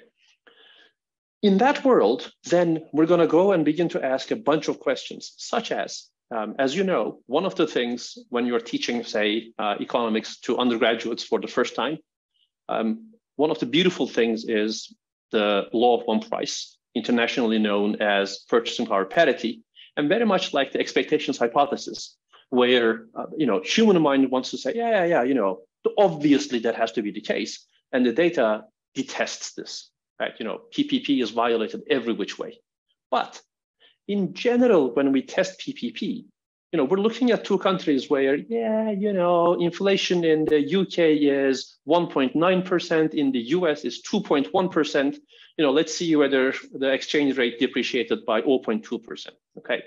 In those small fluctuations, very much along the lines Yuri was talking about in his talk and in the Q&A, you know, um, errors aren't very costly and adjustment costs might be large enough. So the real question is, imagine that one of these countries has, you know, 2% inflation and the other one has 40, right? What happens to PPP then, right? And we're going to show that PPP actually works very well in the data when you're looking at Turkey-sized, you know, experiments and inflation deviations, okay? Then we're going to say that also carries then to the Meese-Rogoff stuff, where you can actually use inflation to forecast exchange rates. And indeed, you can beat the random walk and have better forecast of inflation than random walk using the inflation information, right? Um, we're then going to say, you know, look, um, these changes in Turkey were happening in an environment where, in general, institutional quality was deteriorating. That's not going to surprise any of you. Um, then we're going to estimate the Taylor rule and say it sucked. We're going to show that it used to satisfy the Taylor principle and then began to not satisfy it. And then the coefficient became not significantly different from zero. That Taylor rule estimation has various issues where um, you know Carvalho and Nechio had some beautiful things to say about. We're not going to have time to have that debate, but these are really interesting questions to think about how one should go about estimating that. Okay. And then we're going to begin to say, okay, now that we have um, established that Turkey has not been satisfying the Taylor principle, and we see that inflation has gone through the roof. Is this consistent with our models? Okay. The problem, of course, is our standard standard model is going to say when you don't satisfy the Taylor principle, the world is indeterminate. So anything is consistent with the model. Okay. So we're going to take that and tweak it where the world is eventually determinate but with periods of weak and strong monetary policy, where it's a regime switching world, in the weak regime, you're not satisfying the Taylor principle. In the strong regime, you are. And it's rigged such that overall, there is determinacy. but then we get to ask, you know, if you're dinged with the same inflation shock in the weak regime versus strong regime, what happens? Okay. It's not going to surprise you that the model is going to find, you know, if you are hit by an inflation shock in the weak regime, inflation will go through the roof, which is what we see. And then um, the other thing we're going to do is to say this regime switchingness is fine, but there are better ways to think about this. And we're not terribly proud of having introduced this in the Turkish context, but very much like we are now so used to thinking about models with the effective lower bound, you can also imagine a model with the effective upper bound, where the central bank is not allowed to raise interest rates above a threshold. This, of course, unlike the lower bound, is not a, um, in a sense, physical constraint. It's not a participation constraint properly. It really is a political constraint. But this is going to become more and more important um, because central banks are unable to raise rates due to financial stability concerns, fiscal policy concerns, whatnot. You know, UK might be a good example of this in the recent past. What happens then? Okay. And, um, and then lastly, we're going to have a bunch of event studies where we're going to say, you know, look on the day where this happened, here is the response of the financial markets. Right after that happened, this is what happened to inflation. You know, when the central bank began to cut interest rates, the market rates began to go through the roof. Um, and those are hopefully interesting on their own right. Okay, so the one bit that I really spend um, few of my precious moments is properly understanding how the New Keynesian model and the new Fisherian effect relate to each other. There's a lot of mumbo jumbo on this, um, along with some subtle thinking. And I think one of the sad things is people who should know better often talk about the new Fisherian effect um, in the same sentence with the MMT. Th these are not related either way. And importantly, one of them actually does have decent theory behind it.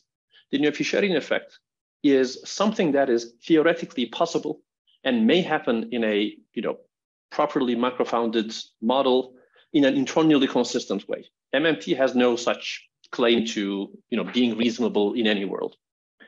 Here's how things work. This is your Fisher equation that says the nominal interest rate is the real interest rate plus expected inflation. Okay, fine. This is not economic theory. This is the definition of the real interest rate and has to be correct at all times. It has to be correct at steady state too. Thus, at steady state, the nominal interest rate will be the real rate plus steady state inflation. And we're going to take it to be the inflation target. Fine. Then comes the argument that at the steady state, the real rate is exogenous to policy which most our macro models and most here is like you know 99.5% will say yes that is the case right?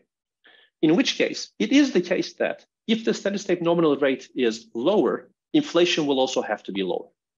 And and that's the fisher effect. That's there. All right.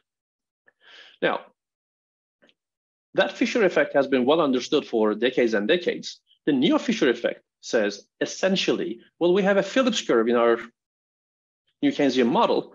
And that Phillips curve relates current inflation to future inflation. If you are able to commit to lower interest rates forever, that implies that the steady state interest rate will, will have to be lower. The steady state inflation rate will have to be lower. But if that future inflation rate is going to be lower, through the Phillips curve, through forward-looking inflation adjustment, inflation today will be lower. Okay, and that's the new Fisherian effect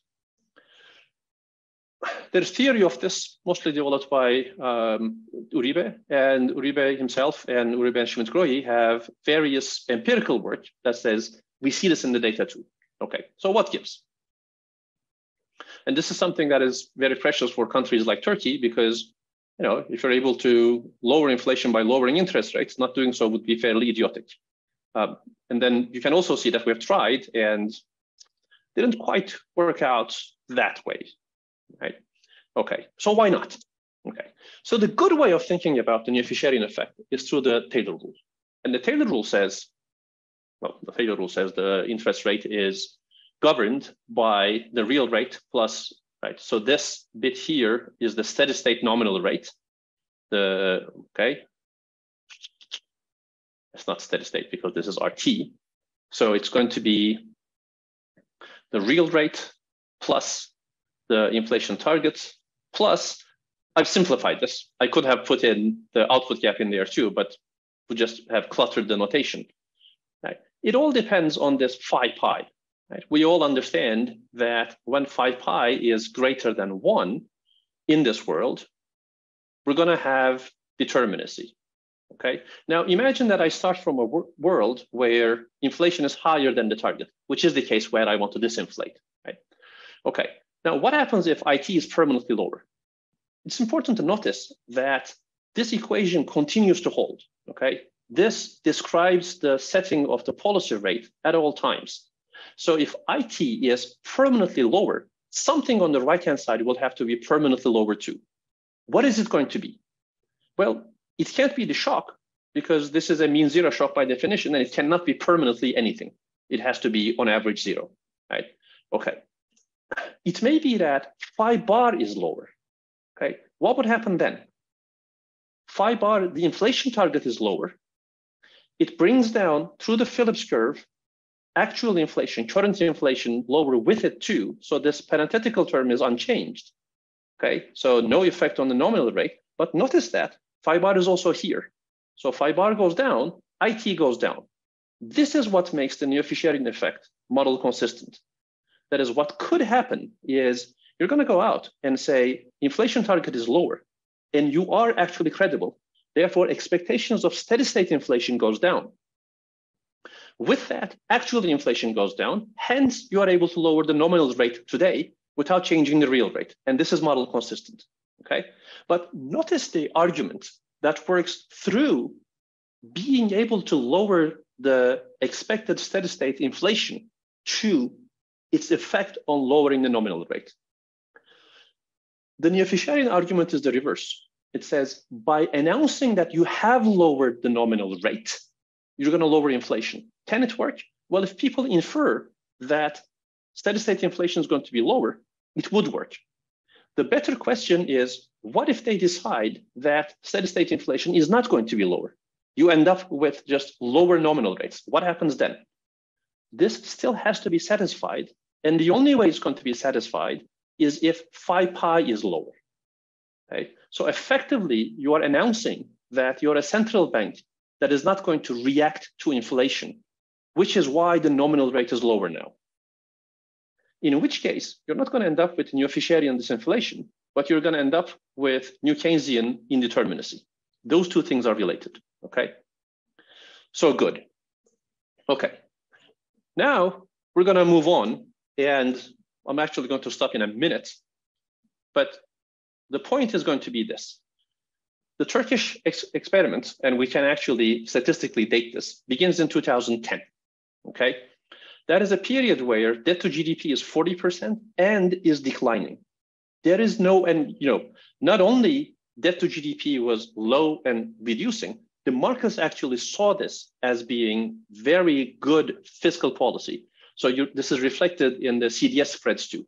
There is no way of relating the pressure on the monetary policy to fiscal impetus. Okay, it really was a, a political desire for expansionary policy, B, a misguided learning of policy where in 2009, when we cut the policy rate from 23% to 8%, we grew like crazy because we were doing proper countercyclical demand management in the thick of the global financial crisis. And from that, the government concluded that you cut rates, you grow without inflation. Okay, didn't quite understand the implications about potential and you know demand deficiency. And lastly, you know, politically, personally, whatever, uh, the prime minister at the time and the president now was convinced that the only good interest rate is the low interest rate. Okay, but those are the things that make this exogenous monetary policy changes. Okay, now, so then we can check a whole bunch of things on, you know, look, this is the exchange rate of various emerging market economies. You know, Brazil is here um, among many others against the dollar. This is Turkey. This is the sense in which this began in 2010. Okay. Um, you know, this is inflation. It's not going to surprise you that those two things were divergent together, and that's your PPP. So we can show those things, okay, that PPP actually applies when the inflation differentials are large enough. I'm going to skip these ones. and briefly tell you that you estimate a Taylor rule and you end up with this. This is your phi pi. This was statistically larger than one, at least you couldn't reject the null that it was statistically larger than one before 2010ish, you know, the financial crisis gets a bit iffy. But then afterwards, you know, it's not larger than one, then it's not really different from zero either. Okay. And this is what makes this world, in the eyes of the New Keynesian model, indeterminate. How do we deal with this? We move to a model where it's the standard New Keynesian three equation model, except that we allow for regime shifts in the Taylor rule coefficient. Okay, so there is a weak policy regime and a strong policy regime. What happens? You get the same inflation shock that in the strong policy regime, inflation goes up, comes back down fast. In the weak regime, it goes up like crazy and comes back down much slower. Okay, so you lose control over inflation. Even better is to say, what happens if I have a effective upper bound where you follow your Taylor rule when you can, but then once you hit the upper bound, you're constrained by the upper bound, okay? This is the upper bound. If you didn't have the upper bound, you would have raised the policy rate and controlled inflation. When you are bound by the upper bound, inflation once again goes through the roof, okay? Now, the sense is here, if I had asked you, you know, imagine a country, not easy to do, that has decided to keep policy rates low forever and lower inflation by lowering the policy rate. What would happen to the exchange rate? What would happen to inflation? I think you would all would have said inflation is going to go through the roof and the country's currency is going to depreciate like crazy. Okay. That statement is actually economic theory. It's based on your training that is rooted in this model. And I'm telling you that that model is correct and therefore you're correct. Okay. So that's what we have to say. And then we have a whole bunch of, right. So this sentence, I think I'm very fond of. The new Keynesian model is good in analyzing good policy, but it turns out it's also very good in analyzing inane policy, right? Um, then you have a whole bunch of event studies that I'm not going to show you, but I hope you're going to look at it because it's very illuminating. But that's the paper, and that's what we learn about credibility, monetary policy, and loss of credibility after you have gained it. Thank you. Thanks a lot. That's really impressive. Uh, yeah, and uh, we are going to the second presentation. Uh, so Federica, please, the floor is yours. Excellent. Can, can you hear me well? Excellent, excellent. I'm a little bit far away because I'm in Buenos Aires, so I'm kind of in a different hemisphere. But it's a it's a real honor to be able to be here in these uh, trying times for Ukraine. So it's it's, it's a real pleasure and uh, very happy to be here. And actually, by the way, I have to say that I worked at the Central Bank of Ukraine back in 1994. I don't know, Volodymyr, if you were born at that at that time, but um, at the time, the governor was uh, Viktor Yushchenko, and, and kind of it also was a very a moment of a lot of turmoil in Ukraine as it was detaching from from the Soviet Union. So so it was uh, very interesting, and it's it's so it's it's a little bit like coming back in, in some in some way for me on a personal level. And of course, there are a lot of similarities, you know, between Argentina and Ukraine even though we're far away, not only in its agricultural production being, being an important part of the economy, but also in, in cultural, cultural and, and macroeconomic instability. You know, we both had our episodes of debt defaults and, and relatively high inflation and IMF programs over the last decade. So, so I think I, I feel very much related. And, and certainly I feel related to the topic that you have suggested us to talk out, which is about the credibility and the and the dangers of losing credibility and what have we learned, particularly those which have gone through the experience of a monetary policy, of living through monetary policy experiences where credibility has been put in danger. So, so I'll try to share a little bit my experiences on that here with, with you today, okay? And um, as I was uh, thinking about uh, this talk, I I first uh, remembered a literature which is not from monetary policy, but uh, you'll see the connection I'll do in a minute, uh, which um, basically uh, is the literature on sovereign debt. And uh, when, when countries default on their debt, typically they turn not to be very strongly penalized for these uh, episodes of defaults. Uh, for example, if you look at the, how much spreads increase in the year immediately after the default, it's about 400 basis points, but that spread, that additional spread goes down to 250 in the second year, and it's basically zero in the third year. If you ask yourself how quick can a country resume access uh, to financial markets, it's typically between zero and two years. So these kinds of exclusion lags are not very, not very long we can find them in the data. And actually, if you think about how fast an economy or a government resumes net borrowing from foreign creditors, while that was about five years in the 1980s, it fell to four years in the 1990s, and it's uh, less than three years in the 2000s. So, so that exclusion from the market is also not, not very significant. So the question is why? Why is that? And um, there's a paper in, in 1998 by Grossman and Houck, and they talked about excusable defaults. And basically, their idea was that debt, even though it's a debt contract, to some extent, sovereign debt operates as an equity contract. And when there's a particular problem for the sovereign, things get restructured, and it's understood that it's a normal thing of the of the of the contract, and the and somehow it's justified the country does that restructuring, okay? Um, so their idea was that because uh, when countries are hit with a shock, it makes sense for them to restructure. That's the reason that these restructurings, restructurings happen. And then we don't see a very strong punishment from the government, from the, sorry, from the market. Of course, there are examples. Argentina is always an example of all the bad things. Two years ago, we restructured a debt which was 25% of GDP and had an average interest rate of 5%. So we went ahead with a very aggressive restructuring of that debt, and the, the markets viewed that as a non-excusable, uh, non-excusable default. And what happened, if I show you, for example, here you have here in green, the spread of Latin American sovereign debt. That's on the right-hand side axis, about 500 basis points, between 300 and 500 basis points. And the red is Argentina, which of course you have to read on a different axis on the left-hand side because we're basically 2000 basis points. And the starting point of this graph is when we did the restructuring.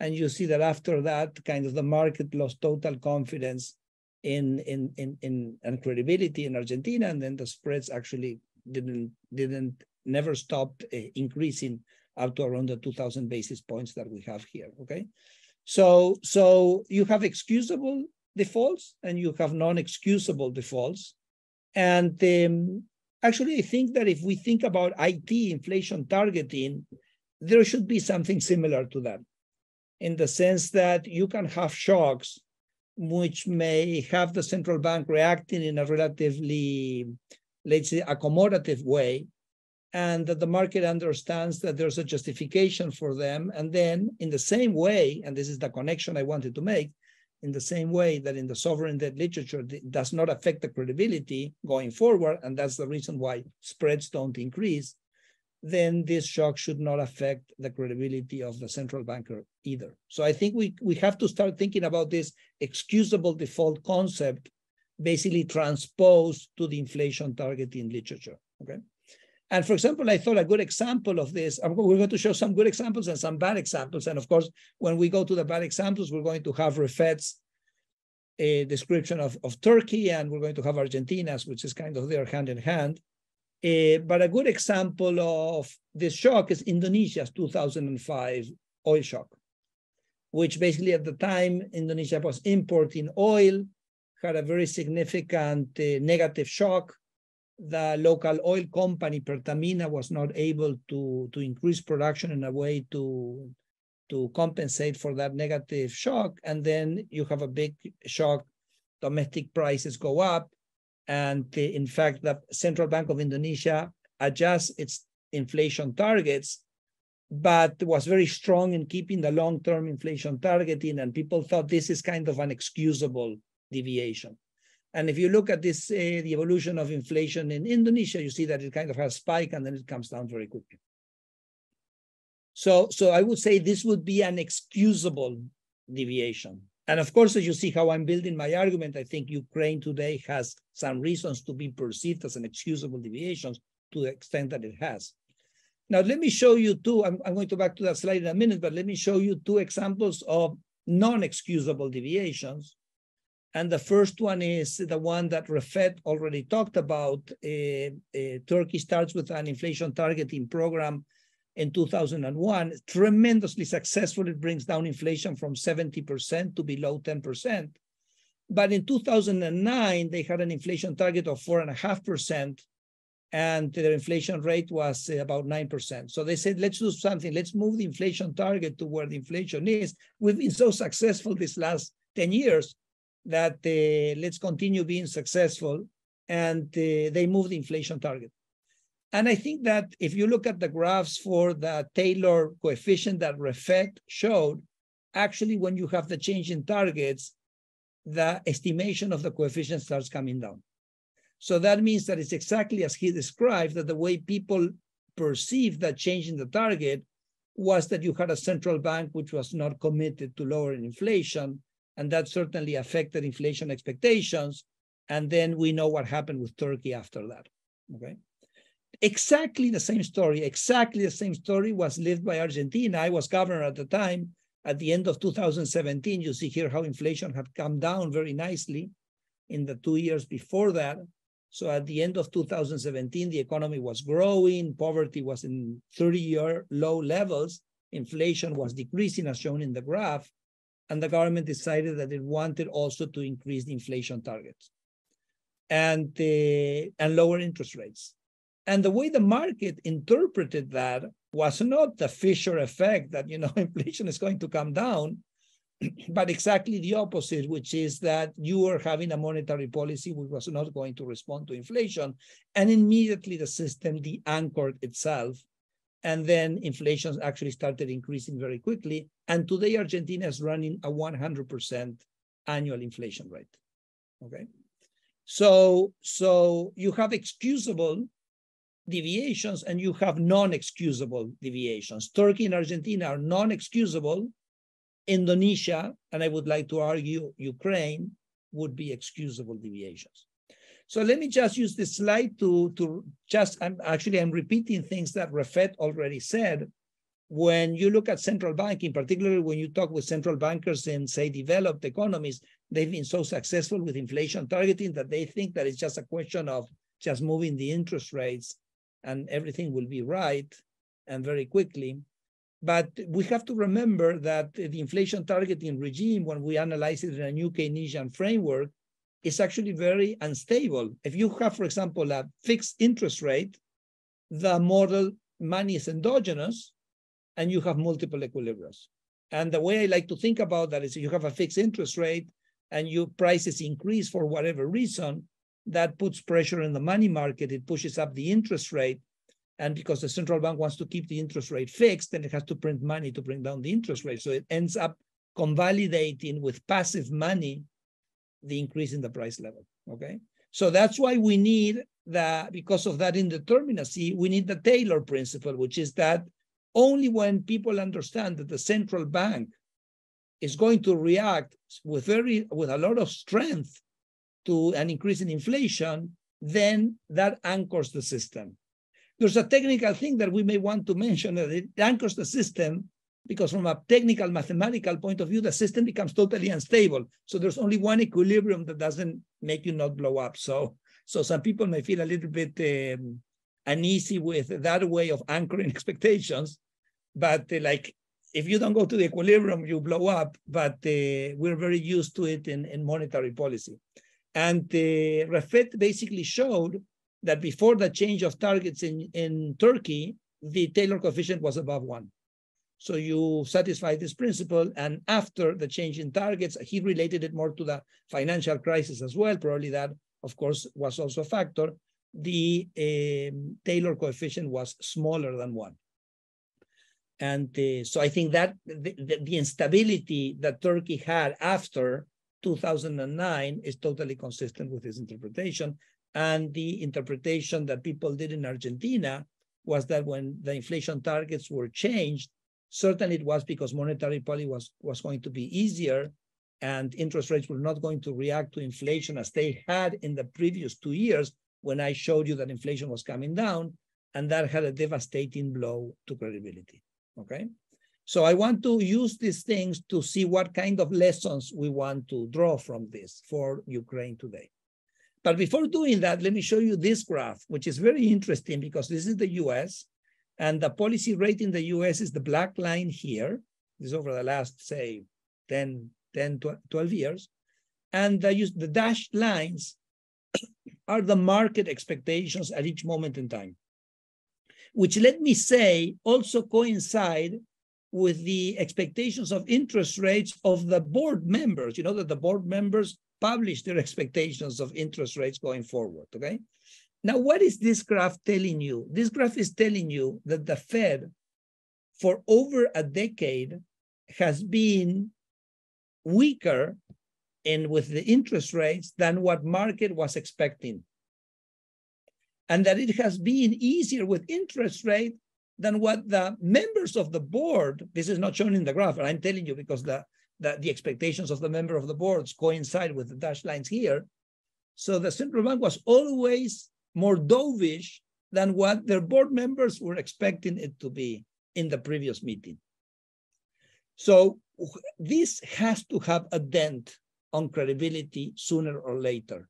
And I would say that the most dramatic of these uh, losses of credibility in the US is here in the U-turn when President Donald Trump started attacking the, the, the Federal Reserve, asking for lower interest rate. The market was expecting interest rate to go up, and the Fed brings down the inflation. So it's not surprise for those of us like Refet or me or you, which come from economies with high inflation, that we said this is going to be a problem. And this basically risks the possibility of the anchoring expectations, okay? once you lose once you lose credibility, everything kind of becomes very complicated. Okay. So you may increase interest rates, and then people say, "Oh no, the only thing this is going to close with a higher inflation rate." And uh, I remember at the end of 2017, I, I increased interest rates twice. The first time, inflation expectations ca came down. The second increase, inflation expectations went up because people say, "Oh, why is he increasing the interest rate again?" maybe he's seeing inflation which is worse than what we were thinking so so so once you're out of the realm of the inf anchored inflation expectations things become very nasty the other thing that uh, give me just a, a two more minutes and i finish um, also you start thinking about the fiscal and monetary interactions because uh, once you increase interest rate and then people say oh well that's going to deteriorate fiscal accounts and if it is a is fiscal account, then monetary policy will not be able to sustain itself. So you start getting a lot of interactions which are very, very messy. Okay. I think actually a very important part of this is if you actually try to fix the exchange rate, and I think Ukraine is, is, is doing this right now, this is kind of something that also is a little complicated because kind of it's very easy to bet against the exchange rate of a of a central bank which is fixing the exchange rate whereas if you have a floating exchange rate i think you don't have that uh, source of instability. So so i would definitely recommend as soon as possible to try to to go back to a more floating exchange rate okay so let me finish with with this slide which actually I, I realized that it says exactly the same thing of the conclusions of the previous presentation okay and uh, so what, what, did what did uh, say? He says, keep it simple and direct, focus on targets, and be sustained. Those were the th his three conclusions, okay? And what I wrote here is, the first thing is, you always have to be in control of the inflation. What do I mean by this? You don't want to say, inflation is not my fault. So for example, when Jay Powell for a year said that inflation was transitory and because it was an increase in energy prices, he was basically saying that he was not going to move the interest rate. And if he's saying that he's not moving the interest rate, he's basically having a Taylor coefficient, which is zero. and that de-anchors the system. So the, the thing that you want to avoid the temptation of saying, I'm not responsible for inflation. Doesn't matter what happens. You have to say, I'm in control. I have this, I have this responsibility. There are no excuses. I'm responsible. So I think that's the first thing that I would I would uh, suggest. And I think it derives from the theory. The second is you want to keep the targets. I, I look at the experience of Turkey. I look at the experience of Argentina. Once you keep the targets, I say if you change the targets, you don't have targets anymore. You lose total credibility. So you always want to stick to your target. You may deviate, you may not achieve your targets, you don't want to change the target. So I would say that that's very important. And the only way that you're going to build credibility is you want to be very consistent and basically operate all the times according to the way it's expected that you operate. Um, um, there was one question before as to how to build expectations. One thing that was very useful for us was that we created something called a survey of market participants on inflation expectations because the public tends to be backward looking and um, analysts tend to be more forward looking. So publishing this survey of market analysts of inflation was very helpful for us to anchor inflation expectations. Remember, we were coming from a higher inflation, and you're going to have that process. You're going to come down from a high inflation, and you want to people realize that in the future inflation is going to be lower. So, so I would definitely recommend doing that as well. And my last comment, and with this I finish, is that in the previous presentation, it says you have to sustain your efforts. And I think that means that you have to be consistent, you have to be patient, and you just have to be logical. And then you wait for the results to occur. So, so I'm finished with this uh, with this quote from Benjamin Franklin says, he that can have patience can have what he will. And uh, so I think uh, the army is doing its its side of, of, of, of the task in the field. And I think the Central Bank of Ukraine can do its task by equally being persistent and patient. Thank you. Thank you. Thank you, Federico. Uh, so we are moving to the third presentation by uh, Carlos Carvalho. So please, the floor is yours. Yes, thank you, Volodymyr. Thanks to the National Bank of Ukraine for the invitation. It's a pleasure and an honor to participate in the workshop and present, also give my support to the Ukrainian people. I was there in 2016 in what I believe was the first uh, inflation targeting conference in May of 2016. I have very good memories of, of the, the conference and those days in, in Kiev. Um, let me share the screen. move things here very quickly. Okay, so this is still a work in progress uh, with, with a bunch of people. Uh, for the sake of time, I'm gonna move a little fast, a little quickly. Um, okay, so what, what, what we study in this paper is, is how prices are set when expectations are unanchored, okay?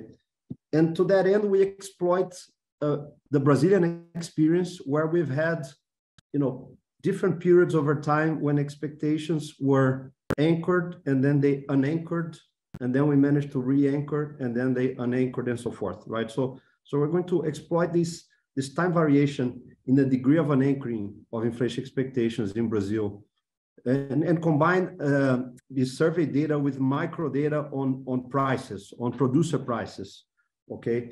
Uh, and then we're gonna we're gonna basically study how prices are set uh, when when expectations de-anchor or or unanchor. Um, so to motivate this, a quote by Ben Bernanke in a 2007 speech, which is which is a great speech and a source of many uh, insights and research ideas. So how do changes in various measures of inflation expectations feed through to actual pricing behavior? Promising recent research, the recent is this is back 20, uh, 2007, right? So promising recent research has looked at price changes at very disaggregated levels for insight into the pricing decisions, using Cleardon, Nakamura, and Steinsson. But this research has not yet linked pricing decisions at the microeconomic level to inflation expectations. Undertaking the next step would no doubt be difficult, but also very valuable. And this is what we're trying to do uh, in, in, this paper. Okay, so what, what we do is present evidence that the state of inflation expectations matters for individual pricing decisions. So it's related, you know, to Refet and Federico were, were talking about and illustrating with, you know, with uh, episodes from Turkey, Argentina, and so forth. We're going to do similar kind of analysis with, with, with Brazil. The difference being that we're going to use uh, individual price data, so the micro data from producer price index in Brazil, to study how the pass-through of exchange rate changes into prices um, varies when you move from anchored expectations to unanchored expectations, right? So that's kind of the core uh, of the analysis and, and the core result. So to that, we exploit various micro data sets over this 15-year uh, period. Uh, we also present a case study of an episode in which an anchor was arguably caused by, by monetary policy, right? So I'm not going to have time to, to go into that uh, uh, due to the time constraint, but I'm going to try to at least show you some, some graphs that kind of give you a flavor of the episode and, and, and maybe convince you that there was a role for uh, monetary policy to unanchor expect to cause the unanchoring of expectation. And finally, so we, we develop a, a simple model in which it, expectations can become unanchored. And, and we use the model to kind of provide a structural interpretation for our empirical findings. We basically simulate artificial micro data from this model and run the same kinds of regressions, and we, we find the same kind of results that we see in the data. Okay, so this is to give you a flavor of what we do. Uh, so this is standard pass-through regressions with micro data, building on the work from um, by Gita Gopinath, Oleg Itskhoki, and and uh, co-authors and others. So this is the change of prices at the individual level. Okay, we're going to run planar regression. So individual fixed effects, time fixed effects, the change in the exchange rate over the life of the spell, right? So we take each price spell and see how, how much the exchange rate varied during the life of that price. And, and this is the key object that we're interested in, right? So it's the change in the exchange rate over the life of each price spell interacted with an indicator variable which tells you whether expectations were anchored or unanchored when the firm reset its price. And this classification of, of time periods in anchored or unanchored regime comes from survey data. We look at kind of relatively long inflation expectations, you know, as long as you can get for, for Brazil, and then use that to, to classify these regimes of anchoring and unanchoring, and then a bunch of controls. Okay. We also run versions where we, instead of these dummy variable for the regime, we use a continuous measure of the degree of an anchor. So this kind of an intensive margin, and the results are very similar. So we also manage for a small subset of firms, roughly 170 firms. We can merge the PPI data with another survey where there's a question about firms plan to do with their own prices in the next period, which is the next quarter. Okay, so whether they plan to increase their prices, keep their prices constant, constant or decrease the prices. So we can look at sort of their accuracy rate, whether they get it right ex post, because we can see their prices in the micro data. And, and then we run regressions again, looking at, you know, their, their kind of hit rates or, or you actually uh, look at the mistake rate and, and see whether that changes when you have unanchored expectations. Okay, what we find. So first, when expectations are unanchored, pass-through goes up big time. Okay, so pass-through is very, very low from exchange rates into prices when you have anchored expectations. But when expectations unanchor, pass-through goes up by a factor that ranges between three to, to five or six. So it's a huge increase in pass-through. Okay. We find that firms also make fewer mistakes when they try to anticipate how they will change, how they will set their own prices in the future, right? So this can be linked to maybe attention because things are unanchored, everything is more volatile, inflation is typically higher and more volatile. Maybe firms are paying more attention, so they get it right more often, so they make fewer mistakes. Then we have this episode, this case study where we argue monetary policy can, can lead to the unanchoring of inflation expectations. And we had we have interesting evidence using survey microdata to show that you have this very abrupt and very quick change in expectations after um, a change in monetary policy. They had no grounding on what was going on with inflation and inflation expectations. So it was basically, you know, the central bank gave in to, to political pressure. Um, and finally, uh, we have this model that kind of allows us to interpret the result, and we find pretty much the same results, even quantitatively. Okay. Uh, I'm going to skip the literature for, for the sake of time. Uh, and now it's brief outline. I'm to just show some graphs uh, that, that give you a sense of Brazil's inflation uh, targeting regime history. Then talk a little bit about the data empirical strategy. I actually just sh showed you the, the equations for the empirical strategy, so I'm to go over that very quickly. Then the measure of the degree of anchoring, our empirical results. I'm just to show a few because we have a lot of stuff. Then there's this um, episode where there was an abrupt change in monetary policy. Um, you know, we, we recommend you strongly don't try this at your central bank. We've seen other examples where this was done. Um, and then if I have time, I'll, I'll, I'll, give you a sense of the of the model. Just to, to, to give you a sense of what we mean by this U-turn, this abrupt U-turn in monetary policy, I'm just gonna show you a quick graph here uh, using YouTube. So, so, so people who, who don't know exactly what that maneuver uh, is can get a sense of, of what we're talking about.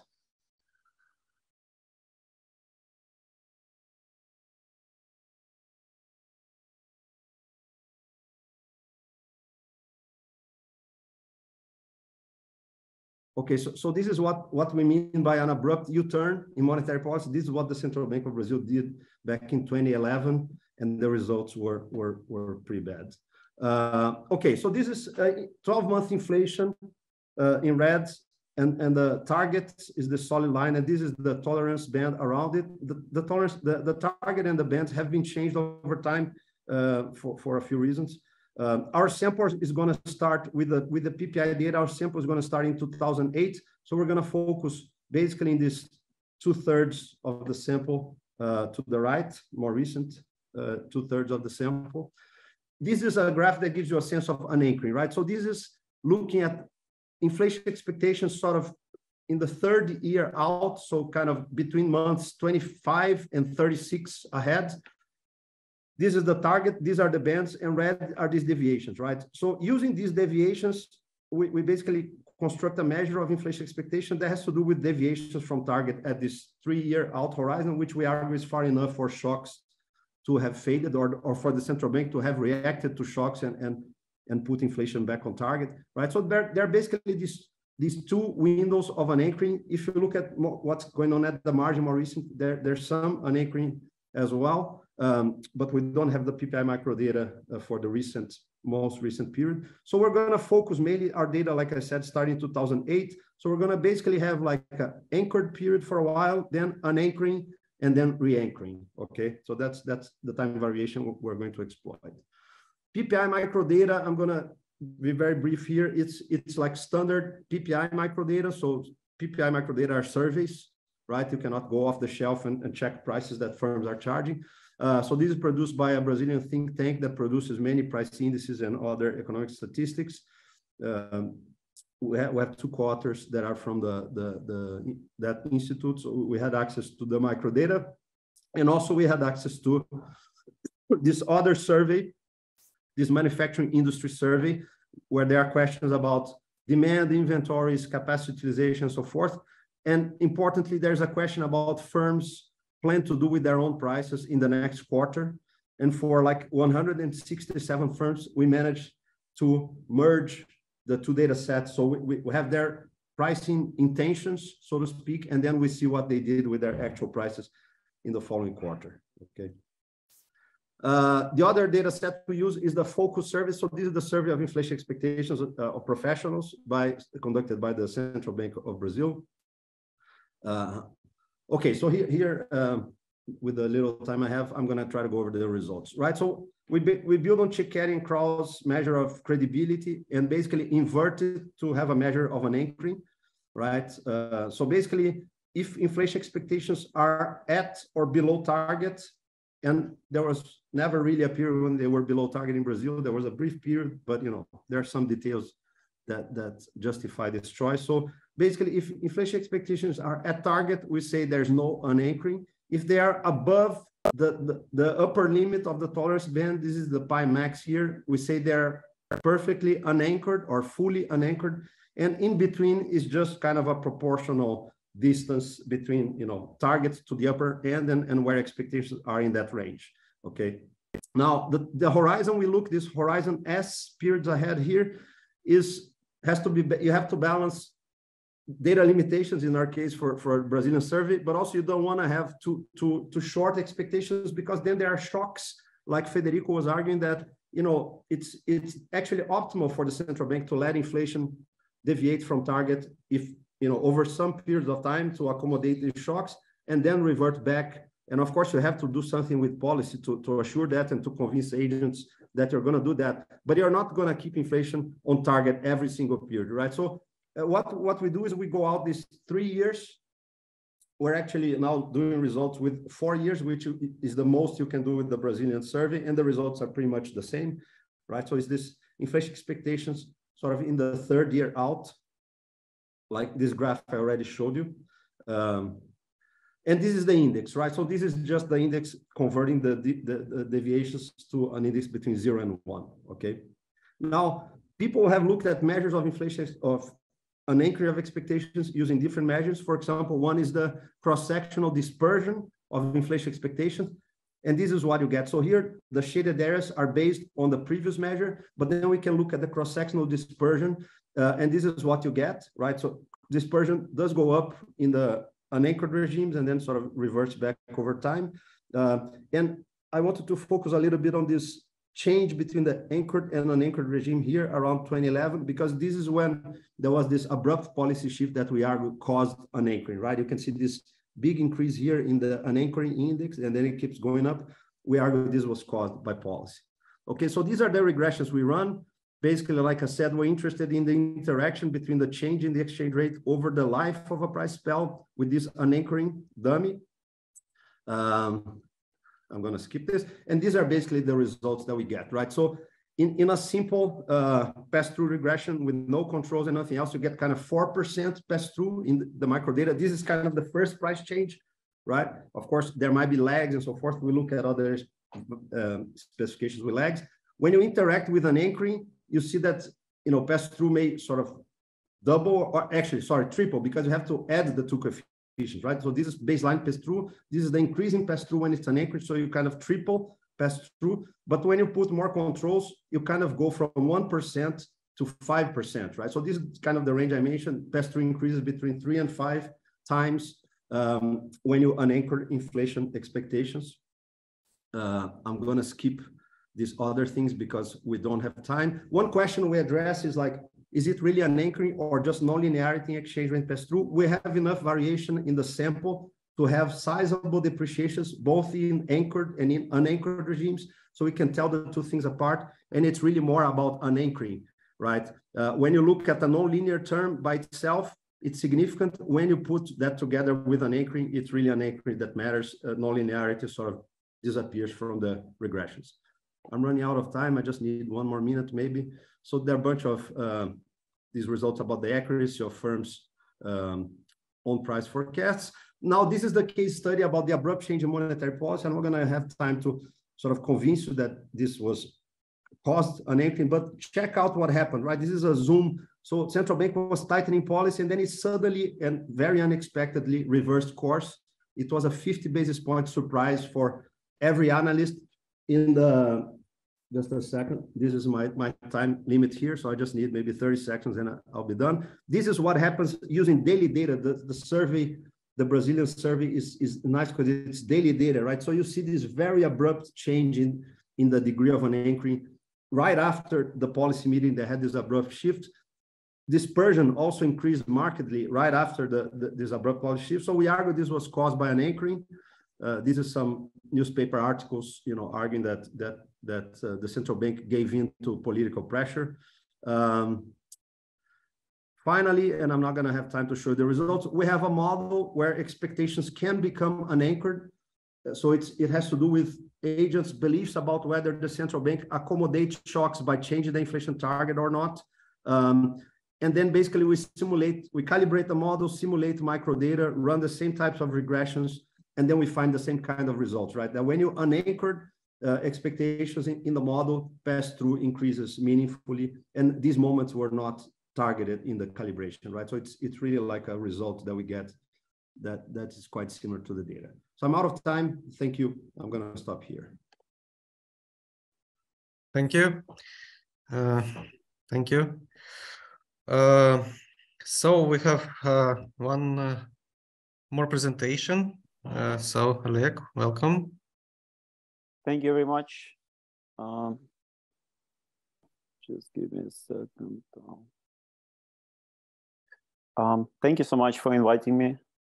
Um, it is honor and pleasure to be in this presentation. I already learned a lot from the previous talks, and I hope that my discussion will um, will complement um, the previous discussions, as well as uh, complement Yuri um, uh, lecture. So uh, what we're doing in this paper is we basically, it's a small step in the direction or we're trying to do a little work uh, in convincing people that uh, expectations are not fully rational or you know trying to do a small empirical work on the idea that uh, we need something in the middle between adaptive expectations and fully rational expectations. So that's uh, sort of continuation of this research program. Um, so why do we think high inflation is a problem? So why, one of the reasons why we think high inflation is a problem is that, uh, well, the households and businesses, when inflation gets high, they'll start pay attention to it. And one person who noticed, so Alan Greenspan, uh, who noticed this relationship or who talked about this relationship, he talked about price stability is a state in which expected changes in the general price level do not effectively alter businesses or household decisions. Uh, as usual, he talks in a convoluted way, but most of the people uh, interpret this statement as uh, we want inflation to be so low so that people and businesses don't pay attention to it or don't notice it. And then, uh, uh, so 40 years later, we have another statement from current chairman of the central bank uh, that talks about dangers of high inflation. So when inflation is persistently high, households and businesses pay close attention and incorporate inflation into their economic decisions. On the other hand, when inflation is low and stable, they fear to focus their attention elsewhere. Of course, currently inflation is very high, so so therefore you know people paying close attention to it. So then, uh, why attention is dangerous? So why do we care whether people pay attention or not? Well, if people pay attention to inflation, uh, they will start asking for higher wages, and as they asking for higher wages, firms need to increase their prices uh, to make sure that they make profits. So we're getting into wage price spiral. As Yuri pointed out, expectations play extremely important role in many parts of uh, our standard models. So, and then in general, you know, in just the intuitive way, if people expect increasing and rising inflation, they will try to bargain for higher wages. And again, so that that leads us to wage price spiral. So then, do people always pay attention? Uh, the curious thing about economics, well, in particular, our part of macroeconomics is that uh, economists, we take very, very seriously costs um, or idea that costs uh, play important role. Uh, on the other hand, we're not taking very seriously idea of cognitive costs and that uh, it's, it's hard to think and uh, it's, it takes a lot of resources for people to think. And we always or we often see it is in our undergraduate classes but somehow you know after we come out of undergraduate classes uh, you know we write models uh, in which uh, people are you know complete geniuses. Uh, so so rational attention theory takes cognitive cost more seriously and posits that if cognitive resources are costly and if it is hard to think for people and then uh, there are conditions under which cognitive costs are higher than benefits of paying attention. As a result, people will not pay attention to things that are not give them more benefits than their cognitive cost. And of course, like one example in US, uh, anyone who's been to US or who lives in US, uh, so the sales tax, uh, the prices uh, in stores in US, they're quoted without sales tax, but the sales tax usually is so low that almost no one pays any attention to the fact that the prices that you actually pay at the counter are a little bit different from the prices that you saw in the store. Uh, why don't we pay attention? Well, it's just small thing compared to the all other decisions we make in the store or all other decisions we make in our life. So we it's just not not that important for us, and uh, so we conserve our energy for more important things. Uh, okay, so continuing on that idea, so then uh, what we do in this paper, we explore changes in attention. So are there changes, are there shifts in attention to inflation?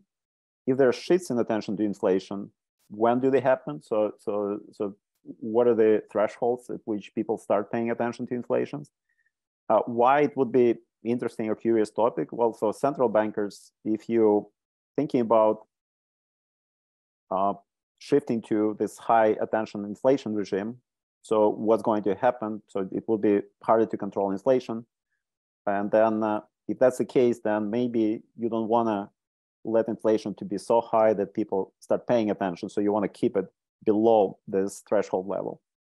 And then, of course, uh, there's a, again, right now, this debate became less important, but before, so last 20 years, Fed consistently was below its inflation target. And uh, there was a concern about zero low bound, and there was some talk about increasing um, target inflation rate to a higher level. And uh, so that would be an important topic for people who think about optimal rate of inflation uh, in terms of the target. What do we do specifically? So we need to measure somehow attention. And the way we do it, we do it in two ways. Number one is we collect frequency of Google searches for inflation. And then number two is we collect frequency of, uh, of mentioning inflation on Twitter. Um, we collected for 37 countries, and then we basically do threshold regressions uh, in which uh, the, the algorithm searches for is there a threshold, and if there's a threshold, how many of them? And then, uh, uh so, so that's, that's what we did for 37 countries what do we find? So this is the most important graph of my presentation. Uh, if there's any takeaway of, of whatever I'm telling you is this graph. Um, so it, this one is for US, but uh, we have multiple countries that follow same pattern. So as you can see, the threshold that the, the algorithm found was 355. And what it shows is that below 355, the slope of the line that connects inflation and Google searches, uh, basically it's zero. So it's not significantly different from zero. And then above 355, the slope is uh, positive. It's highly statistically significant. It's you know 10 times to 15 times higher. Uh, so the red line is below threshold inflation and the green line is above threshold inflation uh, we find very similar patterns for multiple of countries for our 35 data sets. Uh, before I go there, so this is for Google searches. Uh, this is comparing Google searches and Twitter. So basically the picture is literally almost the same. So for Twitter, the threshold is 339 instead of 355, but you know it, it's reasonably close. Um, and uh, the picture is very, very similar. So now not all countries fit the same pattern. So you heard a lot about Turkey. So uh, nicely, uh, my my talk connects to uh, talk about Turkey. Uh, so what we find in Turkey, in, in case of Turkey, uh, we find that slope for the levels below threshold is actually higher, um, and it's statistically significantly higher uh, for lower levels of inflation than for higher levels of inflation. and Turkey is not the only country that has this property. So let me go to set of all the countries. So we have countries consistent with uh, this interpretation where below threshold, the slope is zero, and above threshold, the slope is significant and positive. So, so basically, you can think of them as countries with a you know anchored uh, regime and uh, the anchored and uh, inflation staying in this low level. Then we have an intermediate set of countries where and the, the way we classify the intermediate is that the countries where the first slope, so below threshold slope is not zero. So it's positive, it's less than above thresholds, so and significantly less, but it's not significantly, so it's significantly different from zero. So it's a small positive slope. And so that's the intermediate set. And then finally, we have set of countries, uh, and you heard about Turkey today, you heard about Brazil today.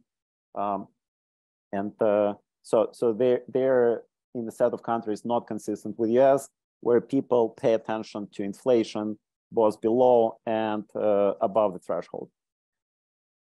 Um, I would I would bet that Ukraine would be somewhere here too. So so Ukraine would be, as Yuri pointed out, you know, everyone in Ukraine's, you know, oh, not everyone, but many many people pay close attention to exchange rate, close attention to inflation. So so no matter what level inflation is, it's it's it's so important to people or for their mistakes, for their decisions. So if they don't pay attention, they make mistakes. Those mistakes are costly. So they're going to pay attention.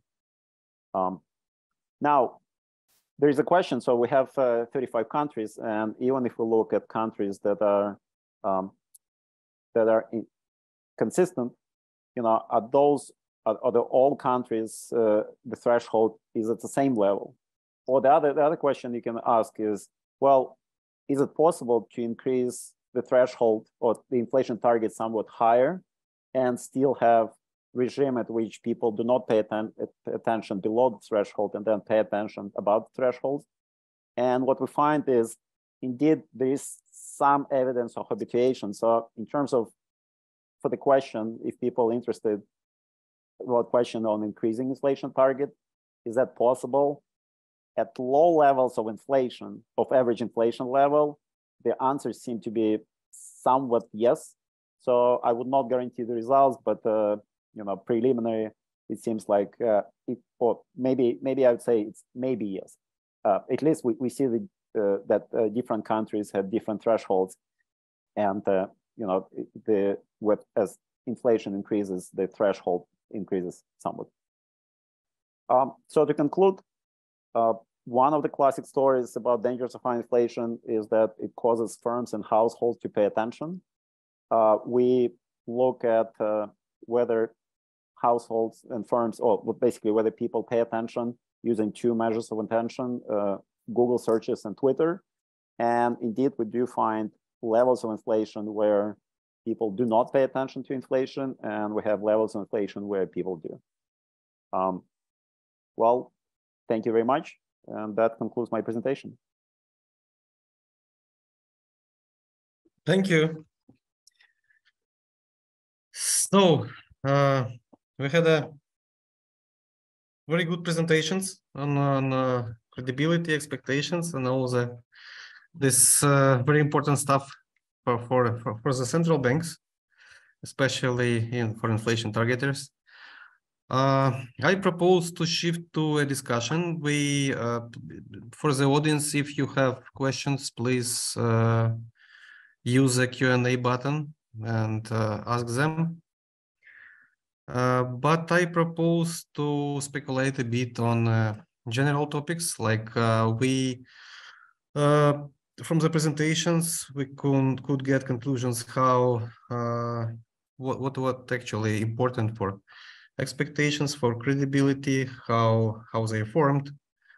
And I just want to have a brief discussion on how the perfect credibility uh, of the central bank should uh, uh, look like and how to measure it, how actually what what is the ideal stance for the central banks that they could achieve in terms of credibility of monetary policy. So if someone wants to, to, to start, so please. I, I can talk a, a, little bit briefly about, you know, the, the experience um, we, we had at the central bank, right? So I, I, joined the, the board of the Central Bank of Brazil in, in uh, July of 2016.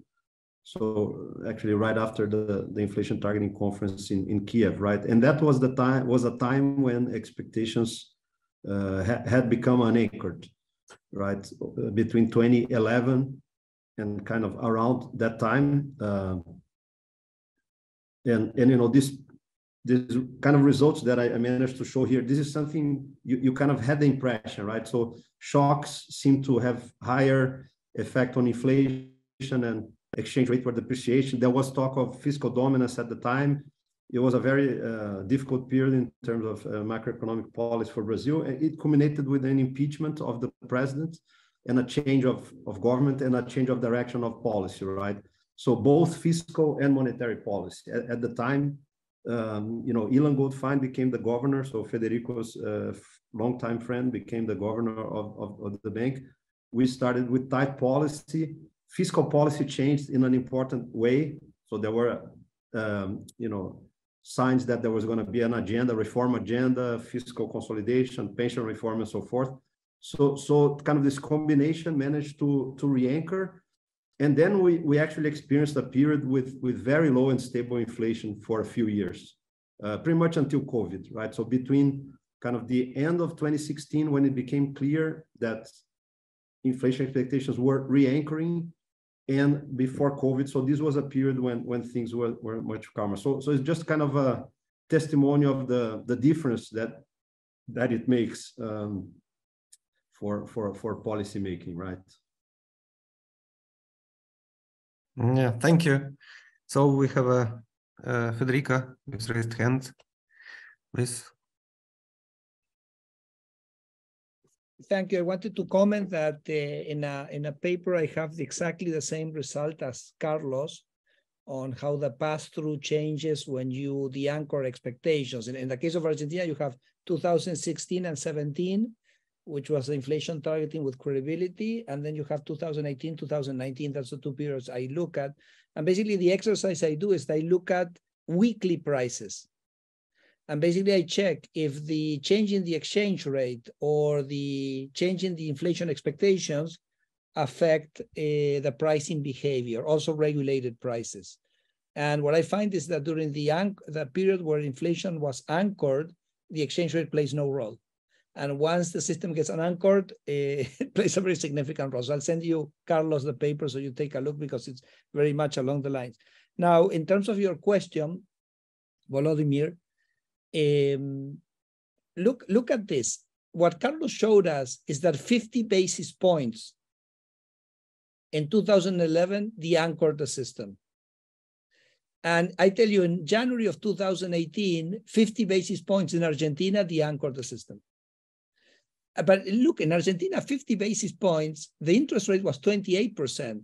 In the US, it's 2%. So this is like if Janet Yellen would have brought down the interest rate five basis points. I mean, in, in, a, in a comparative uh, level. So I think the important thing is about consistency. What the market saw was that what you were doing was not consistent. It was not consistent in Brazil at the end of 2011. It was not consistent in Argentina after 2008. It doesn't matter if it was five basis points, 50 basis points. So, so I would say in this quest for credibility, that's why I think uh, consistency, being able to explain what you're doing, it being consistent with the framework is extremely important. I would I would kind of underscore that that feature. Completely agree, Federico. Yeah, uh, so we have a question from Yuri. Yuri, please. Thank you very much. I listened to this panel with very much, uh, with great interest, very informative.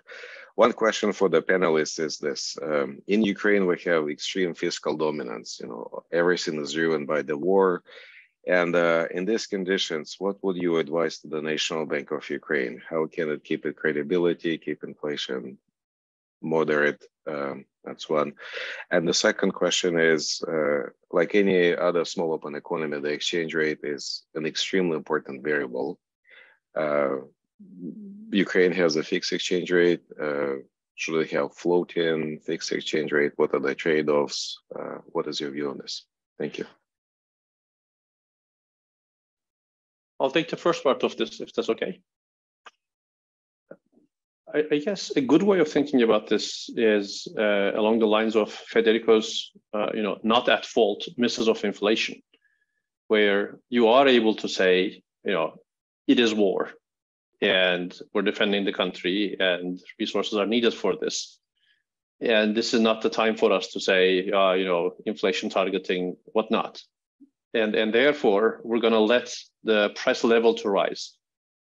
And the key is going to be to insist on saying that this is going to be an increase in the price level to help fund the war effort and not a permanent increase in the rate of inflation, right? Uh, Federico was saying this in different ways, but um, I, I, fully agree with the spirit in that central bankers should never talk about inflation as if it's something external to them, because that really signals that you know inflation is doing whatever it does, which then obviously notes that we're not on top of things, right?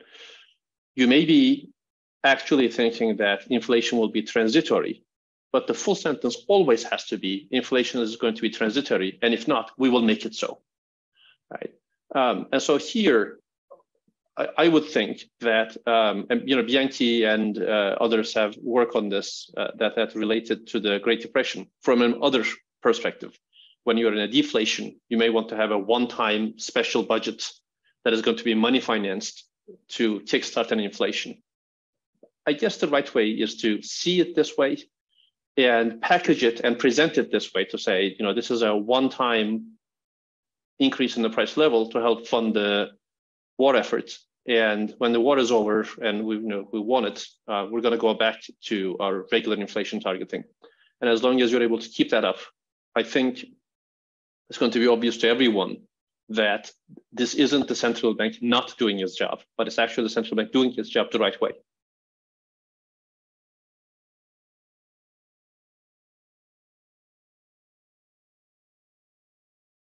Uh, yeah, thank you. That's very important uh, uh, to to to, to to say that actually the central bank is uh, is taking inflation under control. Of course, the price level is changing, so that's uh, uh, natural consequences uh, of war. But what what should not be permanent is inflation itself. So it's really important. Uh, Federico, you raised hand. I no, I wanted to take the second half of the question, which I think was interesting, which was the foreign exchange. And for those of us who've been governor of central bank, I tell you, meddling with the exchange rate, if you're entering into a danger zone, okay? Uh, you invite uh, speculative attacks, you invite hot money, which are betting on you keeping the exchange rate, but you may not be willing to keep it. So, so that the, the portfolio flow uh, situation becomes uh, more complicated. Also, what becomes more complicated is that you tend to focus expectations on the exchange rate. If you have an exchange rate that's moving up and down all the time, domestic pricing behavior somehow detaches itself from the exchange rate because you see it's going up and down all the time. But if the government is saying, you know, this is the exchange rate, and the only thing that it can happen is that it can go up, then you're coordinating inflation expectations with the exchange rate um, and increasing pass through in a way that I think reduces the scope for monetary policy. So I I tell all my governor friends is uh, try to keep as far away from that as possible. And um, as long as your monetary policy is anchored, exchange rates cannot be whatever they want to be. I mean, the exchange rate have a relationship with monetary policy but the flexibility that it gives you, I think it's it adds much more benefits than cost. So so I would I would have a strong recommend. I would have a I have a strong view on on this second point. Yeah, thank you, uh, Oleg. Um, I highly recommend uh, so what Yuri suggested about uh, expectations. So, so just a, you know, division of labor. So make your communication more professional. Hire people who are good writers and good at marketing, and just use that. So I think I think it's heavily underused by central bankers who are trying to, you know, be marketing people, and they're just not good at it. You know, economists are not trained in marketing, and you have pretty cheap marketing people who will help you and who will tell you what to do and how to do it. So, so you can use that part that that's one part and and i think it it, it was uh, I, I think it's important for communication things about inflation but also in general communication policy so so that's one and second i think you know being honest it helps with credibility. So so if you if you're honest with people, if if you're trying to hide exchange rate, if you're saying like uh, you know exchange rates uh, places cannot show or cannot display exchange rate, that's not going to help you with your credibility. Like so, just being honest with people and say conditions are hard, we need to support fiscal system and so on. We're going to do it one time, or we're going to do it you know as much as needed when we have gaps. But here's here's what's up. Here's what we're doing, you know, and uh, communicate it in a simple you know simple language repeated often so that you know using using marketing tools.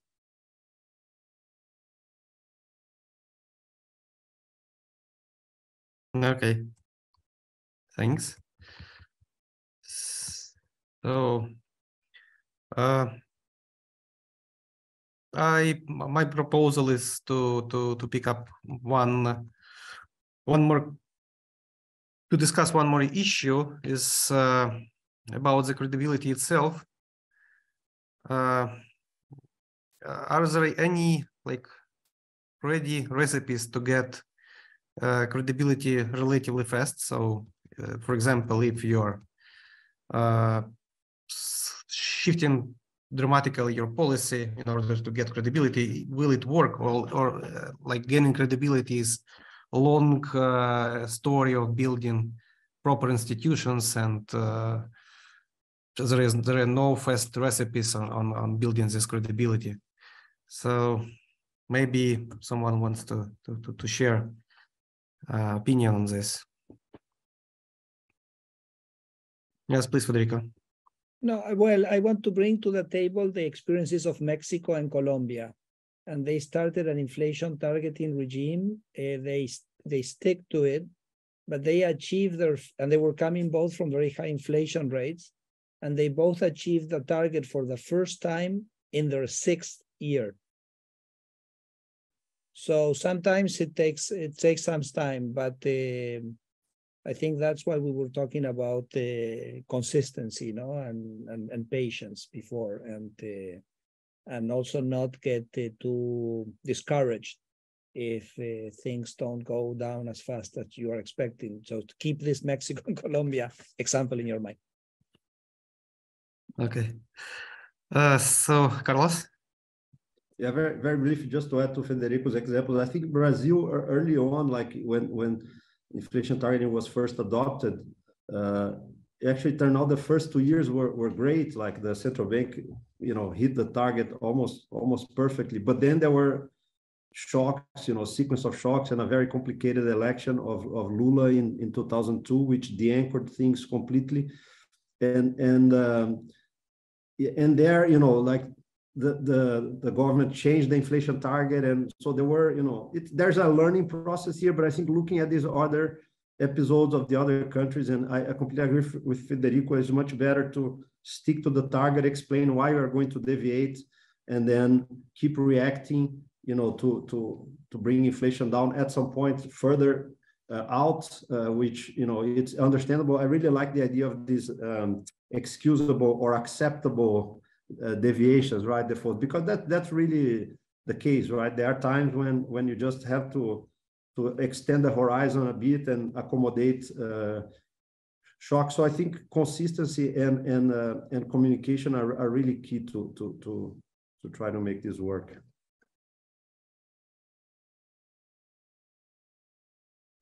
Yeah. Okay, thank you. So we are approaching to the uh, end of our panel. Uh, I'm really grateful for, to, to, to, the panelists because uh, the presentations are great. Uh, we had an excellent discussion and we are quite in time with all of that. Uh, so thank you for your support. And we are uh, moving to, to, to the concluding remarks by the, by the Deputy Governor, uh, Sergiy Nikolaychuk. So, Sergei, please. Uh, thank you. Dear colleagues, uh, speakers and participants, uh, first of all, I would like to uh, thank uh, you all for joining our virtual workshop and making it possible to have this insightful event which has exceeded my expectations. While most of us would like uh, to gather in completely different environment, I'm really grateful for uh, for the fact that we have been able to get together and uh, at least online. And I'm very happy that despite all these challenges uh, that we face uh, nowadays here in Ukraine, so the Central Bank of Ukraine managed to organize this insightful event and provided the platform to discuss uh, these uh, really important issues which uh, we as the central banks bankers face uh, nowadays. Sure, our challenges in Ukraine are really unique. Mm, today, since February, we have been conducted our monetary policy under conditions of full-scale war, which has affected our lives in unprecedented ways. So we have adapt, uh, we have uh, had to adapt ourselves uh, to the new reality under the, these con conditions, and uh, definitely we adjusted our monetary policy to these new conditions, uh, temporarily deviating from the uh, inflation targeting.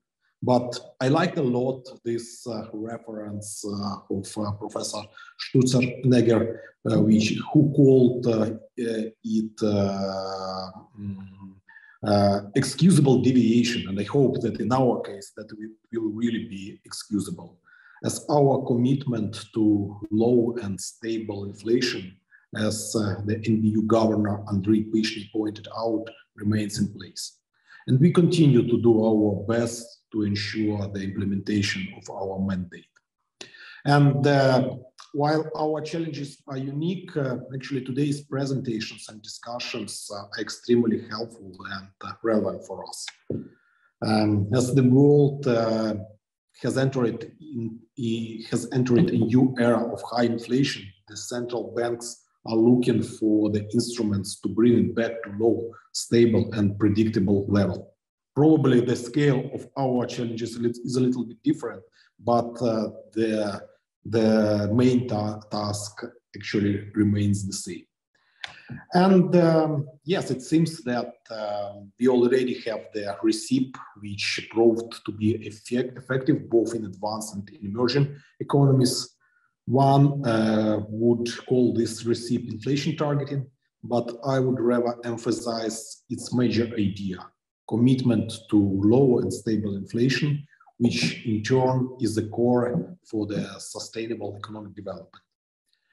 And uh, while the idea of inflation targeting framework is straightforward and simple, the framework is very complex and flexible.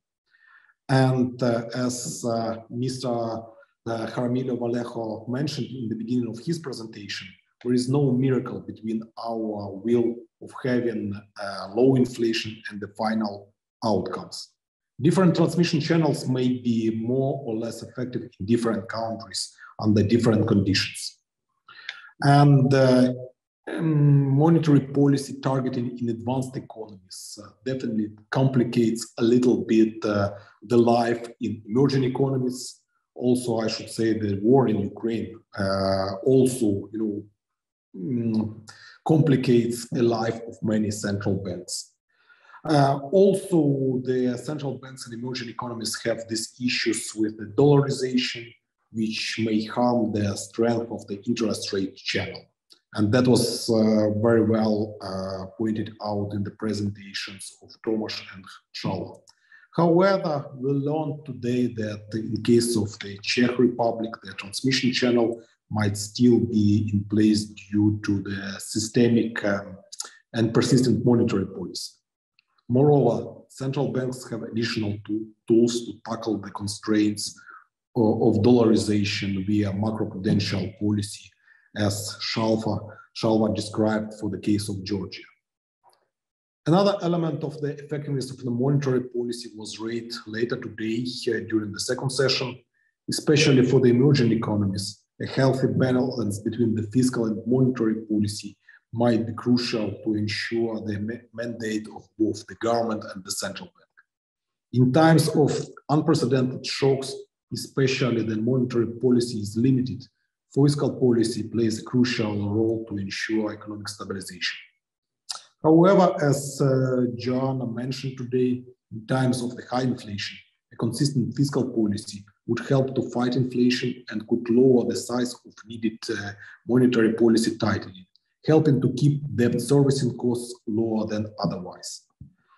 Uh, moreover, if central banks are successful uh, uh in their policy and inflation expectation remains remain ensured, the price of borrowing for the government remains lower as well.